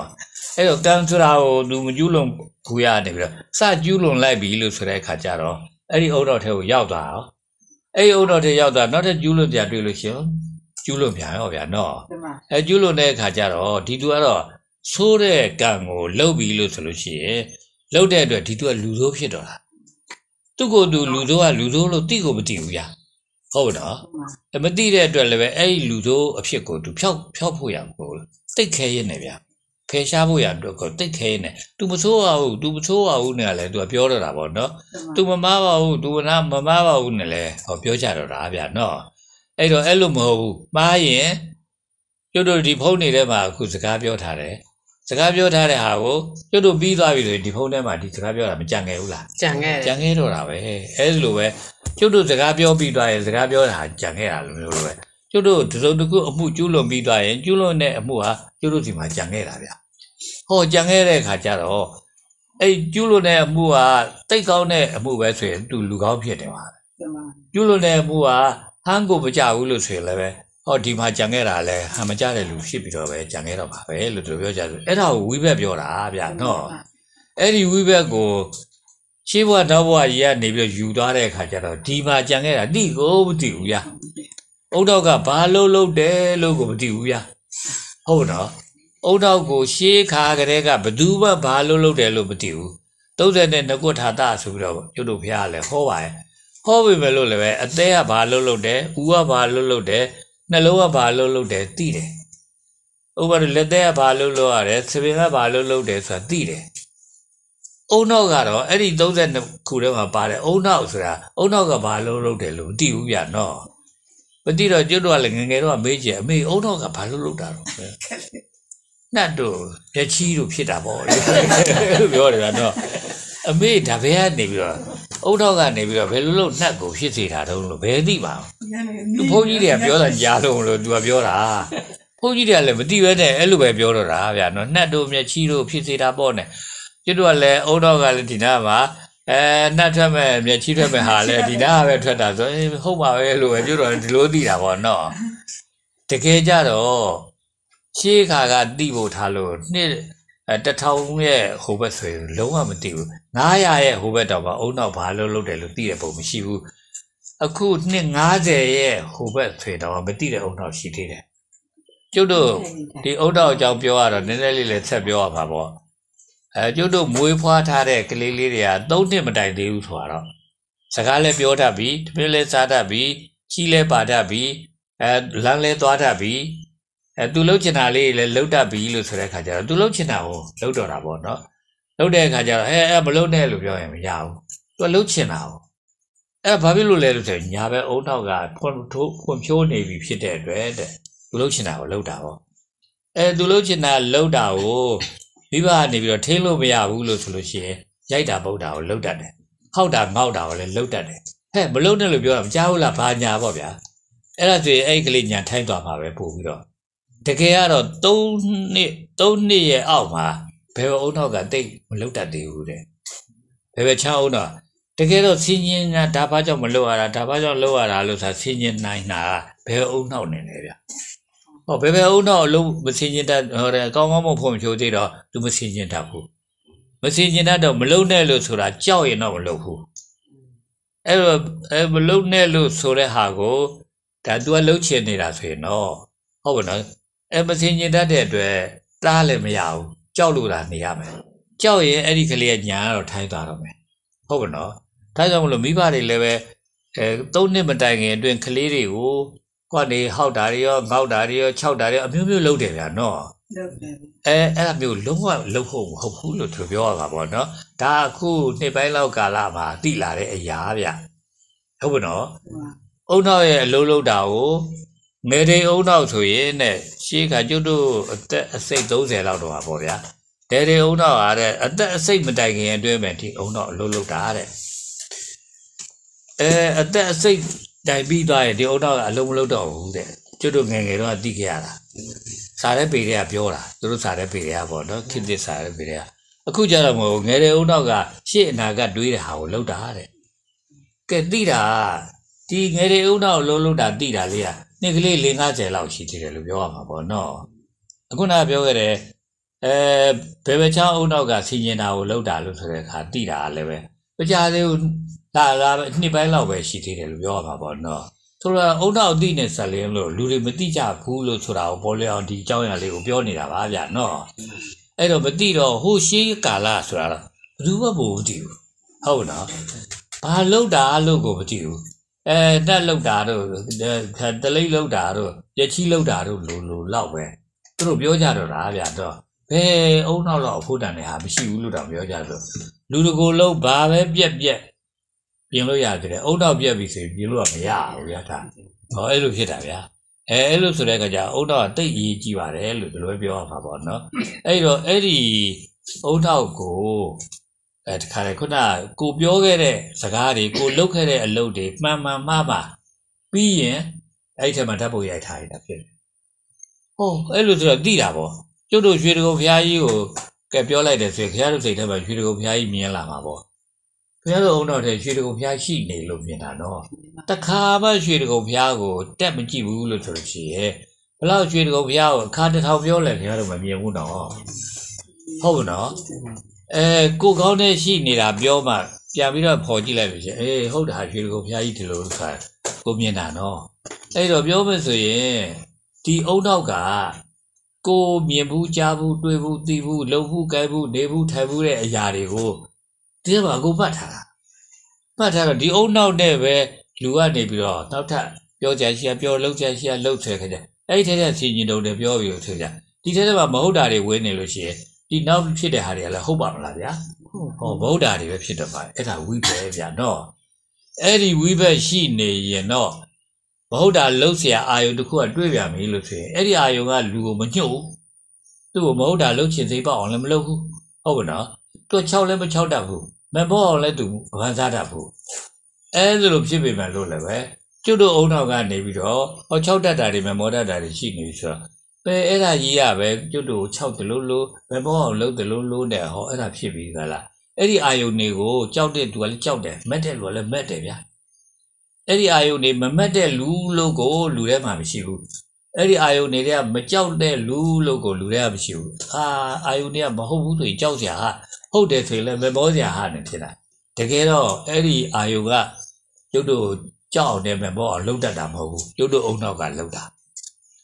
အဲကျုပ်တို့အုံနောက်ကလှုပ်တာဆိုတာဒီအုံနောက်ကနေပြီးတော့ပဲအဲ့ဒီမမောစရာအခင်းကျင်းတွေ့ပြီဆိုမမောတော့တာအဲကြောက်ရွံ့စရာအခင်းကျင်းတွေ့ပြီဆိုကြောက်ရွံ့တော့တာအဲ့ဒါဟာဒီကြောက်ရွံ့တာတို့မမောတာတို့ဖြစ်တာကိလေသာဗျာကိလေသာဆိုတာလူရဲ့ညင်နွမ်းဖို့ရအမိုက်တရိုက်လို့ပြောကြလို့နော်ဒီမှာအဲ့ဒီအမိုက်တရိုက်ကမွေးတဲ့ကသူ့ဘက်ကသူပါလာတာလားဆိုမဟုတ်ပါဘူးဗျာဟုတ်နော်မွေးတဲ့ကပါလာတာလို့ဘာရှိဘူးသူပါ အဲ့လိုပဲအုံနောက်ပဲပါလာတာအုံနောက်ကလည်းပဲပြောမဆိုတော့ဖုန်းတစ်လုံးတော့ဝယ်တယ်အစ်စ်အဲ့ဒီဖုန်းတစ်လုံးထဲမှာဘာမှမတော့ရသေးဘူးလို့သူလို့ရှိရင်ဘာဖွင့်ကြည့်ကြည့်မရဘူးဟုတ်နော်အဲသူသုံးပြီးပြီဆိုရင်သူသုံးသမျှဟာတွေဒီထဲမှာဖွင့်ကြည့်ရတယ်ဗျာဟောအဲ့လိုဖြစ်တာဗျာနော်အဲ့တော့ပြောမယ်ဆိုရင်ကိလေသာဆိုတာလည်းပဲသူ့ဘက်ကသူထလာတာမဟုတ်ဘူးဟုတ်နော်အဲဒီကနေပြီးတော့တခါတည်းအဲဟိုဝိဘက်တရားနေပြီးတော့ထလာတာဗျအဲ့ဒီအာယုန်နဲ့တွေ့လိုက်ရော အဲခါတယ်ဝိဘက်တရားထလာတဲ့ခါကျတော့အဲကိလေသာဖြစ်သွားရောအဲ့ဒီကိလေသာတွေလည်းဖြစ်တာတွေလည်းပဲတော်တော်ကြီးကိုလူကိုကြီးစိုးသွားပြီဆိုရင်တော့လူကအဲ့ဒါတွေကိုမလုပ်ဖဲကိုမနေနိုင်တော့ဘူးဗျာဟုတ်နော်မလုပ်ဖဲကိုမနေနိုင်တော့ဘူးလို့ဆိုတဲ့ခါကျတော့လူကကနေကိုပြန်လုပ်ပြန်တော့ဗျာအတူများမခံနိုင်တဲ့အမှုတွေကိုလုပ်ပြန်တော့တာပေါ့လို့ဒီလိုပြောရမှာပေါ့နော်အဲသူများမခံနိုင်တဲ့အမှုတွေလုပ်ပြီးတော့ချင်းဒါကံမြောက်တာပဲအဲ့တော့ဒီကံရဲ့ဒီဝိဘက်ရဲ့ ဒီကိလေသာရဲ့လို့ဆိုရယ်သုံးခုရဲ့လေပတ်တာကိုအဲ့ဒီခါကျရင်တော့တိတော့တာပေါ့ဟာဒီလိုလေပတ်တာကြီးကဗဟုဒ္ဓကြီးပေါ့ဗျာငါတို့ခြားခြားလဲနေလို့တော့မကြိုက်သေးဘူးဟာဆိုပြီးတော့ဒါတော့ဖြစ်ခြေဖြတ်မှပဲဆိုပြီးတော့ဘုရားကနေပြီးတော့အဲ့ဒါခြေဖြတ်တဲ့စနစ်ကိုသူရှာလိုက်တာသူတရားအထုတ်လို့ပြီးသွားလို့ဘယ်လိုမှတရားလည်းမတိလာနဲ့ပဲတရားထုတ်တာကနေထွက်လိုက်တယ်ထွက်လိုက်ပြီးနောက် body weight အောက်ကိုရောက်တဲ့အခါကျတော့သူအဲ့ဒါကိုတွေးမိသွားတာဗျ ပြောလို့ဆိုတက်ခတဲ့ဆိုသူတိသွားတာနော်ဒီမှာတက်ခတဲ့ဆိုတိသွားတဲ့အခါကျကံရဲ့ဝိဘက်ရဲ့ကိလေသာရဲ့ကိုတခါတည်းသူတိသွားတာဗျသူ့အတိတိတာလူတော့ကကလေးကပါရမီတွေဖြည့်ခဲ့လို့လည်းမဟုတ်ဘူးသူကနေပြီးသူ့ရဲ့ဒါအိရှိရှင်မရဲ့ဖြစ်ကနေပြီးတော့ထွက်ပြီးစကားတောထွက်ပြီးတရားကျင့်နေတော့လည်းပဲသူတေလောက်တေကာတိအထိသူကြက်တယ်ဒီလိုဆက်ကြည့်ရင်တော့တေတော့ပါပဲတော်ပြီဆိုပြီးတော့အဲ့ဒီဟာတွေကိုစွတ်လိုက်တာ အဲ့ဒါတွေစွတ်ပြီးနောက်ပိုင်းအဲ့ဒီနှစ်ခုစွတ်ပြီးတဲ့နောက်ပိုင်းကျပါတက်ဆိုပြီးသူတည်တာဗျတက်ဆိုပြီးသူတည်တဲ့ခါကျဘာဖြစ်သွားလဲဆိုတော့ဩဒီကဟာဒီတပြီးတာမဟုတ်ဘူးဟာဝိဘက်ဖြစ်တယ်ဒီဝိဘက်ကဝိဘက်တင်ပြီးတာမဟုတ်ဘူးဟာကိလေသာဖြစ်တယ်ကိလေသာကလည်းသူ့ရသူ့အတူပေါက်ပြီးပြီးတာမဟုတ်ဘူးဟာကံကိုရောက်စေတယ်။အော်ဒီလိုခြားခြားလဲနေဒီလိုခြားခြားလဲနေတဲ့ဟာကိုပြန်ဖြီရမှာပဲဆိုပြီးတော့အဲ့ခြားခြားလဲတဲ့ဟာရဲ့အဆုံးကနေပြီးတော့ပြန်ဖြီရတော့တာအဆုံးကတော့ကျူးလွန်တာပေါ့နော်။ အဆုံးကကျူးလွန်တော့အဲ့ကျူးလွန်တာကိုရက်ကျူးလွန်တာကိုတိခါကျူးလွန်တာကိုခွင့်လွတ်အဲ့ကျူးလွန်တာကိုတိခါခွင့်လွတ်ရက်ဆိုင်ပြီးနောက်အဲ့ဒီကျူးလွန်ခြင်းတဲ့စိတ်ပေါက်တဲ့ဟာကိုပြန်ပြီးတော့တစ်ခါခြေဖြတ်တော့တာအဲ့လိုပဲအဲ့ဒါလည်းပဲခြေဖြတ်ရင်ကနေမှနောက်ကြအပြင်မှားတွေရောအတွေ့မှားတွေရောလည်းပဲဒါလည်းပြန်ပြီးတော့အမှန်နေရောက်လာတော့တာလို့ပြောကြဆိုနော်အဲ့ဒါအရိယာမဂ်ကြီးရှိချက်ပဲဗျဒီအရိယာမဂ်ကြီးရှိချက်ဆိုတာကဘယ်သူမှမပြောတတ်ဘူး ဘယ်သူမှမသိဘူးဒါမိစ္ဆာမဂ်ကြီးတွေကိုပြန်ဖြတ်တာတာမာမဂ်ကြီးပဲဗျနော်ဒီမှာအဲတာမာမဂ်ကြီးကိုအရိယာမဂ်ကြီးခေါ်တာပဲမိစ္ဆာမဂ်ကြီးကိုတော့သမုဒယလို့ခေါ်တာပဲလို့ဒီလိုပြောကြဆိုပေါ့နော်အဲ့လိုဆိုတော့အာဖះတရားကိုအဲဓာတ်လေကြလို့ဒီလိုပြောရမှာပေါ့နော်ဘုရားတရားဟာတကယ်ကြတော့ကိုမားတာကိုပြန်ဖြီတာပဲကိုမားတာကိုပြန်မဖြီနိုင်ရဲ့ဟာကျွန်တော်ဘာမားလို့လဲ ကျုပ်ကဘာမားလို့လဲနဲ့လို့ရတော့အဲ့ဒါကျွတ်တော့သူမားတာကို तू မသိဘူးသူပြန်မဖြီနိုင်ဘူးဟုတ်နော်ကျုပ်ကဘာမားလို့လဲလို့ပြန်ပြောရင်တော့အာဒီဘုန်းကြီးကလည်းငါတို့ငေါ့နေတာပဲကွာပေါ့နော်ဟုတ်လားအဲအဲ့လိုမျိုးသာဆွေတာတော့သူ့အမှားသူမရောက်နိုင်ဘူးလို့သူပြောကြသူပေါ့နော်အဲ့တော့တကယ်ကိုပဲသူများနေပြပြီဆိုရင်မင်းကမားနေတယ်လို့ပြလို့ရှိရင်ဘယ်လိုမားတာပါလဲဗျာပြောသမှာဘူးပေါ့ကဲသူပြောပြပြောပြတဲ့အခါကျအော်ဟုတ်တာပဲလို့ဆိုတာဒီရောက်သွားရင်တော့ သူဒီအမားကိုပြန်ဖြီရမှာပေါ့နော်အမားတော့ကိုချုပ်ထားတဲ့အဝတ်ကိုပြန်ဖြီရဲဆိုတာအဝတ်ပြီးသွားမှာပေါ့နော်အဲ့လိုကိုလှုပ်ထားတဲ့ကိုချီထားတဲ့ဟာကိုတစ်ခါပြန်ဖြီရင်လည်းကျိုးပြီးသွားမှာပဲမဟုတ်လားဒီမှာအဲအဲ့ဒီလိုမျိုးလို့ပဲတကယ်ကြတော့ကိုမားထားတဲ့အုံနောက်ထဲမားထားပြီးသားဟာကိုပြန်ဖြီရမှာအုံနောက်ကြီးပြင်မဲ့ထုတ်ပြီးဖြီးနေဖို့မဟုတ်ပါဘူးလုံတော့ကလည်းအတွင်းထဲကနေထုတ်ပြီးကိုကနေလှုပ်တာမဟုတ်ပါဘူးကိုလှုပ်လိုက်လို့ရှိရင်ကိုအလုံးနဲ့ပဲ ခါတယ်ကိုလှုပ်ကမှားပြီဆိုရင်အုံတော့ထည့်လိုက်အမှားအမှားအုံတော့ဖြစ်နေအဲ့ဒီအမှားအုံတော့ဖြစ်တဲ့ဟာကြီးကိုအမြင်မဲ့ထုတ်ပြီးပြန်ဖြေနေဦးလို့ကိုလှုပ်တာကိုမှန်လိုက်မှန်လိုက်လို့ရှိရင်အဲ့ဒီအုံတော့ထဲမှာအဲ့ဒီအမှားအကွက်ကိုခါတယ်ပြန်ဖြေတာဖြစ်သွားတယ်ခါကြနောက်ဆုံးပဲတနေ့ကျအုံတော့ကနေပြီးတော့အမှန်နေပဲဖြစ်သွားတော့မှာပေါ့နော်ကဲအဲ့လိုဖြစ်ပြီဆိုဆိုရင်တော့အဲ့ဒါတော့ဖြစ်တကယ်ဖះရဲ့တပည့်စစ်စစ်ဖြစ်ပြီလို့ပြောကြဆိုနော် အဲ့တော့ခင်ဗျားတို့အသက်တွေကတော့တိတ်ကြီးနေပါပြီနော်ဒါပါဗျာသိကြီးနေပြီလို့ဆိုတဲ့အခါကျတို့ဘာမှသိကြီးမှားတာတွေလည်းလုပ်ဖို့မလိုတော့ပါဘူးပေါ့နော်။မှန်တာတွေလည်းပဲငါတို့ပြင်ဘယ်လိုရှားမဲ့တောင်မသိတော့ပါဘူးပေါ့ဘာလို့လဲဆိုတော့မှားနေတာနည်းနေပြီပေါ့နော်။အဲဘာပဲဖြစ်နေတယ်ကိုသားတွေသမီးတွေရှိတယ်။ကိုမြီးတွေမြစ်တွေလည်းပဲရှိလာကြရှိတယ်။အဲ့ဒီသူတွေကိုတော့ဖြင့်အဲကိုသိနေရတဲ့အရာမျိုးအတိုင်းသိပြီးကြလားသူတို့လက်ချင်းကမ်းနိုင်အောင် ကိုကနေပြီးတော့လှုပ်ဆောင်တာတော့ဖြင့်ကိုလူဖြစ်လာတဲ့အတွက်လူကောင်းတယောက်ရဲ့ဝတ္တရားပဲလို့ဒီလိုပြောကြဆိုတော့ကဲအဲ့ဒါကိုလုံနိုင်ဖို့အတွက်ပထမဆုံးကတော့ရှေးဘဝနောက်ဘဝဆိုတဲ့ဟာကိုစိတ်แท้ကိုမထားပါနဲ့ဖယ်ရှားပါဟုတ်နော်အဲ့တော့အော်ကံဆိုတာဟာတခြားကြီးလည်းမဟုတ်ဘူးဟာကံဆိုတာဟာတို့လူချင်းလူအပေါ်မှာသူမခံနိုင်တဲ့ဟာကိုကနေပြောတာပြောမယ်ပြုကျင်တာလည်းပြုမယ်ကိုမျက်နှာထားကျင်တာအတိုင်းလည်းထားမယ်လို့ဆိုလို့ရှင်တော့ အဲ့ဒါကတော့ကံပဲလို့နော်အဲ့ဒီအပြင်ကံလို့မရှိဘူးလို့အဲဘယ်လိုပြောမှာပေါ့နော်ခွေးတစ်ကောင်ကိုရိုက်လိုက်တယ်မောင်းလိုက်တယ်ငါကံမမြောက်ဘူးဟုတ်ပါနော်အဲ့ဒီလိုအသစ်ပင်တွေကိုခုတ်လိုက်တယ်ဖြတ်လိုက်တယ်ကံမမြောက်ဘူးဟုတ်ပါနော်အဲအဲ့လိုပေါ့ဗျာတကယ်တော့လူချင်းလူပေါ်မှာတော့ခုတ်တာဖြတ်တာလည်းမပြောနဲ့အာဆိုတာဆဲတာလည်းမပြောနဲ့ဟုတ်ပါနော်တတ်နိုင်သမျှအထိလုံးဝသူမခံနိုင်တဲ့ဟာဆိုကိုဘာမှမလုပ်အောင် သူမခံနိုင်တဲ့ဟာ ကိုလုပ်ပြီးဆိုရင်အမှုပေါ်တယ်ဗျာအဲအဲ့လိုဖြစ်ပါတယ်ဗျာအဲ့လိုဖြစ်တဲ့အတွက်အမှုပေါ်တာဟာကံပဲကမ္မပဲအဲ့ဒီကမ္မဟာတကယ်တော့မကောင်းရင်အကုသိုလ်ပဲကောင်းရင်တော့ကုသိုလ်ပဲပေါ့ဗျာပြောနေကြတာဗျာဒါပါပဲเนาะအဲ့လိုဆိုတဲ့အခါကျတော့ခင်ဗျားတို့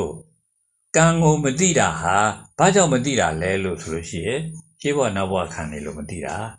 အဲရှင်းဘဝနောက်ဘဝကိုဖယ်ရှားလိုက်လို့ရှိရင် ငါဖြစ်နေတဲ့အရာတွေကဘယ်လိုဖြစ်တာပါလဲငါကောင်းနေတဲ့အရာဘယ်လိုကောင်းတာလဲငါမကောင်းနေတဲ့အရာဘယ်လိုမကောင်းတာလဲလို့ဆိုတာတွေကိုခင်ဗျားတို့ကတွေးမိလာပြီဆိုရင်ဒီကံတွေကိုရောက်လာမှာမဟုတ်လားဗျာရောက်လာရဲ့ဩငါစီမှာဒီဝိဘက်ကလည်းရှိတာတဲ့ဟာပေါ့ငါလှုပ်ထားတဲ့အတိုင်းရှိတာပေါ့ဥပမာတူပဲကိုကဘယ်နစီလင်တောက်ထားတယ်ဆိုဘယ်နစီလင်တောက်လို့ဒီကိုကိုကဖြစ်နေတဲ့ယောဂဗျာတွေကပျောက်တာမဟုတ်လားအဲတောက်လိုက်တယ်ဆိုတာဒီတိုင်းပဲဥစ္စာကြီးပြီးရွယ်တောက်ပြီးပြီးရောလားဆိုမပြီးဘူးတောက်ပြီးနောက်သူကနေပြီးတော့ အလုပ်လုပ်နေတော့တာပေါ့နော်တောက်နေတော့ဘယ်တစလဲကနေပြီးတော့မကောင်းတဲ့ဟာတွေကိုအဲတတ်ပြီလို့ဆိုလို့ရှိရင်ကိုယ့်ဒီကအဲကြိုက်တာတွေခဲတာတွေဆိုတော့ပျောက်ပြီလို့ဒီလိုပြောရမှာပေါ့နော်အဲအဲ့လိုမျိုးလိုပဲအဲတခါလေကိုယ်ကံလုတ်ပြီးသွားရင်ကံလုတ်သူကိုဖြစ်ကြံခဲ့တာကံလုတ်သူကိုဖြစ်သွားပြီဆိုရင်နောက်ထပ်လည်းကံလုတ်ဖို့ရန်အတွက်လုတ်ချင်တဲ့စိတ်တွေထပြီးတော့တာအဲထနေပြီဆိုရင်ကံကလည်းပဲနောက်ထပ်ပြန်ပြီးတော့လုတ်တော့တာအဲ့လိုဆိုတော့လူညံ့ဖြစ်လူဆိုးဖြစ် အဲလူမလွတ်လပ်တဲ့သူဖြစ်တော့တာလို့ဒီလိုပြောရမှာပေါ့နော်အေးခင်ဗျားတို့အဖေဟာတိတ်တော်တဲ့လူဖြစ်တယ်အဲတို့အဖေဟာမွေးထားတာဖြစ်တဲ့အတွက်ဒီအဖေအမွေကိုတော့ဖြစ်တို့လည်းအရယူတယ်ပြောရမှာပေါ့နော်အရယူမယ်အဲတို့ရဲ့အမွေကိုလည်းပဲတို့သားသမီးမိမြစ်တွေကိုအရပေးမယ်အဲ့လိုခင်ဗျားတို့သိမွေးနိုင်ကြပါစေပေါ့နော်ကဲအဲ့လိုမွေးနိုင်ဖို့ရအတွက်ကြိုပြောတဲ့စကားကလည်းပဲ အဲကျေးဇူးတရားဖြစ်နေဆောင်ရွက်နိုင်ပါစေလို့ပြောပြောရမယ်နော်မှန်ပါဗျာကဲဒါလေးပဲဝတ်တာတိုင်ကြတယ်ဆိုရင်တာတူသုံးချိန်လောက်ခေါ်ပြီးတော့ကျွတ်တို့ပြောချက်ကိုဒီကုန်းချုပ်ကြတော့ဗျာနော်သာဓုသာဓုသာဓု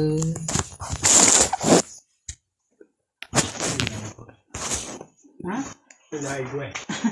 ပွတီဝတ်ကြည့်ရတော့ဝတ်ဒီပဲဟေးကဲပြန်တော့ဗျာညညရောနော်ဟုတ်ကဲ့